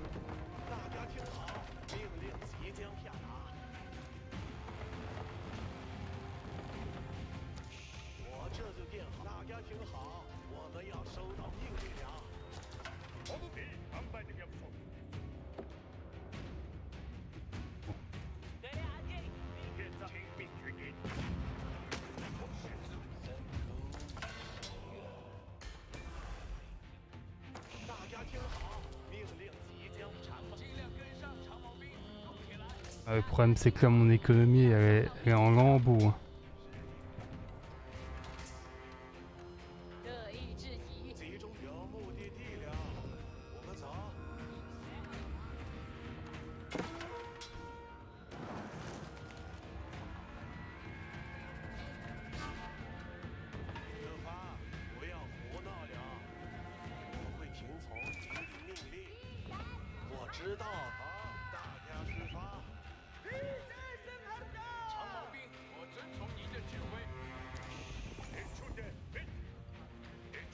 Bon, après, s'ils attaquent toujours là-bas.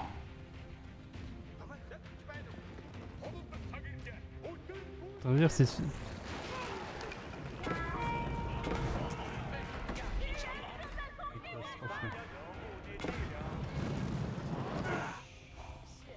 Oh, mais c'est une catastrophe, c'est une catastrophe sur tout le front, c'est une catastrophe partout là. Oh, là je suis mort.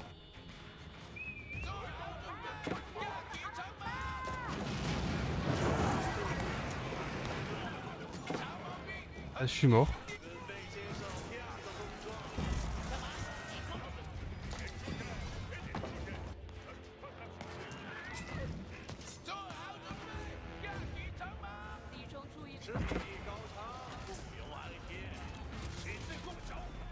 Le raid, le vient de me, vient de me raser mon, mon écho qui me restait.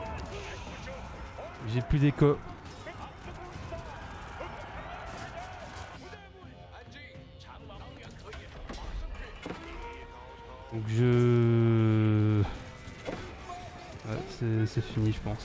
À mon avis on peut un restart. Ouais, on peut un restart, c'est fini. Finito cette game, comme prévu.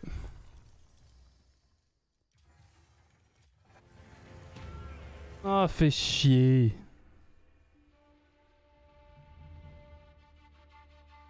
toute façon, je l'avais dit, hein.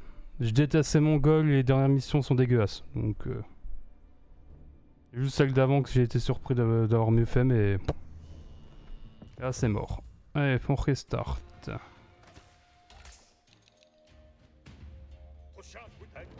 Euh, on va tester... On va tester de faire un truc. Mais généralement, ça marche pas.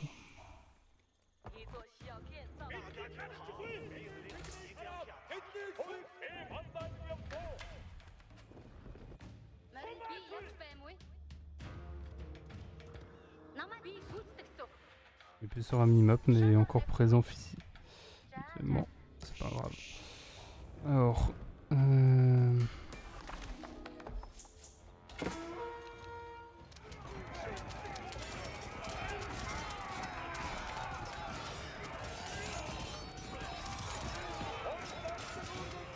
Bon, pas grave. On recommence. Ça va le faire.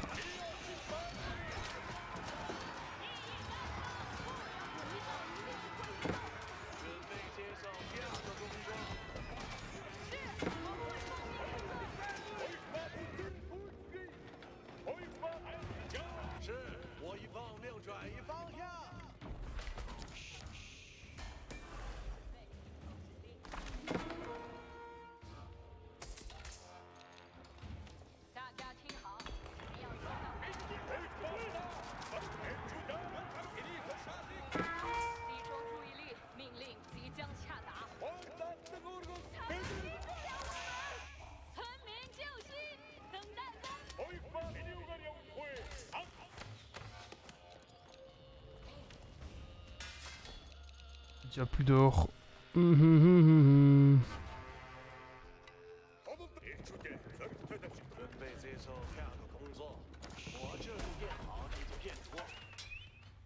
Ouais. On se ressaisit.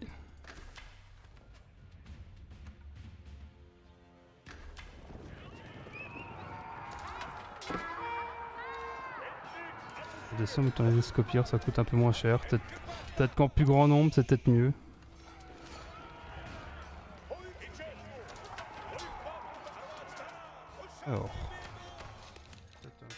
Choconou. Hop.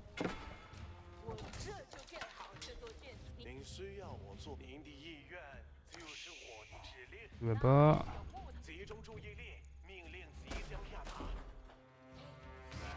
Ouais, une nid d'abeille assez vite. On va aussi des... De l'or, il me faut beaucoup d'or.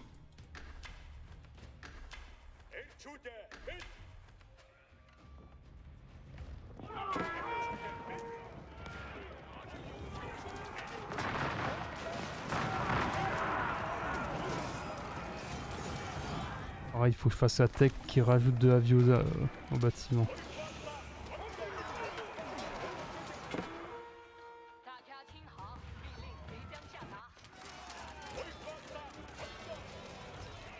Faut que je fasse tellement de choses. Bon après si je... Par contre s'il se focus totalement là-dessus en permanence... Euh, ça serait bien. Ça serait vraiment bien.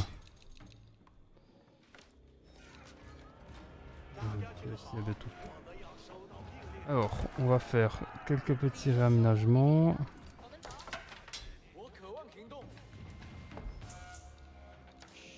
Alors une chose, ce bâtiment augmente de 10% la vitesse de ressources de la bouffe autour.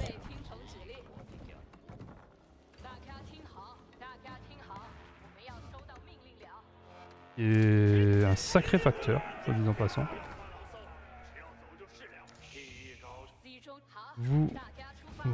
Ah, attendez, quoique, on, on pourrait tricher comme ça.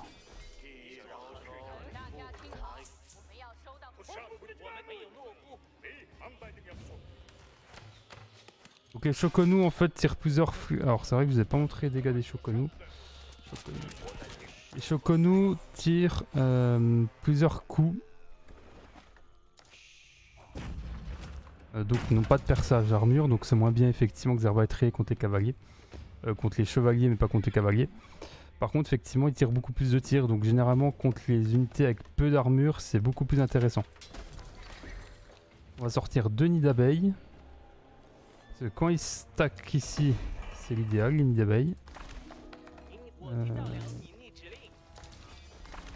Euh... Ensuite, faut que je pète ça. Une fois que j'aurai démoli ça, euh, bah, au niveau du bois, on est bon faut que j'arrête le bois.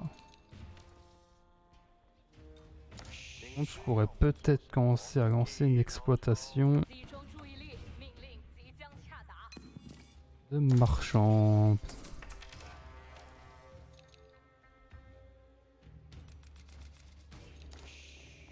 On va dire en construire 10.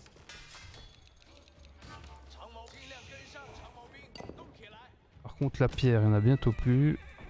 Ici, ce que je voulais voir, canon, dégâts 85. Donc une escopette à la minute va faire plus de dégâts. J'ai plus de 3 tirs de escopette qu'un canon. Et 3 tirs de escopette, c'est 105.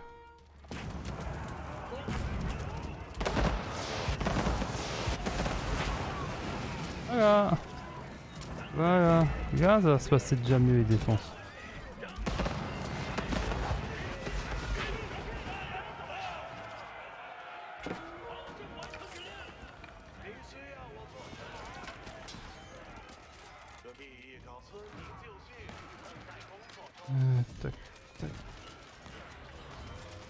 me poses une question. Ça, faut que je fasse. robuste bloquait désormais la première des routes principales de Xiangyang.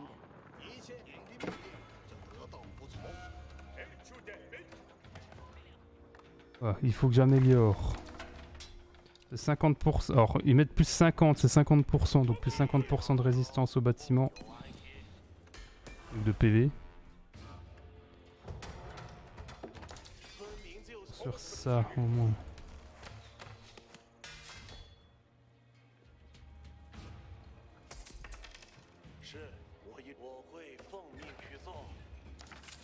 contre, faut que je me méfie quand même d'une chose.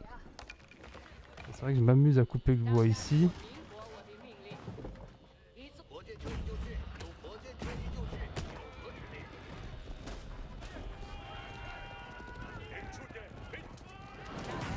Je vais peut-être mettre mes bûcherons un tout petit peu plus haut.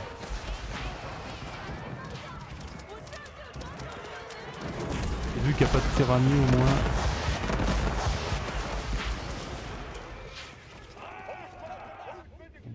sont plus nécessaires. Réduit le coût des nids d'abeilles. Ouais, bah attendez. On va arrêter en produire, on va économiser les ressources. Hein. Augmente la vitesse d'attaque des bombards de 33%. Augmente la portée des escopettes de 25%. Trois escopettes, lui. C'est quoi On va construire deux forts. Hein. Deux forts au-dessus. Hein. Ok.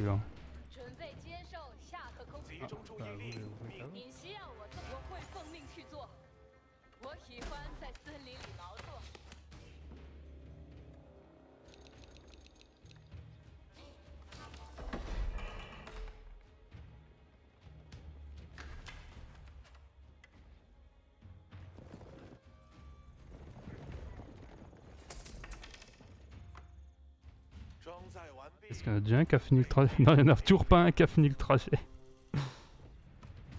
bon bah finalement, voilà, faut que je rush les... 240. Ah c'est donné maintenant, c'est tellement donné. On va récupérer cette pierre là. Le pierre, il n'y en a pas beaucoup, dis-moi.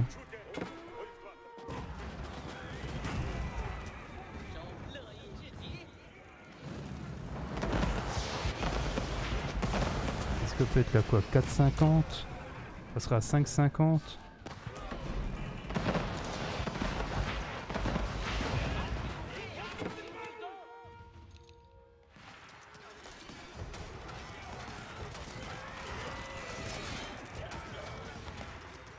Ouais, c'est... ouais, il faut que je fasse hein, cette technologie. hein. On va bientôt avoir les premiers marchands de la route. Or ceux-là ah, par contre on va les chérir.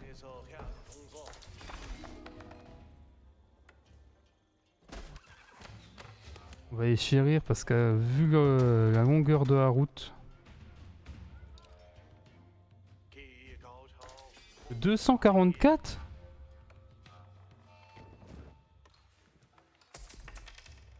Ah bah oui, oui, logique. J'ai eu l'habitude en fait de jouer avec les Français ou avec les Abbasides qui ont des bonus de, sur le taux de, de ressources par euh, sur les routes. Donc oui, je suis faux aussi par, euh, par ces factions là.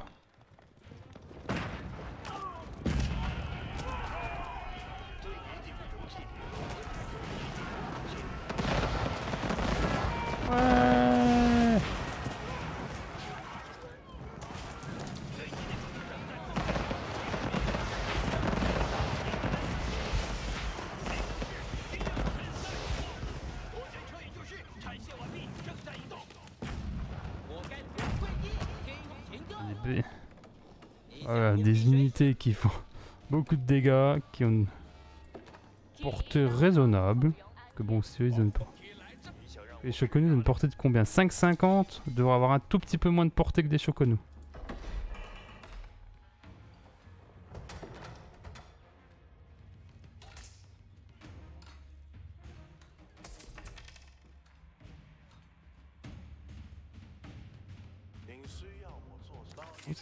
C'est que j'ai tout de suite ces bonus là. C'est du fait que je, je sois mi-chinois, mi mi-mongol.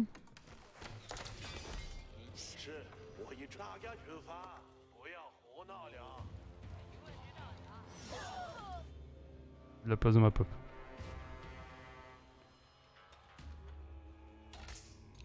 La bouffe que j'ai, je peux me permettre.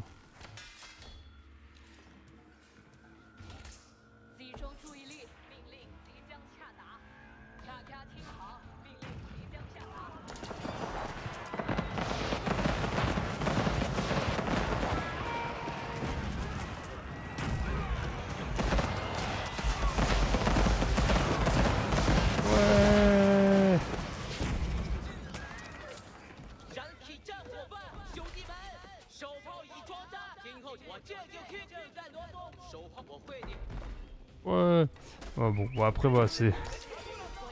Je c'est aussi la meilleure faction défensive. Pour moi, ça doit être c'est l'une des meilleures factions défensives, de toute façon. Les Chinois, ça, il n'y a, pas de... y a pas de doute là-dessus. Même pas pour moi, c'est la vérité. Donc ce qu'on va faire maintenant, c'est qu'on va augmenter l'armure de distance, l'armure dégâts à distance. On va améliorer la, L'armure des cavaliers. On commence à faire les recherches euh, qu'on n'a pas encore.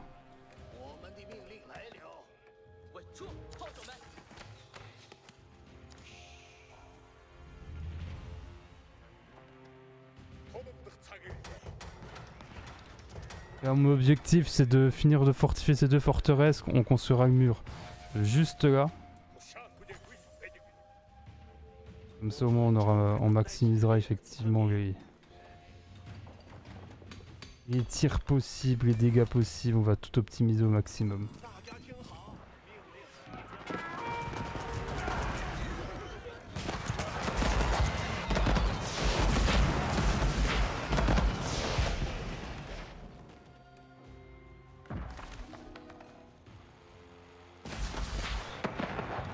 Ok, point de vue de la cavalerie, on prend. Euh, ah bah putain, je pourrais les équiper des sprints les, les deux.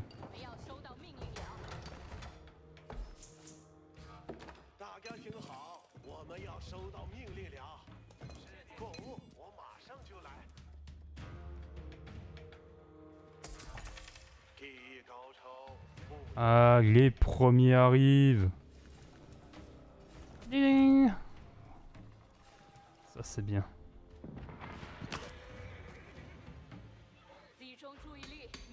Là, je suis en train de me dire.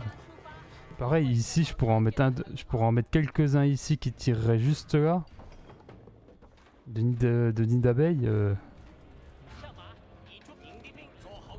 On va faire, c'est qu'on va peut-être sacrifier une partie de l'armée.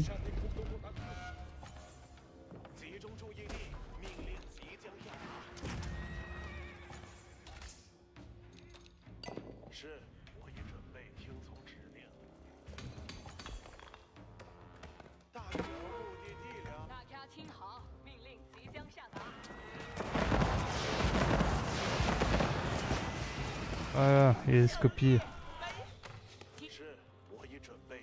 On va mettre ça là.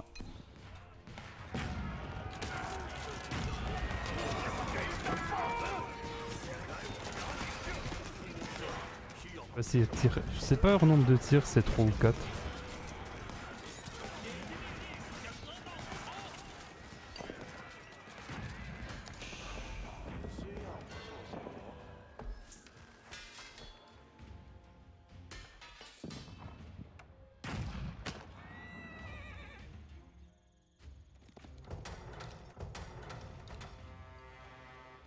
Question. Il y a une amélioration des que j'ai vu. Est où Non, pas ici. Augmente les dégâts des springals de 5 et reporter 7-5. Est-ce que ça touche aussi les bâtiments?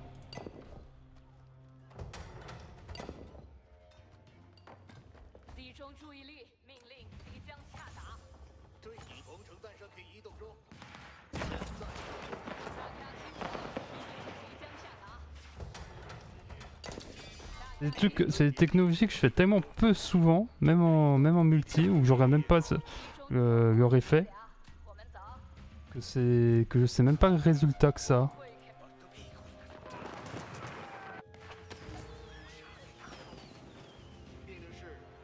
Moins... Vous avez...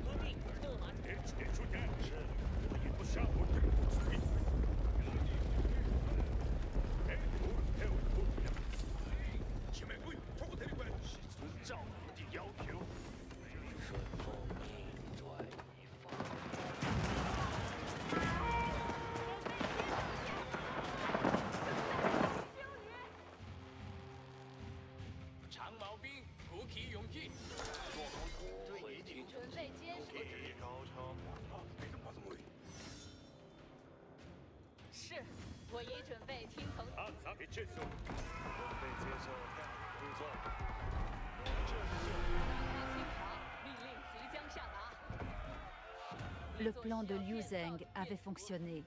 Les villes des Song étaient isolées par le grand barrage mongol. Néanmoins, les commandants Song n'allaient pas abandonner Xiangyang à son sort. Ils envoyèrent des troupes faire une percée dans le barrage mongol.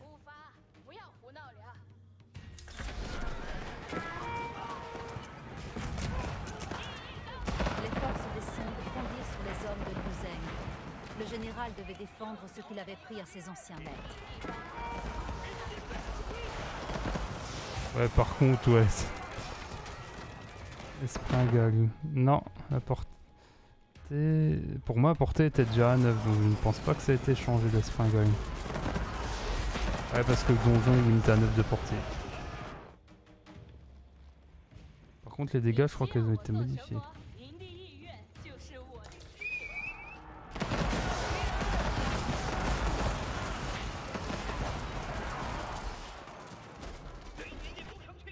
fait la meuration de euh, la de dégâts en plus, je crois, ma souris dans le CF. Allez, la chimie, j'ai fait.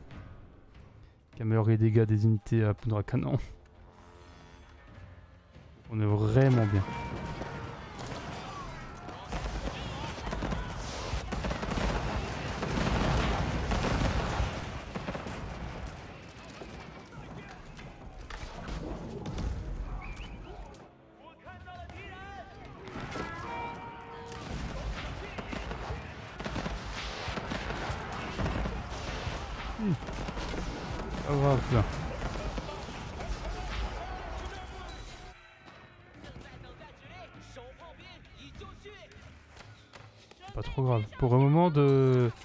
assauts qu'ils nous font, on tient bien.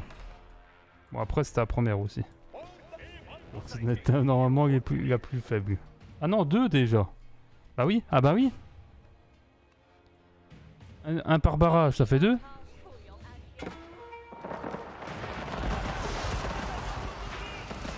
Donc en tout cas, on note ici rapidement construire la muraille, les deux tours et des navettes derrière pour défendre au début.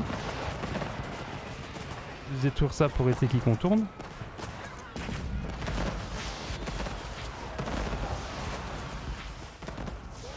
Il y a un trou dans la muraille Il n'y a pas de trou. Oh j'ai eu peur. Oh j'ai eu peur. Oh j'ai flippé l'espace d'un instant. Je oh putain il y a un trou dans la muraille.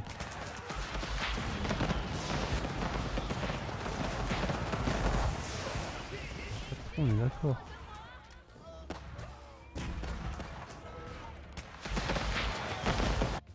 Ah, y a pas de trou, y a pas de trou, y a pas de trou, y a pas de trou. C'est qu'une illusion.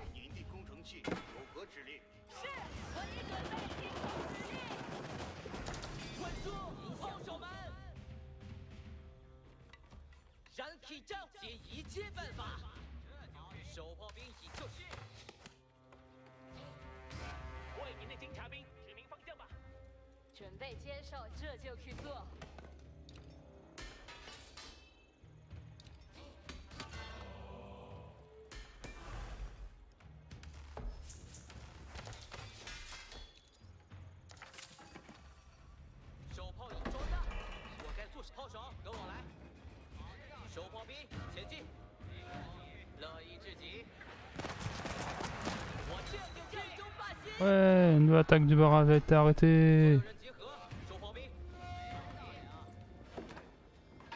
On va mettre des nouveaux qui sont près de l'autre côté.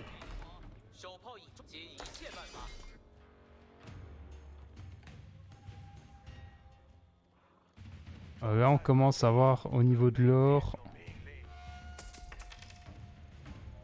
Ah, moi, je montrerai quasiment en partie, en partie habituelle, en multi. Je montrerai bien encore un petit peu. Oh.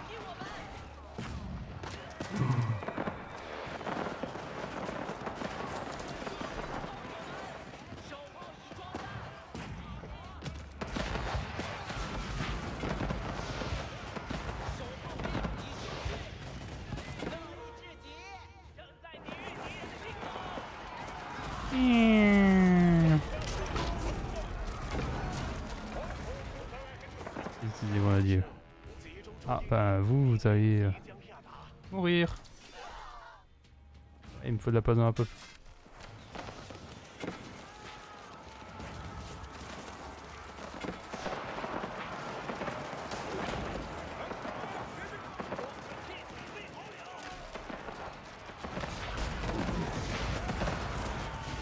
Eh, mine de rien, les nids d'abeilles là au-dessus sont tellement en train de carry comme les nids d'abeilles en bas.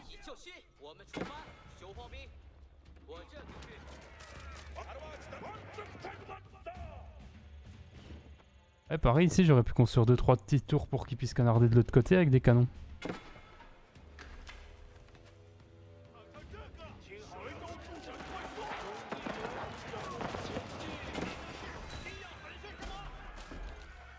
Cette barrage d'arrêter. Ça, ça serait le cinquième, une fois que j'aurais tué. Sixième barrage, ça.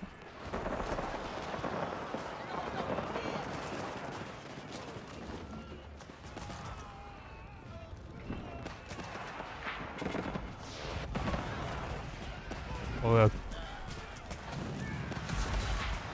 Je vais pas dire à mais le carnage. C'est le carnage pour les ennemis, gars. Bérésina, c'était avant le rechargement de la game.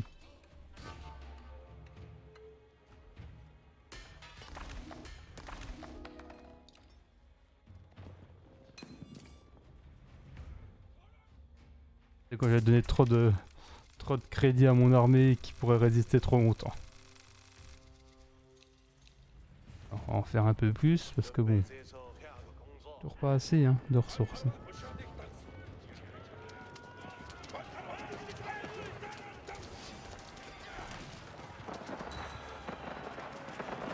Bon bah on va la battre deux barrages d'un coup là.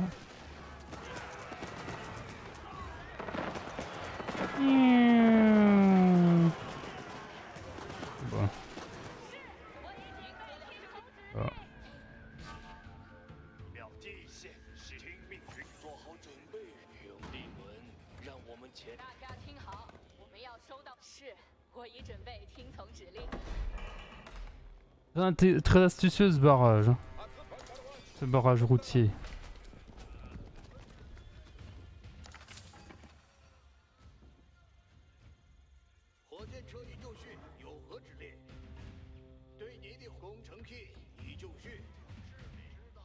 Ça pour éviter que la ville soit approvisionnée.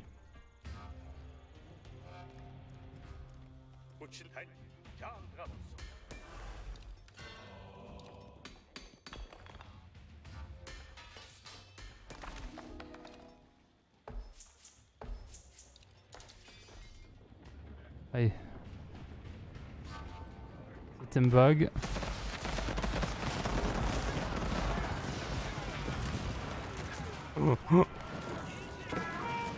Viser le bélier, ça se voit.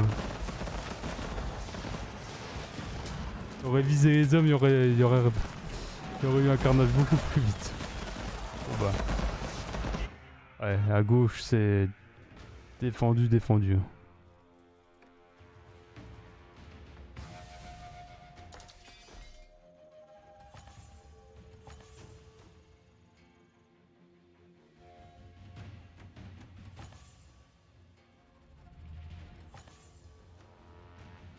Fait, t'as pas, t'as aucun autre endroit que tu vas défendre en fait. Tu vas forcément défendre ici.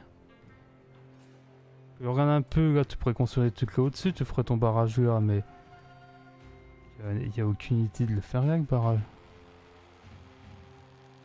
Le barrage là, ça sert à rien. Ici, tu pourrais faire le barrage là pour que l'ennemi contourne là. Mais à un moment, enfin, si l'ennemi passe pas là, mais passe là, faut, ouais. Je suis en train de réfléchir, mais tu fais un mur là, tu fais un mur là. L'ennemi va soit attaquer là, soit attaquer là. Autant détruire, autant détruire ce pont là, moi je pense c'est une obligation. Je pense pas que t'aies trop le choix de pas le détruire.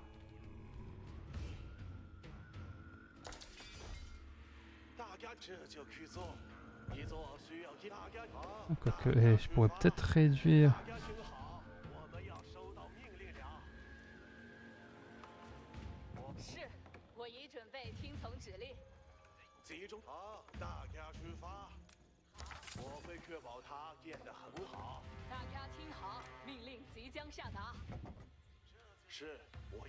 Ah, j'ai pas pensé à ça, mais ouais, j'aurais pu mettre des camps de bûcherons là pour raccourcir des.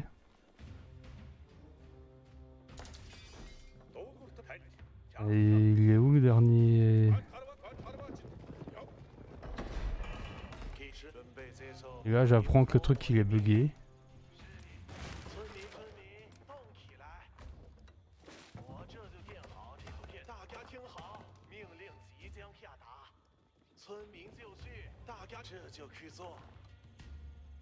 Oh, l'unité s'est planquée là derrière, peut-être?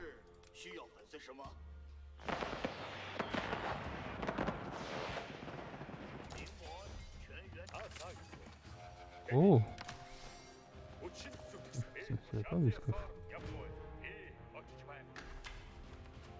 Oh, bon, on a un problème.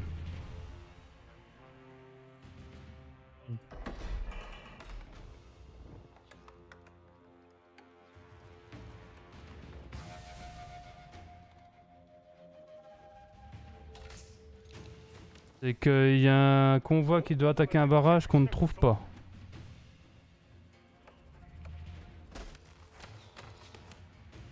Parce qu'il nous a pas attaqué, soit parce qu'il nous a parce qu'il est bugué, je sais pas.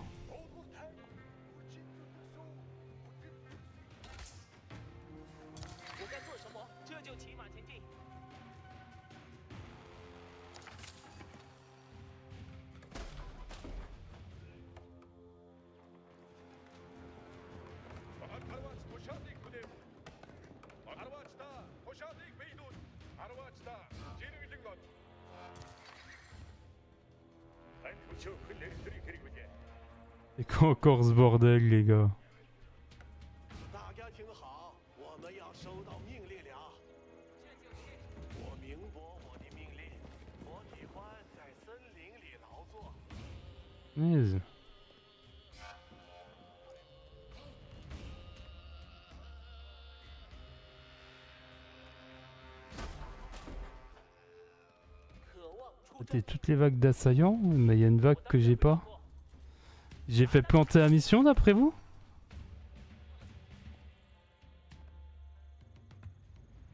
Du coup, je lui fait planter. si le coup je lui ai fait planter, c'est que c'est vraiment la pire des campagnes.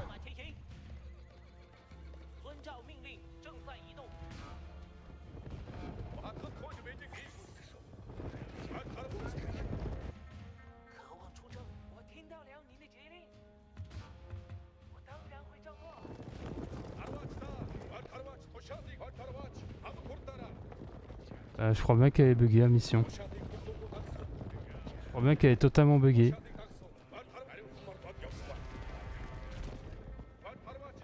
Oh punaise, non mais sincèrement ça me brise.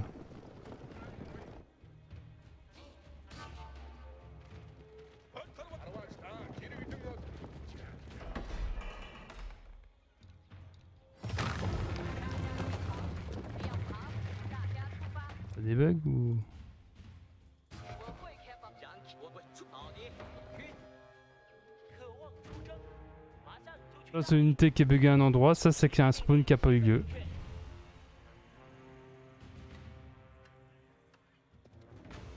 c'est un spawn qui n'a pas eu lieu. Bon ben on va recharger hein. Mission de Seymour.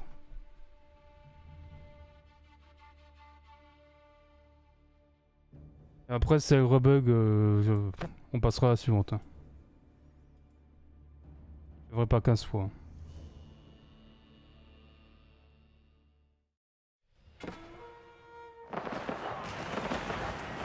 Les forces des sondes fondirent sur les hommes de Luzeng. Le général devait défendre ce qu'il avait pris à ses anciens maîtres.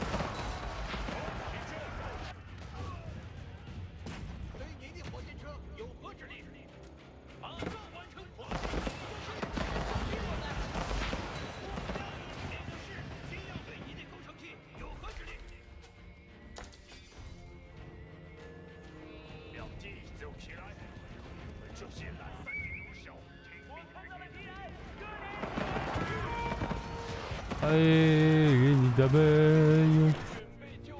Allez, nid d'abeille.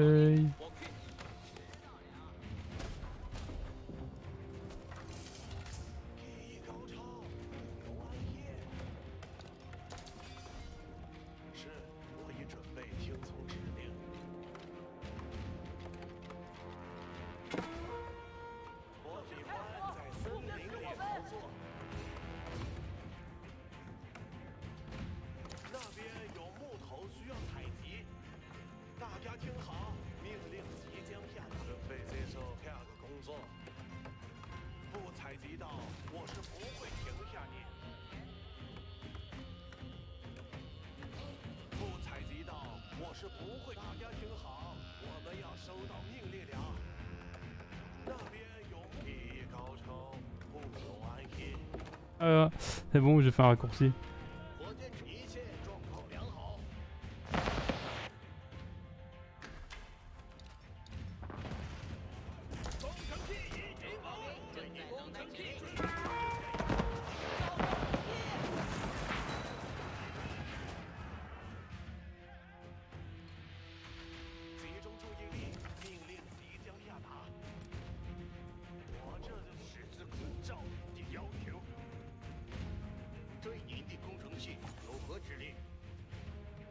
faut pas les coller au portail comme euh, du fait de leur tir en cloche, effectivement, ça a tendance à taper, à, à taper déjà les murs en étant aussi loin. Alors je dois s'imaginer qu'on était au corps à corps.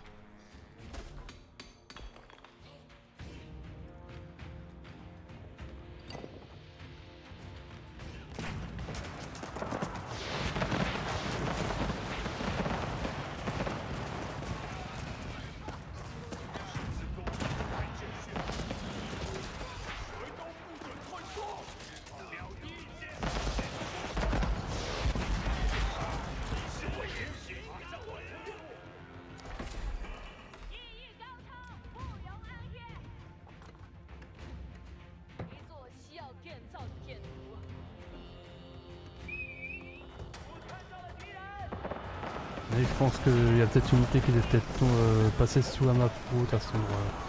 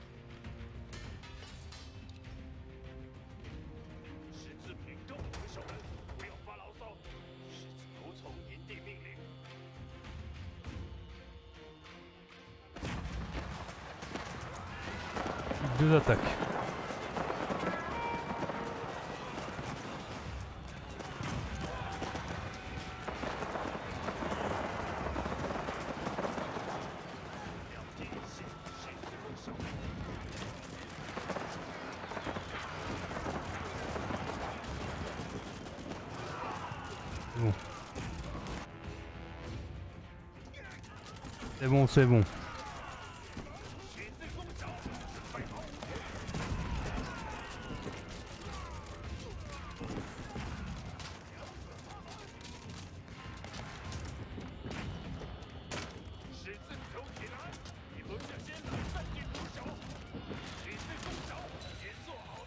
Attaque nord est mort.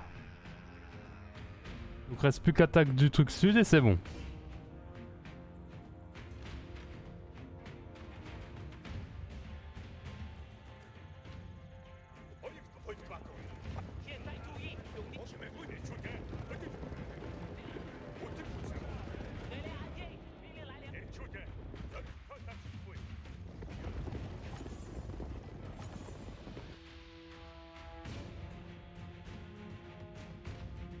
Pourquoi je le sens pas. Je sens que le script s'est pas encore déclenché.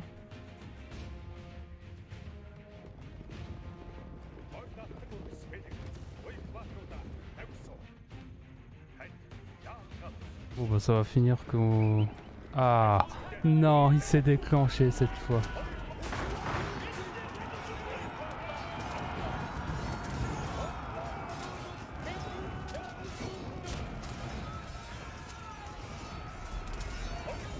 Lancers de feu ont vraiment tout démoli. hein.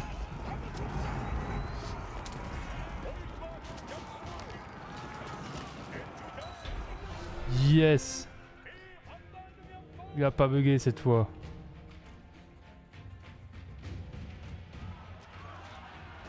Les Mongols gardèrent le contrôle de la route commerciale des Song à Lumenshan, isolant Xiongyang du sud. Grâce au conseil du général Liu Zheng, le plan de Kubilai Khan pour affaiblir la forteresse des Song fonctionnait.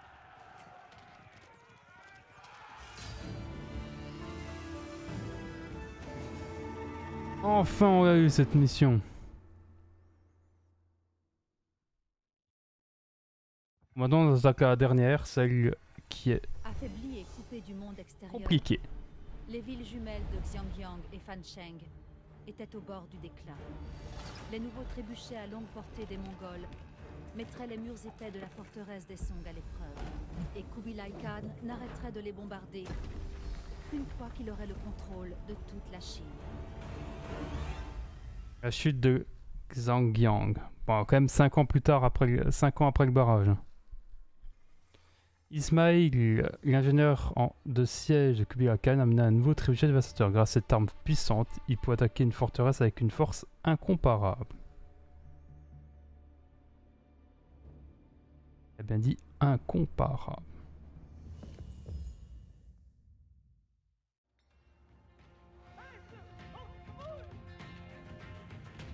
Après des années à résister au siège de Kubilai Khan, Fan Cheng et Xiangyang refusaient toujours de se soumettre à l'autorité mongole. Pour prendre les villes, Kubilai Khan allait exploiter toute la puissance de son empire en enrôlant un allié de l'Ilkana de Perse. Ismail.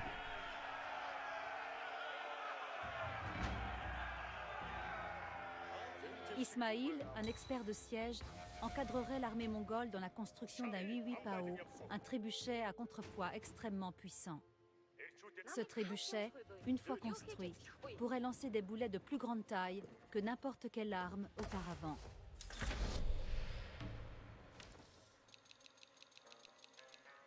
Pendant les années de siège, Kubilai Khan avait établi des routes commerciales lucratives avec les villes marchandes chinoises qui lui avaient juré fidélité. Même si ses partenaires commerciaux étaient vulnérables aux attaques des Song, ils pouvaient fournir des ressources précieuses pour soutenir les efforts d'Ismaïl.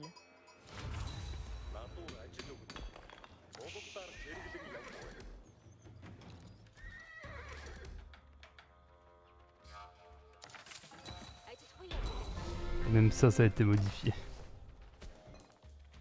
Et en plus, j'ai les... J'ai Liam qui augmente la vitesse de tout... qui font ultra vite, qui me ramènent très vite de la pierre. Enfin, c'est.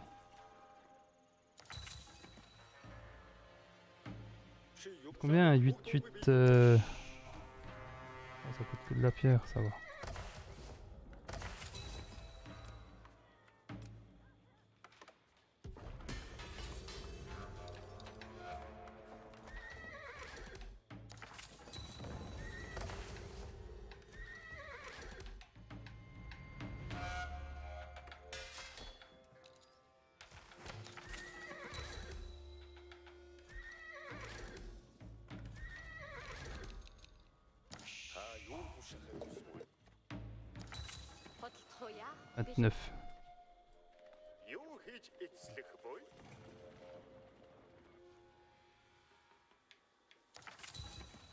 En fait, ce qu'il faut savoir, c'est que leurs armes de siège, enfin leurs tours, ont une portée supérieure que celle qu'ils ont par défaut. La forteresse. Donc, euh, ultra important de. bien faire 8-8 qui demande.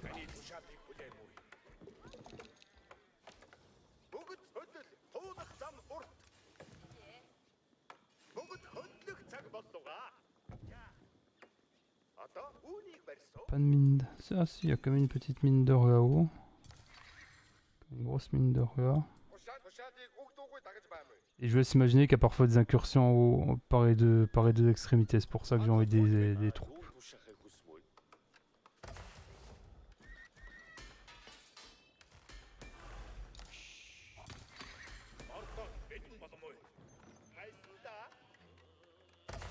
encore mon, mon commerce.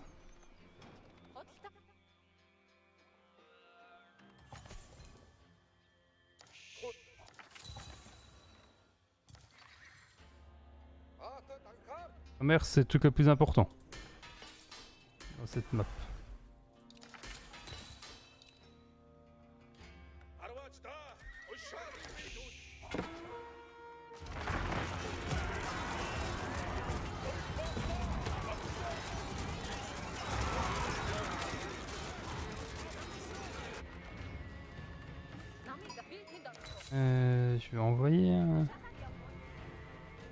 il tentait de construire un pont.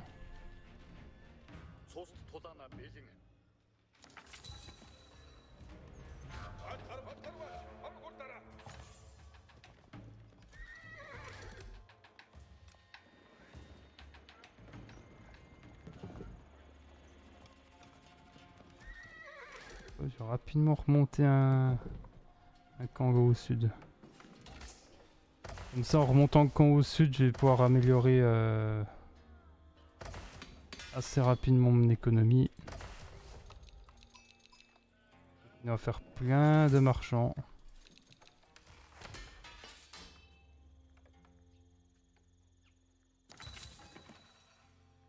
Euh, chimie, ça sert à rien. Pour le moment.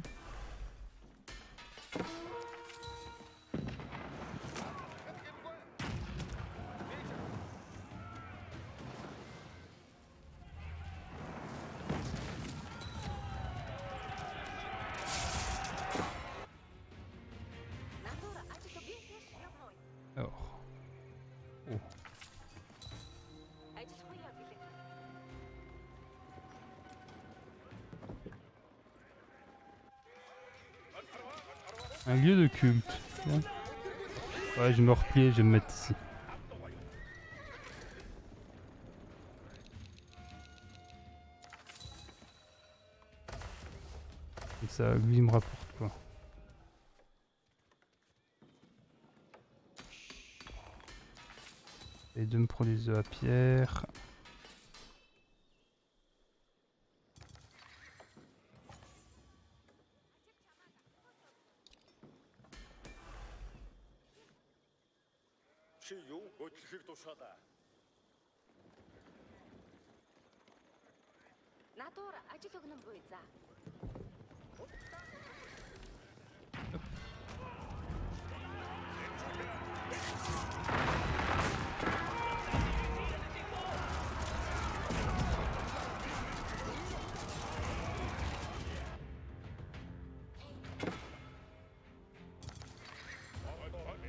Vrai qu'il faut pas oublier une chose, c'est que moi je peux pas acheter de pierre.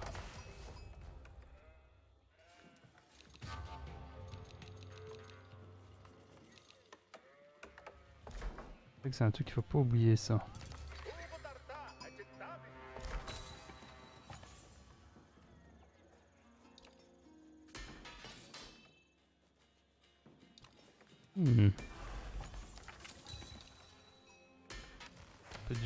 Peut déjà niveau 3 t- amélioré en plus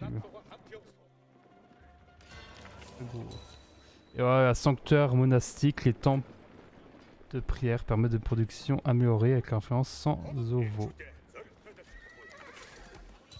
pour ça que c'est important ce bâtiment. À H4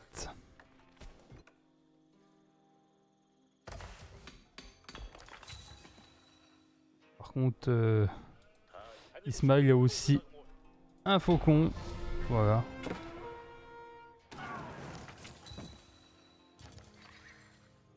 Ah bon. Bon, il faut s'imaginer que tout ce qu'on va faire, ça va être de les attaquer. Euh, toi tu fais déjà deux recherches, donc ça va être toi en priorité.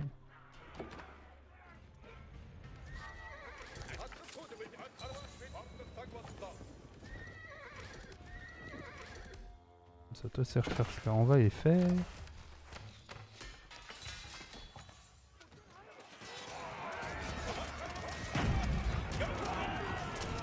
C'est vrai que j'ai- même pas pris le temps de vous montrer les unités euh, fois- avant les améliorations d'HK. Dernière amélioration.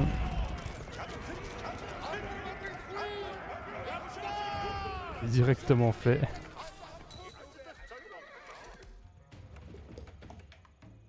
Tant pis vu à, la map que c'est, vu la partie que c'est, je préfère faire comme ça.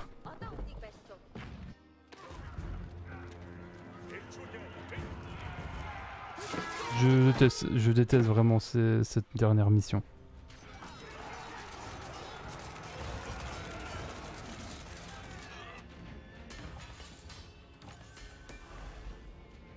On se prend, vous dites, ah ça va, c'est que ça. Non, non, non, ça c'est rien du tout encore. On se prend ça en continuellement des deux côtés et c'est gonflant. En fait, y a... on n'a pas l'impression à un moment de vraiment faire un siège ou autre, on a vraiment l'impression d'être toujours sous pression, qu'on nous attaque tout le temps ou autre. C'est... Après, c'est le jeu, hein.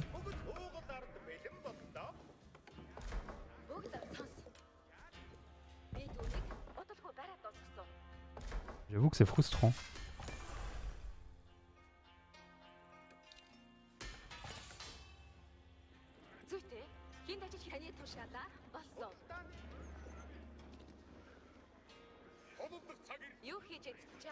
Et c'est vrai que j'oubliais. Ils peuvent pas avoir de donjon.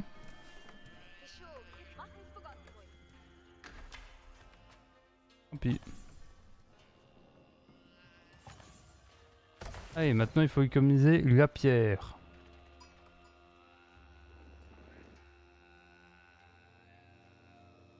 Pour qu'on tout un 8-8 pas haut. C'est que j'aimerais bien finir de faire mes technologies militaires avant. Ce qui pourrait être intéressant, c'est de partir vite fait construire un temple des prières là-bas aussi.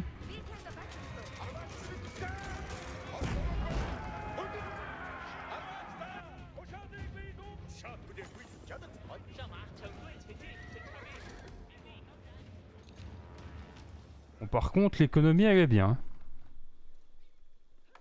A un tout en or qui est extraordinaire.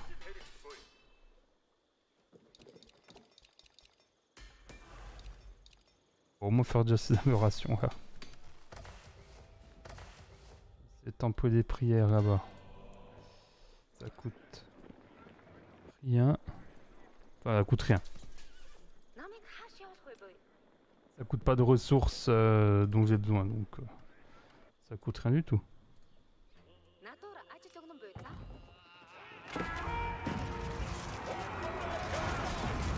Voilà.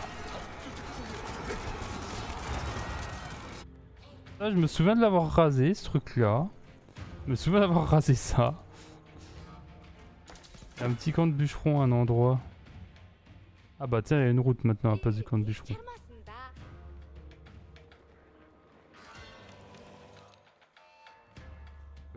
L'or qui me ramène, c'est... C'est bon, on peut construire notre 8-8 pas haut.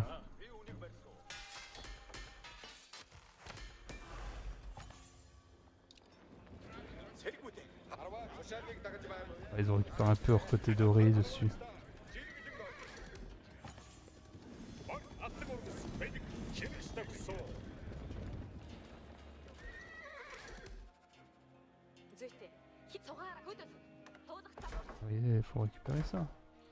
Ici, tu vas, tu te déplacer là. Hop.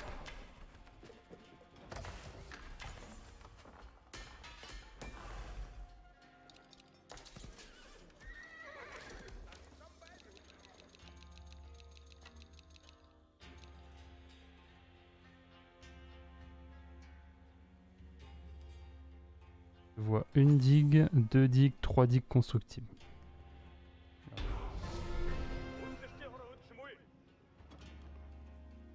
Le trébuchet à contrepoids désormais construit, les Mongols pouvaient monter leur assaut sur les villes jumelles. Le trébuchet d'Ismaïl bénéficiait d'une portée bien plus importante que ceux des défenseurs Song, et les Mongols pouvaient attaquer en restant hors d'atteinte.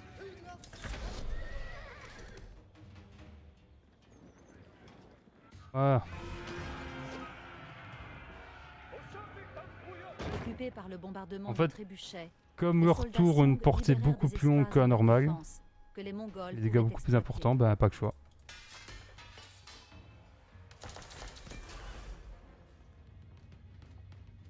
Plus 10% de vie euh, à cavalerie. Voilà, 8-8 pas haut. Portée quasiment 24.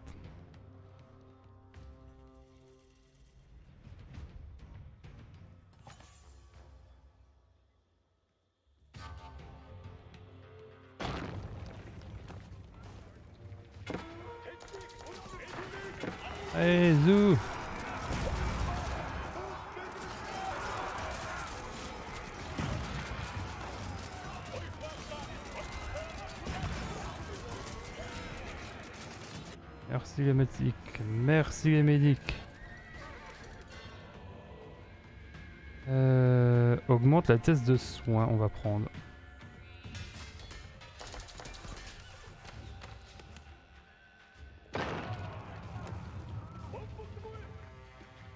Comme vous voyez, ils vont être full archers de l'autre côté, donc on va devoir prendre notre temps.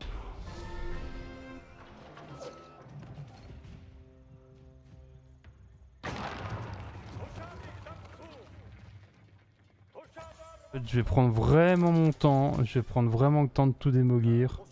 On n'est pas pressé par le temps.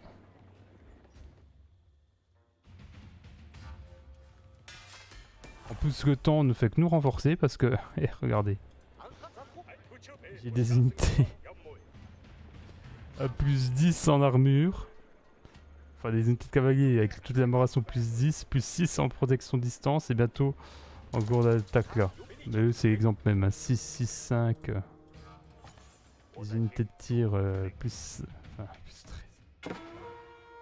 C'est Vraiment du n'importe quoi.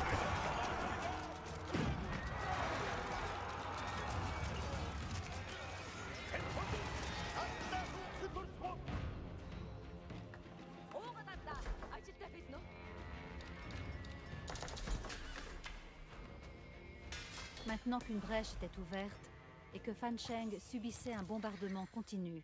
Les Mongols pouvaient reconstruire les ponts brûlés par les Song six ans plus tôt.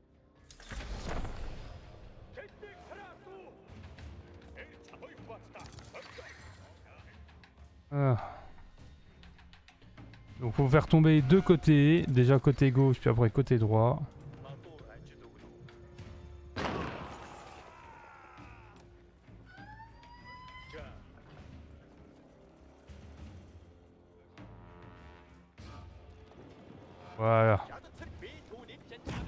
Train de comprendre pourquoi cette mission elle est chiante.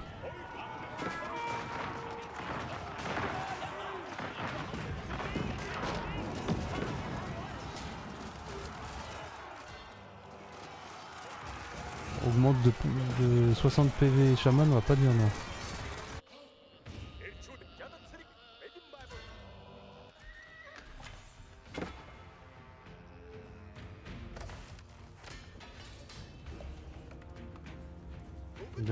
Je vais pas carrément faire sauter mon...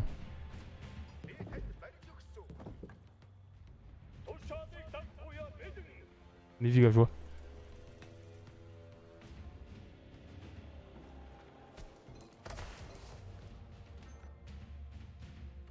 Bon, en tout cas, la pierre de serre, voilà ce que ça fait. La cavalerie marchant à proximité d'un poste avancé gagne plus 15. C'est des dépassements. Donc quand ça pique au marchand, c'est ultra fort.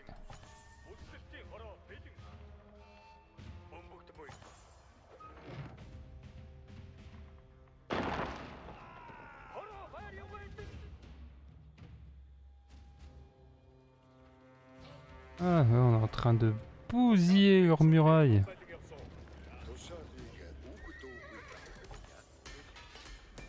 Qu'est-ce que je n'ai pas en technologie Oh, encore plus ça en armure Ah, cavalerie, on prend On prend, allez, vendu, voilà.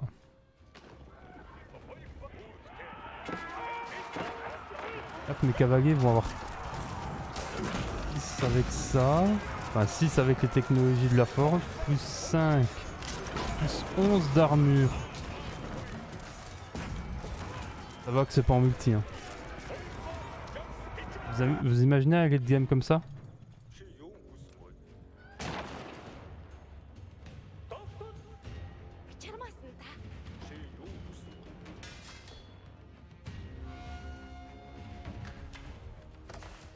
Les Oromo sont vraiment en train de me carry. Augmente la portée des archers.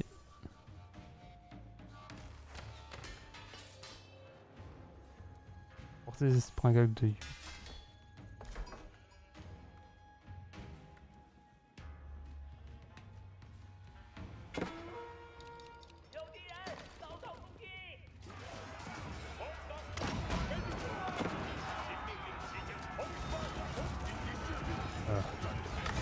En train d'arriver le problème.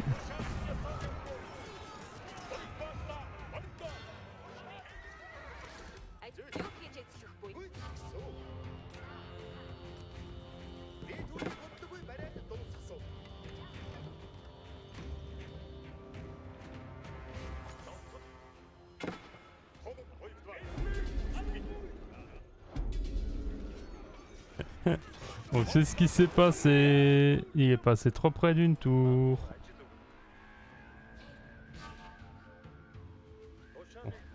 Donne-toi.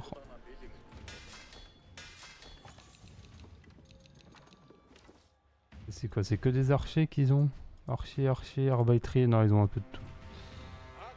Ça va pas le faire. L'eau est épuisée, on s'en fiche un petit peu. Ce qui nous intéresse, nous, c'est surtout le- la zone d'influence qu'il donne.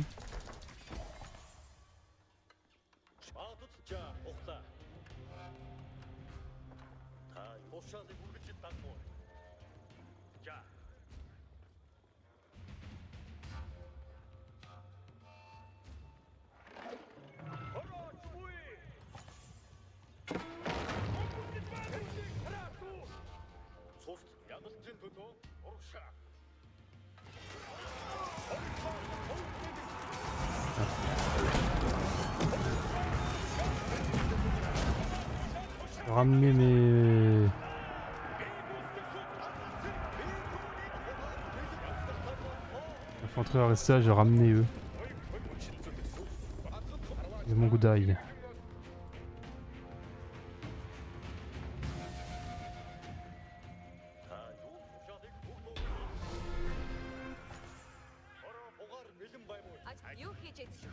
Le pont reconstruit, les portes de Fancheng étaient grandes ouvertes.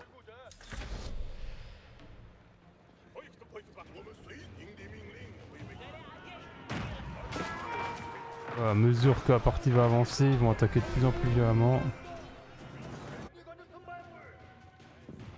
Les Mongols déferlèrent dans Fancheng, écrasant tous les guerriers Song sur leur chemin.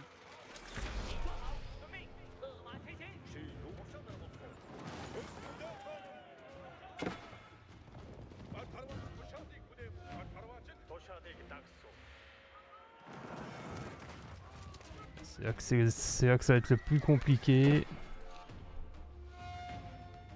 Déjà que j'ai besoin de beaucoup de troupes déjà pour tenir la ligne de front.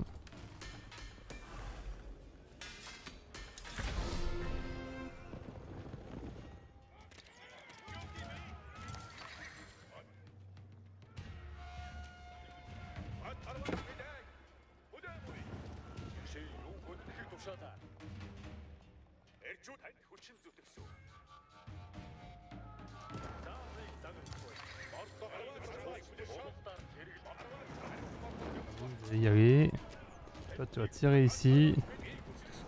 On va raser la ville.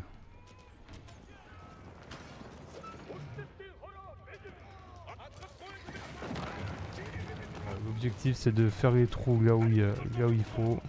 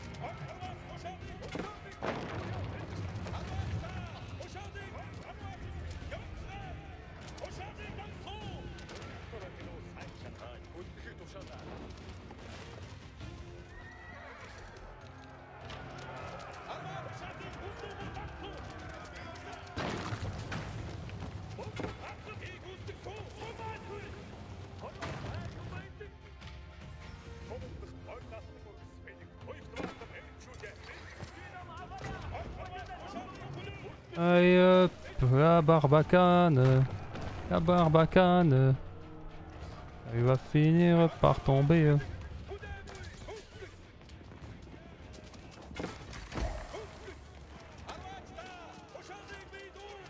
Ça c'est merveillage 2, barbacane. Euh, Il y a une coulevrine dedans, ce qui fait que les coulevrines sont très efficaces contre les armes de siège. Par contre, elle, a- manque de vie et de puissance de feu contre l'infanterie. De la masse infanterie ou autre, c'est assez simple de généralement de, la- de la détruire.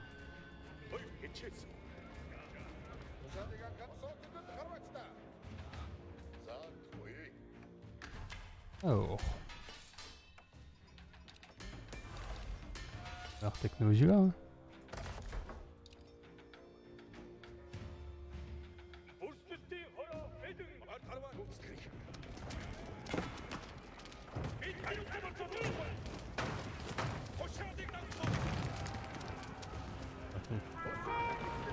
Généralement l'arc est meilleur contre le...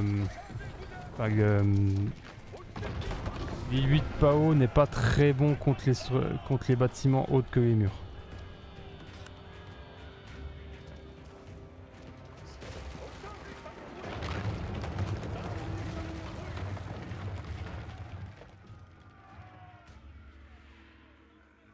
Il prend beaucoup de temps à tirer, mais bon, vous voyez, à chaque tir, Ismail Merci, Ismail. Voilà. Ça sort résistance bonus.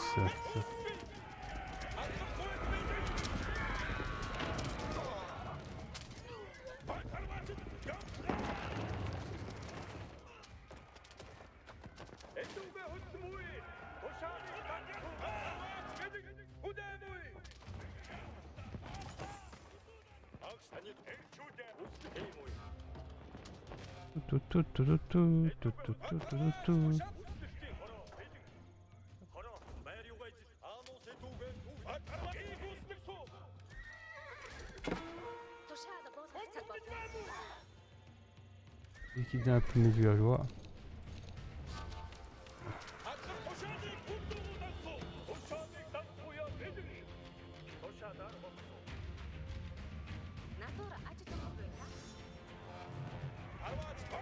On n'a pas assez de... On n'a pas assez... On a trop de villageois plutôt.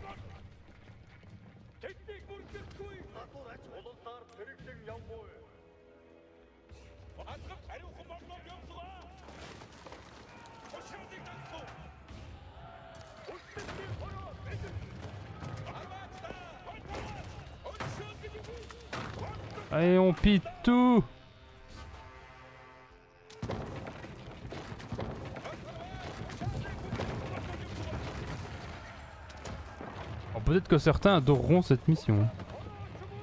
Mais je vous cache pas qu'il y a un truc qui m'interpelle, c'est que j'ai jamais eu autant de facilité pour le moment. Et ça, ça m'inquiète un peu. Voilà, allier des esprits, le coût des unités dynastiques est réduit de 30%. Voilà. C'est de ce bâtiment. Ça, c'est bien. Unités dynastiques, c'est les... unités en gros que vous pouvez débloquer à chaque dynastie. Genre le... Chukono. Chaque nom de- d'unité.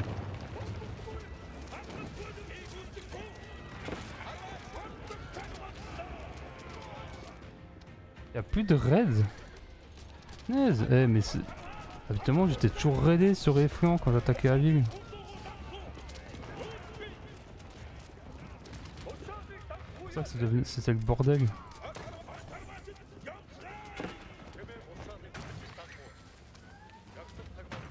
Ils se sont dit que je streamais, j'ai déjà tellement une merde, ils se sont dit Oh on va. On va être gentil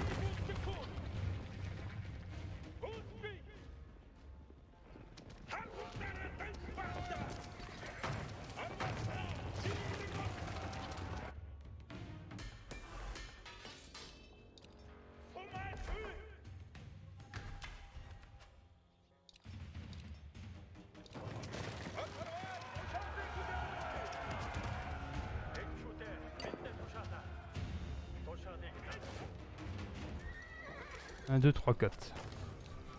Voilà. Ah, toutes les énormes tours du côté gauche, m'embête plus.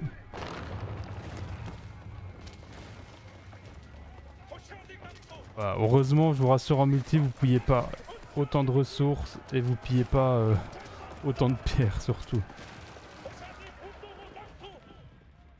Oui, sinon la faction serait totalement fumée et...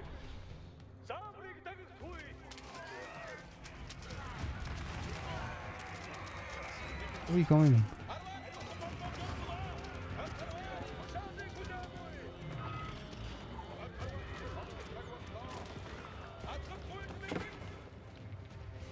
Oh, bien.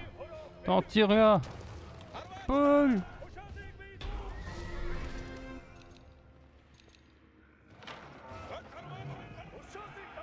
des années de résistance contre les Mongols, la première des villes jumelles finit par céder face à l'armée de Kubilai Khan.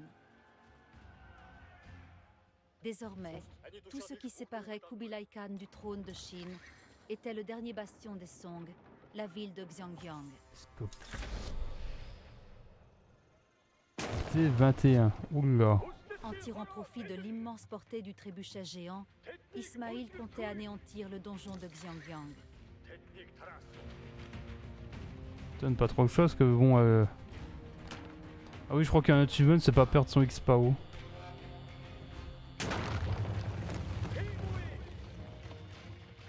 Ah, moi, je me focus déjà sur les tours. C'est techno, tour aussi.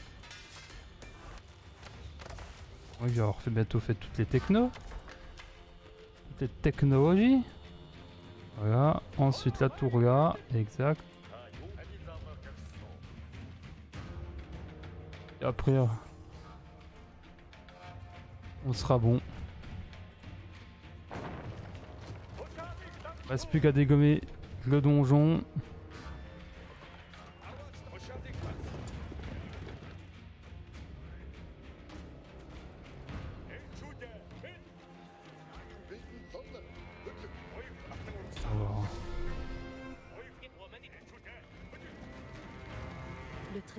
Contrepoids d'Ismaïl prouva sa puissance, faisant trembler le sol et sapant le moral des Song.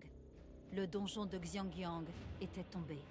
La porte de Xiangyang n'étant plus défendue, les Mongols pouvaient réparer le pont menant au bastion des Song.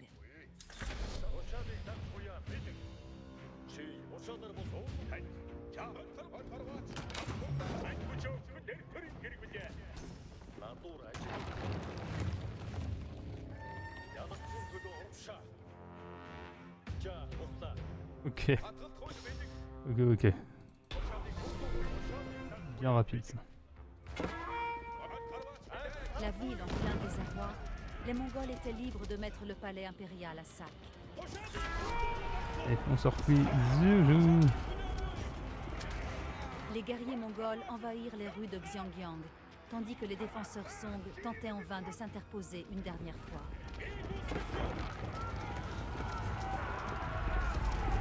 Youhou Je vous canarde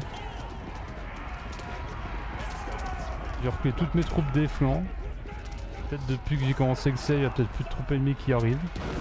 On verra bien. Au pire, je perdrai tout mon commerce ou autre. J'ai la trésorerie.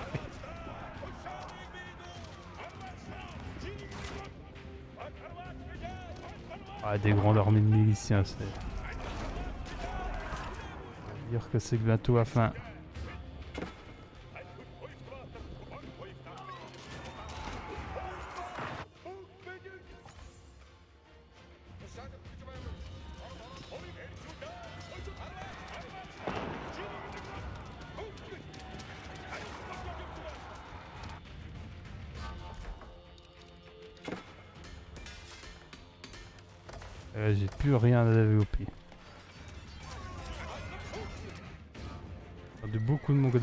Mais bon.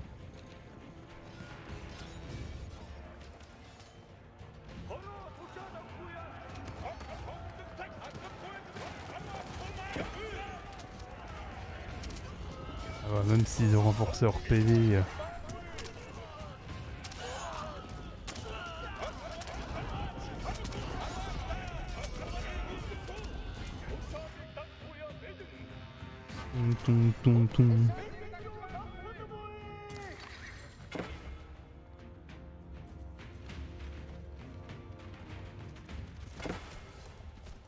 L'arbre d'argent.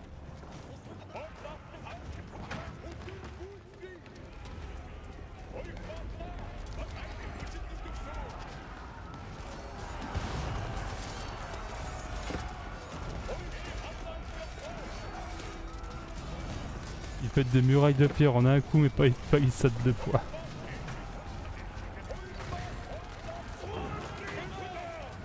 Allez, ça va être la baroute d'honneur de la garde.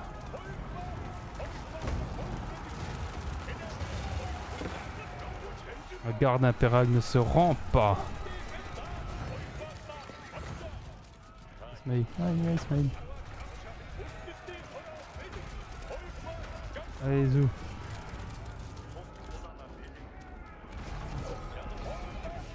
Ah, c'est fini. C'est fini.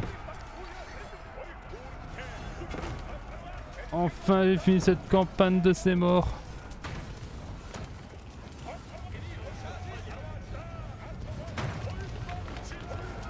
Le fait que je joue avec la faction. Mélis Pluet. Les bugs.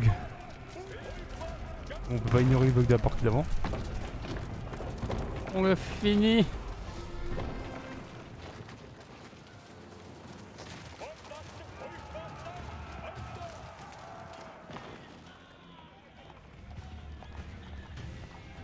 Xiangyang, le grand bastion de la dynastie Song, était tombé.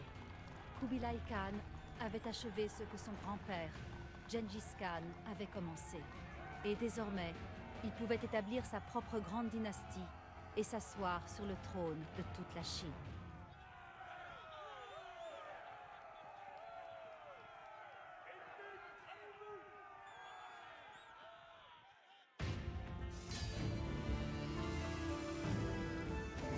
Ah, voilà Avec beaucoup d'acharnement, on a réussi c'était la pire des campagnes. Qui avait cette mission euh, Il a hum, certaines missions. euh, L'armée mongole perça les défenses de Xiangyang et s'empara de la ville.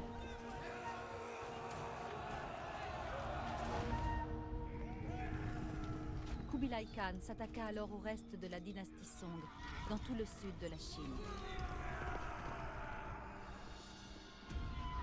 En 1279, lors de la bataille de Yamen, les Mongols détruisirent les dernières défenses des Song. Kubilai Khan régnait désormais sur toute la Chine et fonda la dynastie des Yuan.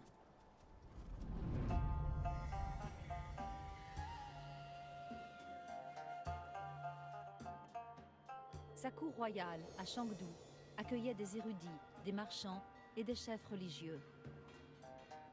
Les Mongols se montraient civils et tolérants d'un point de vue religieux. Mais ils faisaient également preuve de violence et de brutalité. Un parfait exemple des contradictions de l'Empire mongol.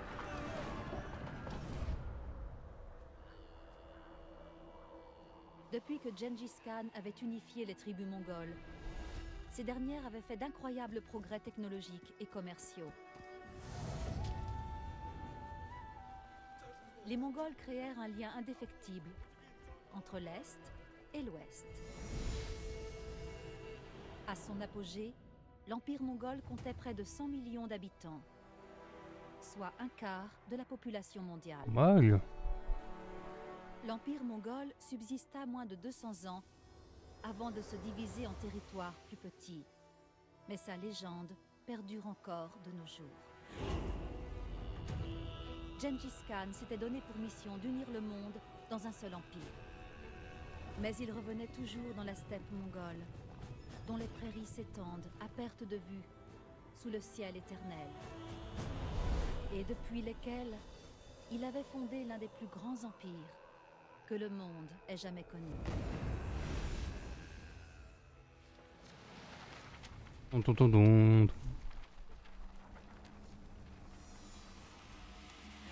Eh ben, la horde mongole a été bien dure à vaincre. Alors, on va regarder effectivement les différentes choses à regarder. Commençons par tambour et flèche.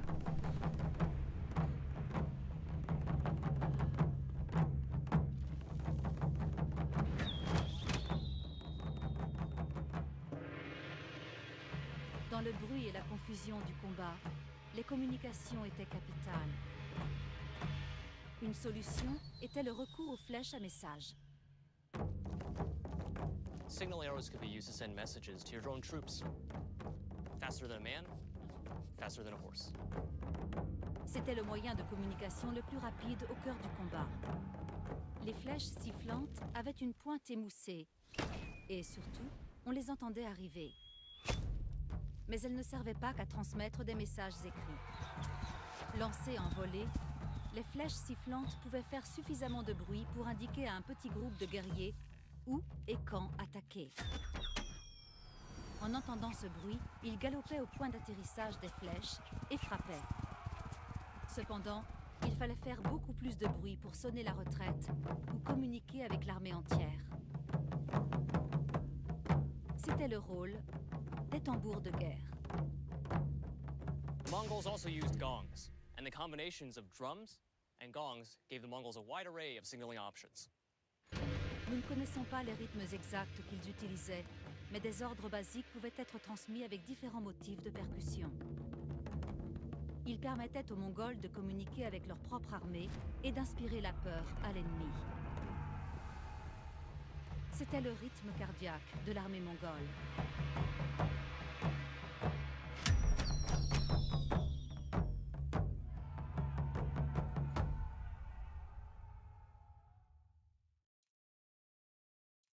Intéressant. Alors, en 1206, dans une tribu appelée Kurultai, le jeune mongol Temujin deviendra Gengis Khan, dirigeant de toute la nation mongole nouvellement unifiée. Un Kurultai est un événement important qui pourrait changer le destin de tout le territoire mongol. C'est à ce réunion que les Khan étaient choisis, les traites condamnés et guerres décidées. Les peuples sous influence mongole venaient des quatre coins de la steppe au cœur du territoire mongol pour y prendre part. Ces événements donnaient également lieu à des festivités, des épreuves de lutte, de tireurs et des déclarations étaient organisées pendant les réunions politiques. Les Kurultai dureraient jusqu'à la fin de l'Empire mongol, laissant une marque indélébile sur le futur de la Horde. Cheval mongol. Voyons voir leur spécificité. L'Empire mongol était l'un des plus grands que le monde ait jamais connu. Cela n'aurait pas été possible sans la robustesse et l'endurance des chevaux mongols. Le cheval mongol était le moyen de transport principal de l'Empire. De la chaleur extrême du désert de Gobi aux températures négatives d'Europe de l'Est, il devait s'adapter à toutes les conditions. Le professeur Delgar Borgin est un expert de cette race. The Mongolian steppe is very cold in winter and very hot in summer. So Mongolian horse has very thick coat and long hair and very hard hoofs. Leurs sabots, ni taillés ni ferrés, sont idéaux pour traverser tout type de terrain. Et puisqu'ils se nourrissaient de ce qu'ils trouvaient dans la nature, l'armée n'avait pas besoin d'emporter du fourrage supplémentaire en campagne. In winter, it can pour off the snow and eat the grass underneath. Et s'il n'y avait pas que leur polyvalence qui les rendait inestimables, c'était également leur capacité à parcourir rapidement de grandes distances grâce à une cinquième allure unique. La cinquième allure est une allure peu fatigante qui permet au cheval mongol de se déplacer à une vitesse constante sur de longues périodes. De plus, cette allure est relativement stable, ce qui assure le confort du cavalier pendant les longues chevauchées et lui permet même de dormir à cheval.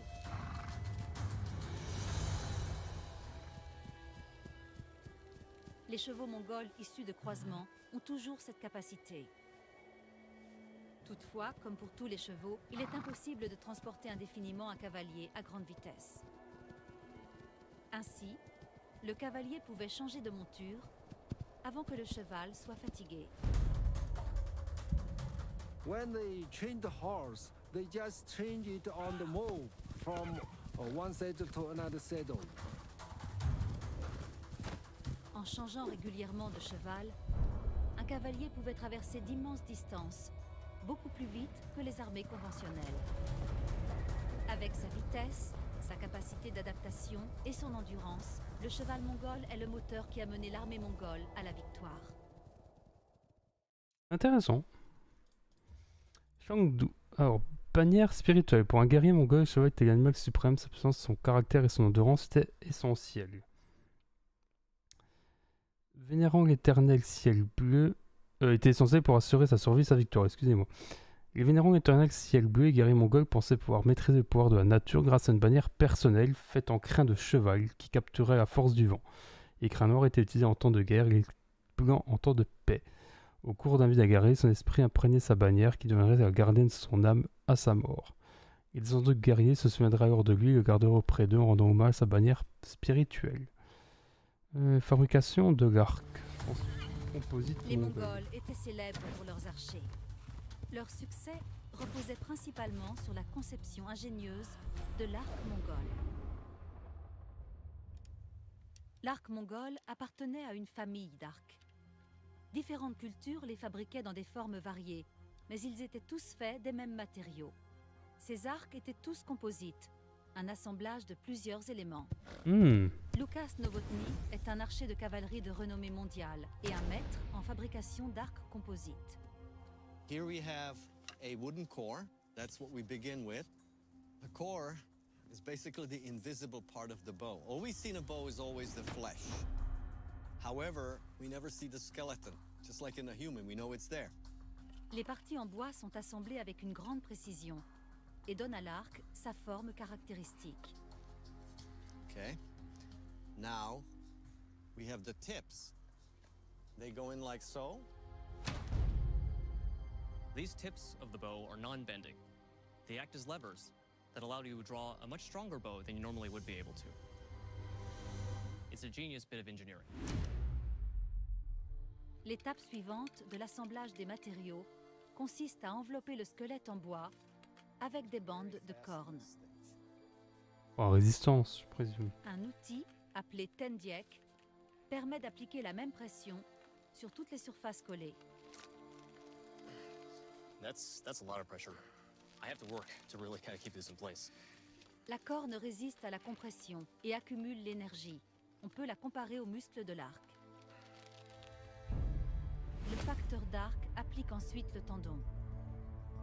Il s'agit de tendons d'animaux séchés, martelés et déchirés afin de produire de fines fibres extensibles d'une puissance considérable. Les tas de tendons peignés sont mouillés avec de l'eau, puis trempés dans une colle à base de vessie natatoire de poisson.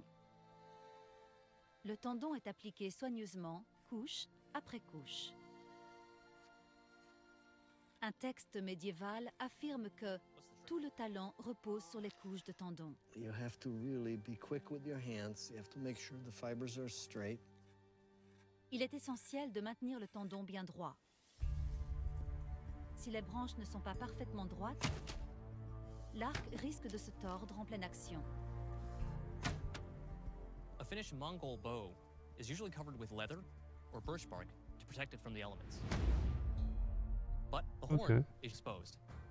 That is where the power is. Entre les mains d'archers de cavalerie mobile et extrêmement doués, l'arc mongol devint l'une des armes les plus légendaires de l'histoire.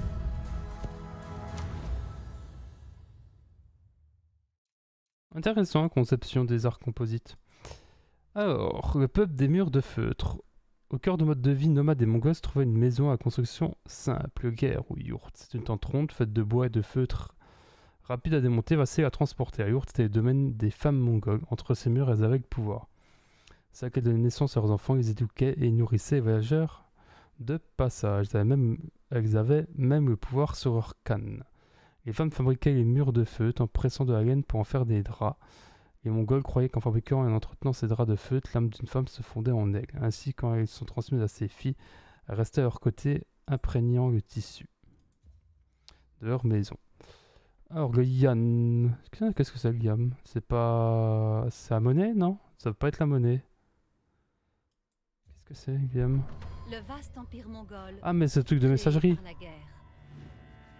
Mais il était gouverné par la bureaucratie. Il était essentiel de maintenir de bonnes communications à travers l'empire, et c'était le rôle des cavaliers du Yam. Ah, bah c'est ça, les relais postaux.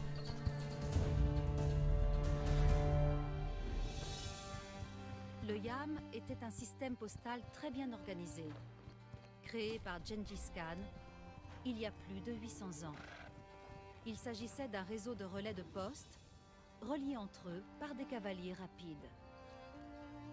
These riders were so fast, they were known as the arrow messengers. You know, they rode at such a bruising pace that they would have to use these cloths to support their abdomen, their spine, and their internal organs. Les messagers du Yam portaient une ceinture de grelots afin qu'on les entende arriver de loin. Ainsi, un cheval reposé pouvait être mis à leur disposition dès leur arrivée.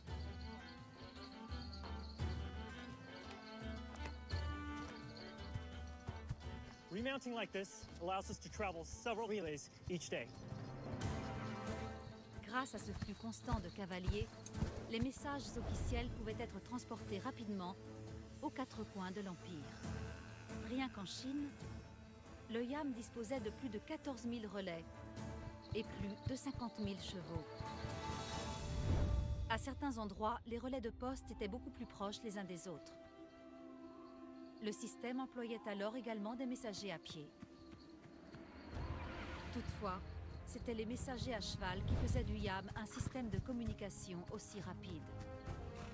Pour assurer son bon fonctionnement, les cavaliers portaient un médaillon spécial, le païsa. Les païsas servaient de passeport et permettait à leurs porteurs de réclamer des biens et services auprès des stations du Yam et de la population locale. Les messagers du Yam étaient le sang qui circulait à travers le grand empire mongol. Hmm. J'avais vu juste, c'était bien un truc postal. Alors, guerrier en campagne. L'arrivée des Mongols en Europe était une catastrophe à laquelle les Occidentaux n'étaient pas préparés. Dans les années qui suivirent l'incension de Gengis Khan, l'armée mongole avait perfectionné ses stratégies militaires et mené ses invasions avec une férocité implacable. Ces campagnes étaient préparées des années à l'avance, des éclaireurs exploraient le territoire, brouillaient les fermes sur leur passage. Les terres abandonnées formaient alors une route de prairie idéale pour armer en approche et ses bêtes. Avec son système d'organisation décimale, l'armée mongole pouvait être constituée de dizaines de milliers de soldats tout en continuant de communiquer de manière efficace, se dépasser rapidement et nourrir chaque soldat pendant des années.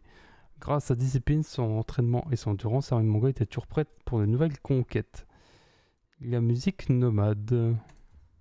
Ah, ça va être sympa ça.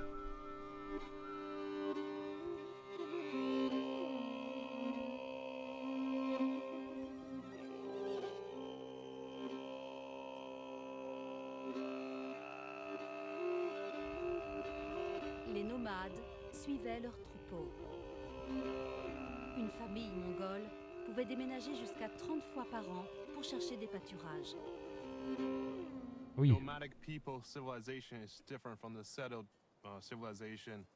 It's based on open field movement and horseback riding lifestyle. And music is uh, one of the most important elements of this kind of way of life. L'un des thèmes centraux de la musique mongole est le cheval. Hmm All Mongol life was lived on horses. That's part of the, Logique. The Mongol identity. Is the music of the horse.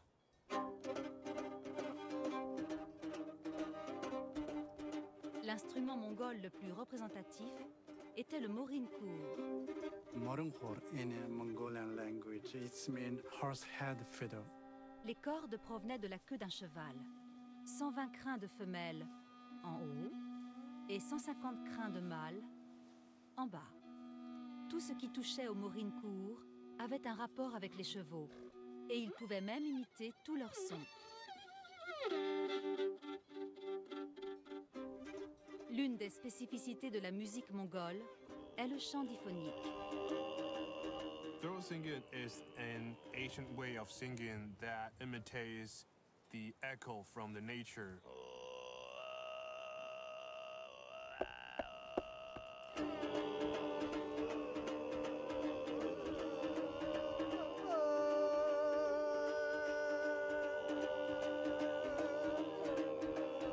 Chant diphonique est le son de la steppe, le vent, la terre, les animaux. La musique servait également à raconter des histoires. Dans ce chant de louanges, deux chevaux s'échappent du troupeau de Gengis Khan pour mener une vie sauvage.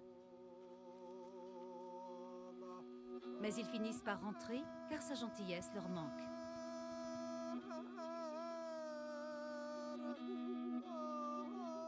Perspective d'être immortalisé dans un chant de louanges était une motivation puissante Logique. pour les guerriers au combat.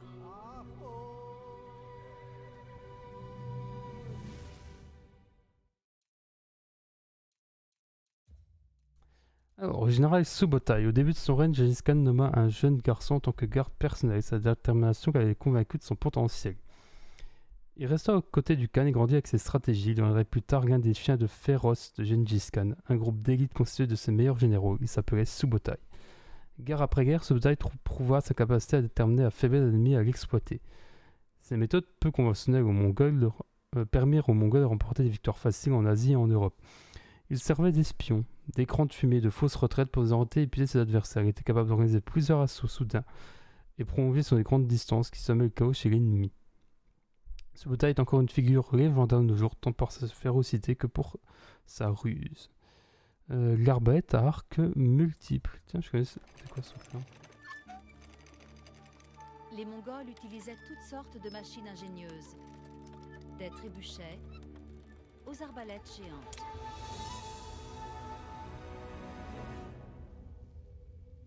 Utilité. Spécialistes des guerres de siège, ils recrutaient des ingénieurs militaires chinois, pour construire leurs engins. Dans cette copie de manuel chinois du XIe siècle, Justin Ma découvrit une arme atypique. This is a triple crossbow, a large triple crossbow, um, in an arrangement where we have two bows in front, and, and here's the weird thing: you've got one bow in the back, facing backwards. There is a term in this passage which says that the bows are joined using a shengzhou, or a rope and axle, a Ah, pulley. okay, yeah. A pulley is the key, and that's the absolute essential ingredient in this contraption to make it work. Les arcs avant sont reliés par deux cordes rudimentaires. Toutefois, l'arc arrière est disposé vers l'arrière. Les deux arcs avant sont bandés et dirigés vers l'avant. L'arc arrière, lui, est rattaché à ceux de l'avant par une seule corde, passant par deux poulies. Ok. Ce système de poulies permet aux trois arcs de décocher un projectile dans la même direction. Now these pulleys make sense. Sort of spanning around here, reversing the direction. Un mécanisme de remontage permet de retendre la corde. You can see that tension as it's pulling that last bow in reverse. Un aspect essentiel de sa conception est l'arc orienté vers l'arrière. Cette fonction unique donne une tension énorme à l'engin, ce qui lui permet de tirer des flèches gigantesques. There's a lot of tension in there. Ok, je comprends mieux. Le projectile est tiré avec une force impressionnante. Well, it's gone through three. Après avoir percé trois planches au premier essai, l'équipe décide d'augmenter la difficulté. Let's do it. Quite exciting. Let's see if it really can punch a hole through that fourth one.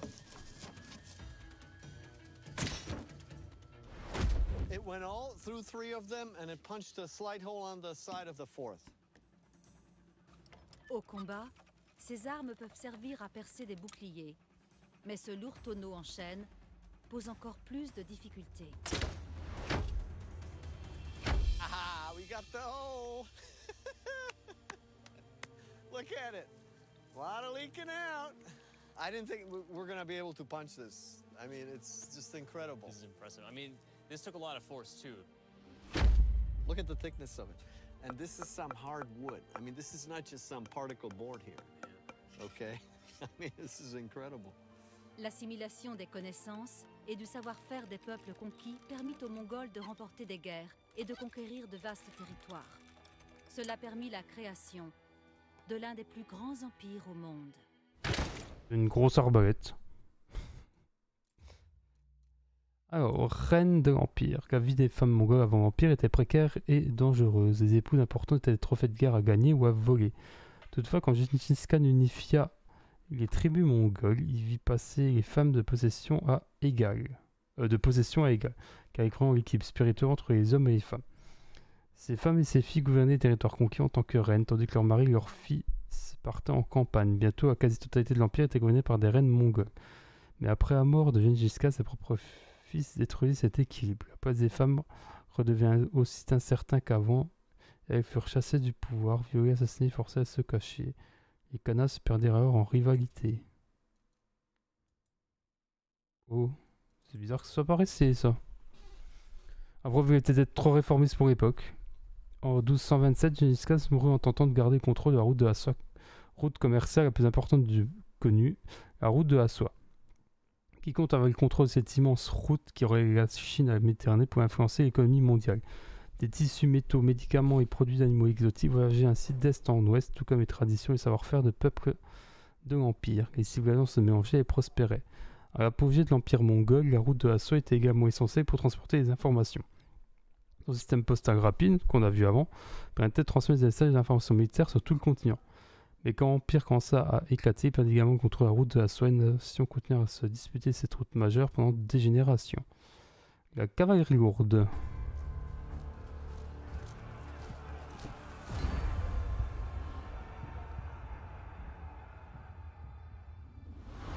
La cavalerie lourde faisait partie intégrante de l'armée mongole.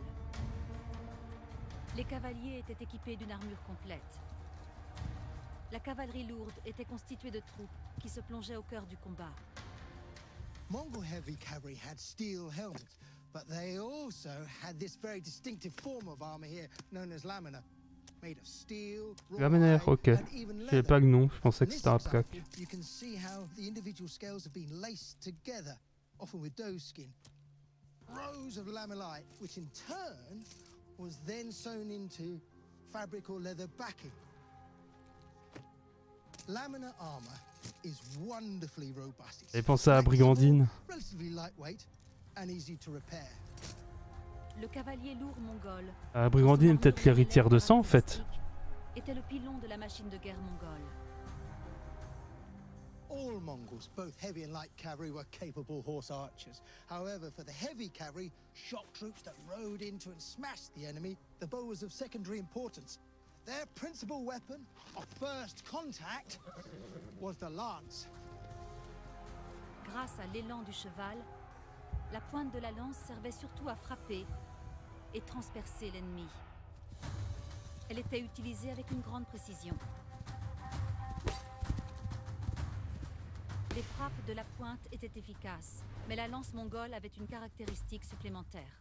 Not only did you have the spearhead for running into and through the enemy, but you also had this hook to haul them from the saddle. Il fallait une force considérable pour désarçonner un homme. Mais cela permettait de le mettre hors de combat aussi efficacement Ah, frappe de plein putain, intéressant ça. In hand-to-hand combat, the Mongols used the sword to slice their way to victory. But they also had this, the Great Mace, which they used with two hands.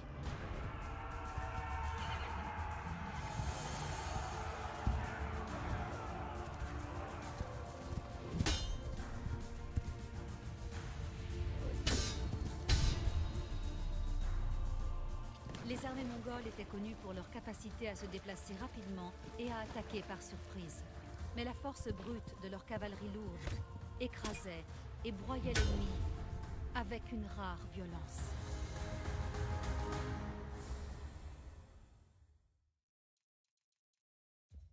On arrive au bout. Capitale mongole. En à peine deux siècles de conquête d'évolution, le mode de vie des Mongols avait drastiquement changé. Ce peuple de tradition nomade avait adopté des structures permanentes et même construit des capitales.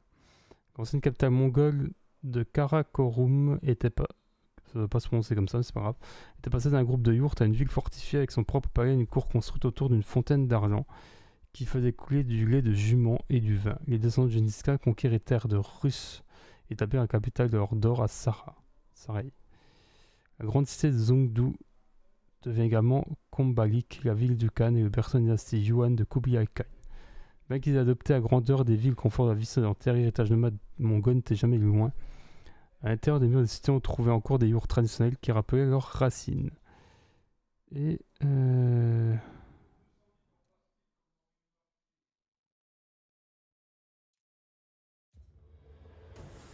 Ça, on a vu.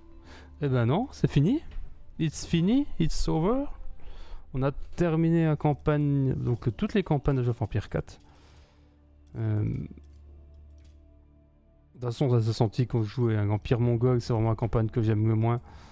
Euh, pas forcément la plus compliquée, mais le fait que je n'apprécie pas la faction de base fait que ça me complexifie beaucoup le gameplay et que j'ai du mal à suivre correctement. Autant les Français, c'est un gameplay que j'adore, donc ça passe bien avec les Russes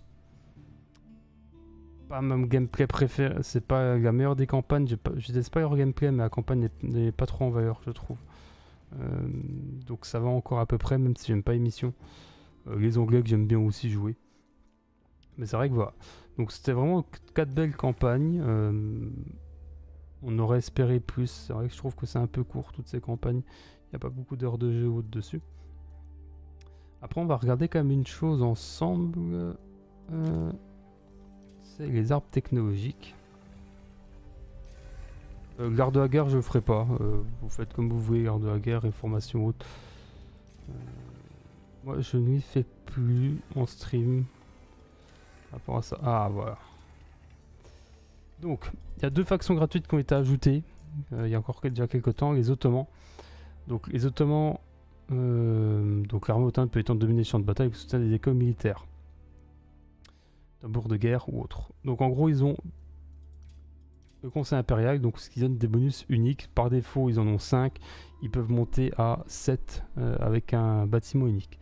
Donc les métères sont une unité unique qui donne des boosts. Donc conseil impérial débloqué des trucs spéciaux. Incité militaire pour influencer. Influence et les universités augmente la vitesse de production des unités. Unité unique, le Sipahi qui remplace la cavalerie. Le métère, le janissaire, la grande guerre, la grande bombarde. Je vous expliquer après ces unités. Donc, les bonus suivants, augmenter la production des écoles militaires, métères, m- des meilleurs métères qui donnent des bonus de vitesse de déplacement, euh, des moutons, une vitesse d'extraction des villageois plus 10%, plus d'écoles militaires. On peut mettre des unités en garnison dans les armes de sèche qui augmentent la vitesse d'attaque de 25%, ce qui est énorme. Janissaires qui apparaissent auprès des écoles militaires. Euh, on peut former des janissaires et des lanciers de cavalerie et commerciaux, plus 40% de commerce. Leur premier monument, c'est soit effectivement le réseau de commerce. C'est un marché, vous avez deux, marchands dedans et vous générez de l'or euh, par, euh, par minute pour mettre 6 en garnison dedans pour générer de l'or. Moins efficace que des vraies routes commerciales, mais ça peut être bien en début de partie. Ou le minaret qui est un moulin euh, qui permet de récolter euh, 50% plus rendement les baies de ce dernier qui repousse avec le temps. Ensuite, le palais d'Istanbul qui augmente de plus 2 le nombre de points de visir. Donc, au lieu d'en avoir 5 pour en prendre 7 sur 9. Ou l'armurerie impériale qui permet d'avoir gratuitement des artilleries de siège mais qui prennent beaucoup de temps et de produits. Je vous déconseille ça.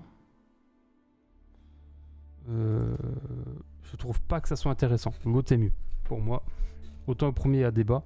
Et le dernier âge, donc soit l'observatoire du vizir qui augmente au de 40%, ça passe à 60%. Le bonus, ou bien ça. Tous les donjons gagnent Honora qui augmente la vitesse de déplacement de marchands. 30% il y aura mieux. En fait, le problème c'est que c'est des donjons. Et généralement, vous n'avez pas assez de donjons sur une route, donc c'est pas intéressant.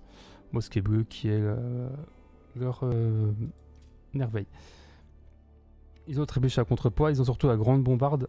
C'est la bombarde la plus puissante du jeu, c'est quand elle tire, vous voyez d'où elle tire. Par contre, c'est aussi la plus lente. Et vous pouvez la mettre en garnison pour qu'elle tire un peu plus vite.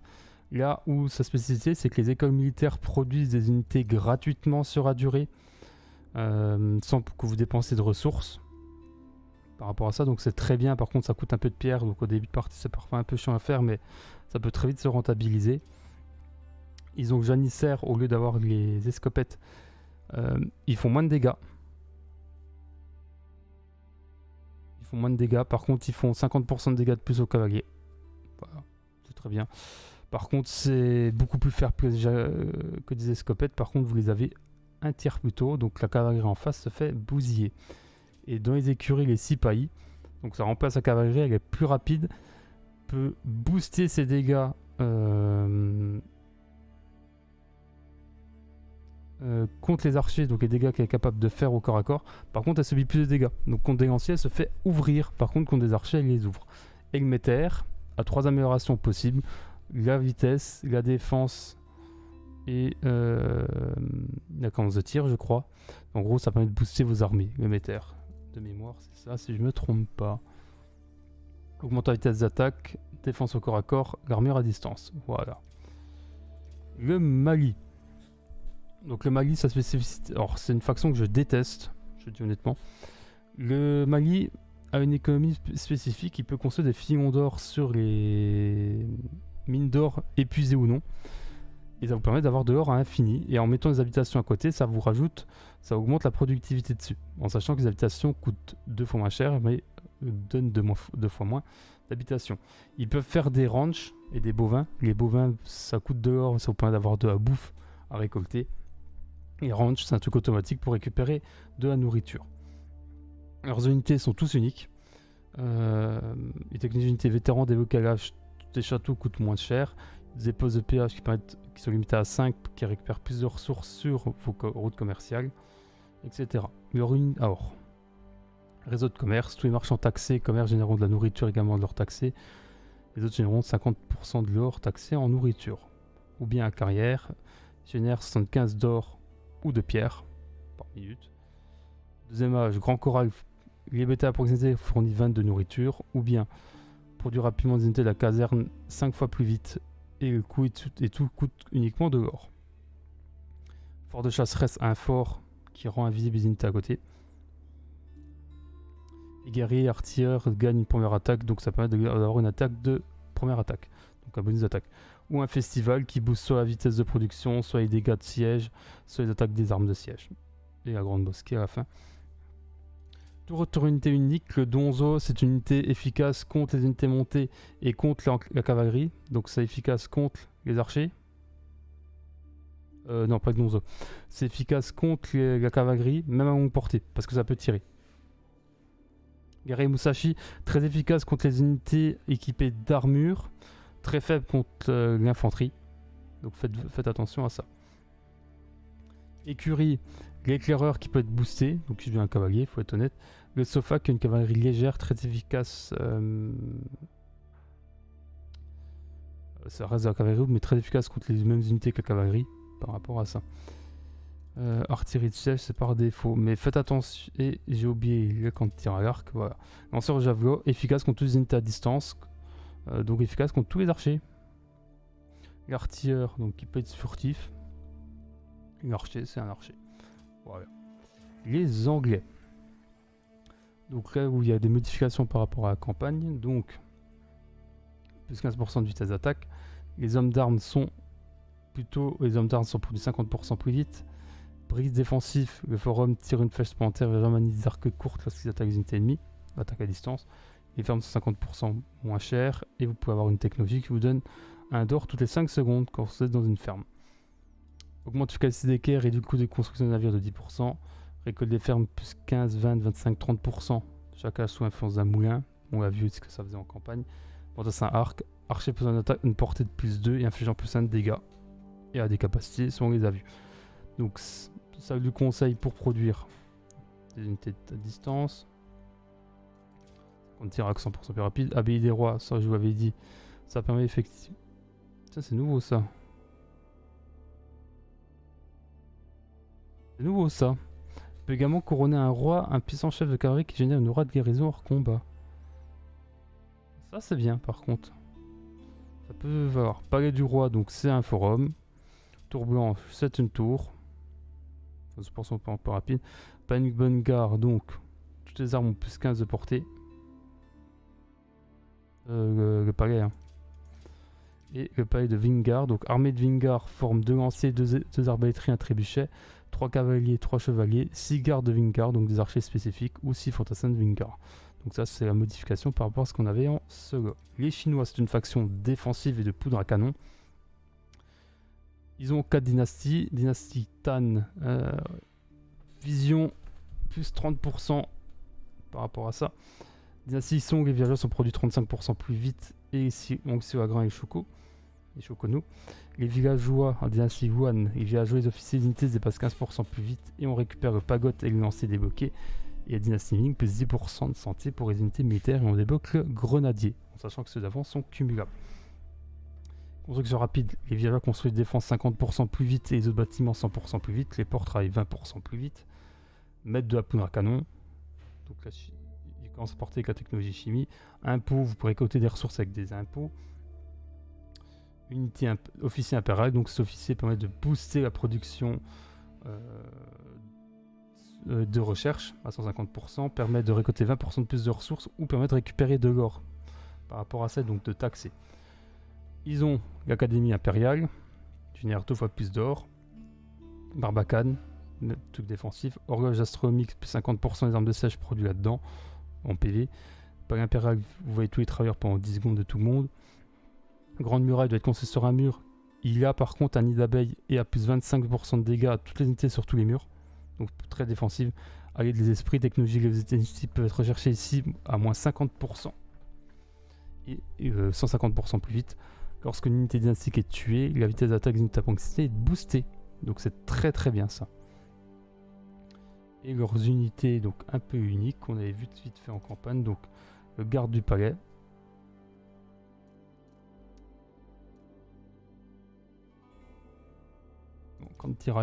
Shokono. Donc effi- inefficace dessus. Le grenadier efficace, ça fait des dégâts de zone, mais surtout contre les bâtiments. Écurie, le lancier de feu. La France, bah, ça, on l'a vu, économie meilleure, 50% moins cher les bâtiments là, donc ça coûte que la moitié prix. Taux de production forum 10, 15, 20, 25. Coût de technologie 30% moins cher. Donc de 700, ça coûte 500 d'or. C'est génial. 20% de ressources. Euh, vos donjons permettent de réduire 20% le coût. Arbalétrier, unité à distance plus un des points à pavois. Canon, remplace à bombard, inflige plus de dégâts, possède une plus grande motive, c'est aucun temps d'accélération. Et la Galéa en aval. Donc école de cavalerie, on l'avait vu. Vous produisez 20% plus vite, c'est une écurie. Chambre de commerce, donc euh, forme gratuitement un marchand à chaque technologie commerciale recherchée. C'est très fort maintenant. Ça ne booste plus l'économie comme c'était avant, mais ça reste très bien. Donc euh, vous faites tout vu que vous allez faire très vite les trucs euh, commerciaux, vous allez très vite en avoir beaucoup. Donc moi j'adore. Ici, donc l'arbalétrier qui est un peu plus résistant, le Jacques et euh, donc ça on l'avait vu. Mais vous voyez que c'est le camp de guide génère les stocks des ressources au fur et à mesure du temps. Plus vous avez de stocks, plus vous avez de ressources. Palier rouge, le changement c'est acter un emplacement d'arbalète dans tous les donjons et forums. Donc c'est-à-dire vous avez des tirs d'arbalète partout maintenant. Éco artillerie pour les engins d'artillerie qui infligent 30% de dégâts de plus et débloque la capacité d'artillerie pour les canons. C'est génial. Comptez en technologie de siège de la poudre canon, forme des unités développe les technologies 50% plus vite. Donc vous avez des unités royales donc qui sont beaucoup plus fortes que leurs homologues dans les bâtiments. Ça, c'est à peu près les changements chez les Français. Ici, vous avez toutes les technologies qui sont moins chères et ignorent les conditions d'âge. Euh, vu que ça donne plus de zone d'influence pour réduire les coûts, ça sert à rien. Ils vont- le bâtiment est devenu bon. Le Saint-Empire, je l'avais expliqué, donc ils ont les dévots. L'héroïque passé dans les ports augmente la vitesse d'attaque de navire jusqu'à plus 25. L'héroïque passé dans un bâtiment génère 80 d'or. Euh, votre infanterie des technologies avancées, renvoyez des hommes d'armes primitives, donc des hommes d'armes DH2, comme les anglais. Les technologies coûtent. euh, les technologies défensives, je précise, 25% moins cher. Les viageurs transportent 40% de plus de ressources que les autres. Génial. Euh, tous les bâtiments dans la zone d'influence du forum de base peuvent restaurer de la vie. C'est une réparation d'urgence. Ils ont le à Yankney. Je vais vous expliquer. En gros, le préa est une unité qui booste les villageois aux alentours, en plus de pouvoir soigner. Donc, ça veut dire ça leur permet de récolter plus vite des ressources. Qui dit récolter plus vite des ressources dit que ça peut très vite être important. Et en fait, l'ex à chapelle, c'est une zone autour que vous faites qui booste. Vous mettez un prêt dedans qui booste tout le monde autour et qui sert de dépôt. Donc, je vous laisse imaginer qu'avec sa chapelle avec un, prêt dedans, si vous passez au bon endroit, ça vous donne une super économie en début de game et ça vous permet très vite de passer à H3. Sinon, pas une Manwork, c'est une forge où tout recherche coûte moins 40%. Ils ont 40% plus, plus rapide. Il y a des technologies uniques dedans. Euh... un, deux.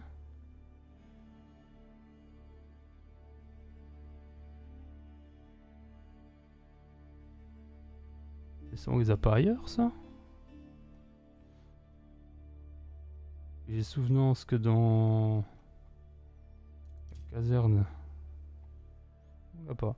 Donc ils ont d'armes un peu plus tôt. Ganknet, c'est une unité, on a vu en campagne française, qui fait des dégâts de zone au corps à corps.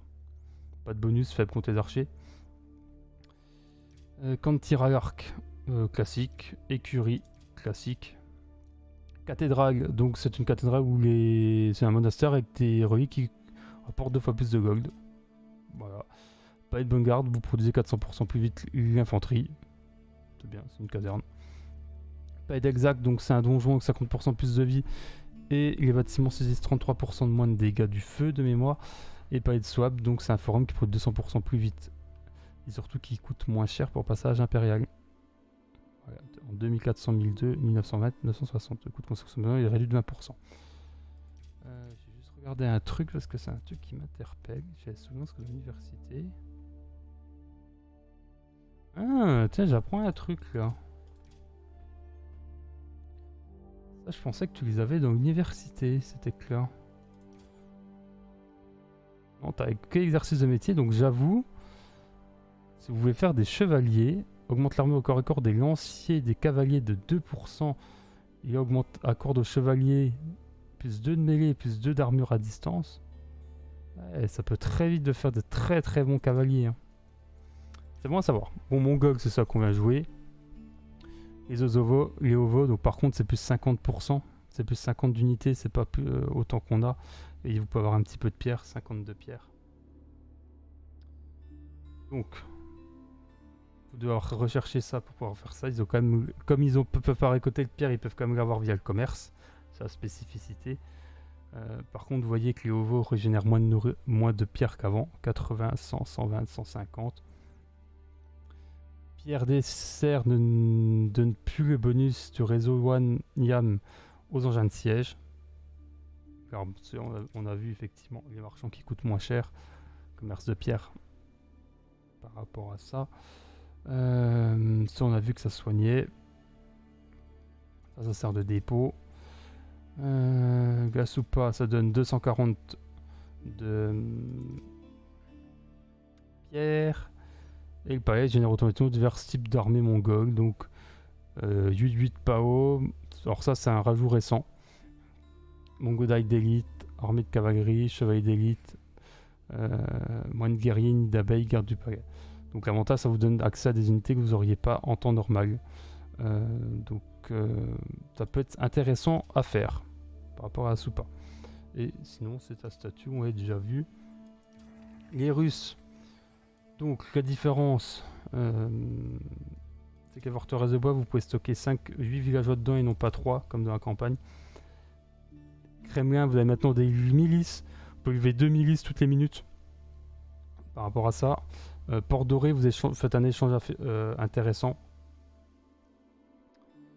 Euh, au niveau, vous êtes plafonné ici à 300 au niveau du gold par minute avec les cabanes de chasse, pas comme dans Solo. Sinon, archer de voilà. Augmente la portée d'archer de cavalerie de 1. Pas de course et serait sculpté la capacité pas de course. Et surtout, ce serait qui coûte moins cher, 90-90 par rapport au solo. Ou Arsenal réduit le coût des engins de siège et donne des technologies uniques. Tour de Skya vous permet de débloquer la pierre. Ce qui n'était pas le cas en solo. La baie de Trinité, donc, produit des moines guerriers moins chers et avec des technologies uniques. Vénération, augmente la santé. Euh, tac, tac, tac, je crois que c'est ces trois-là, uniques. Non. Ça, ça. Et ça. Euh, Je prends jamais la haute maison du commerce. Euh, parce que ça n'a aucune utilité. Sincèrement, euh, l'abbaye est bien mieux. Delhi. Euh, n- tes recherches sont gratuites. Par contre, ça prend du temps. Il vous faut, euh, plus vous avez d'érudits dans des mosquées, plus vous allez rechercher rapidement les technologies.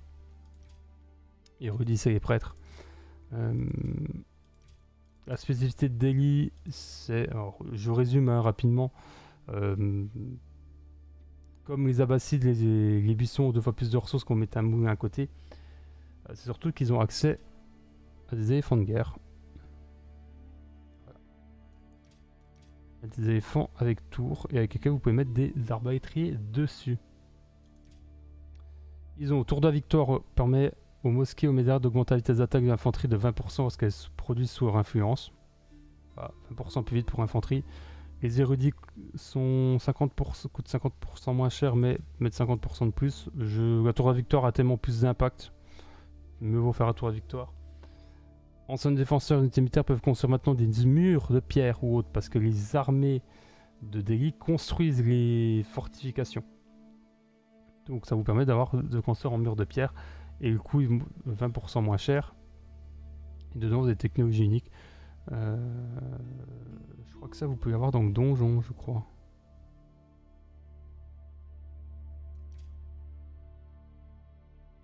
C'est ça.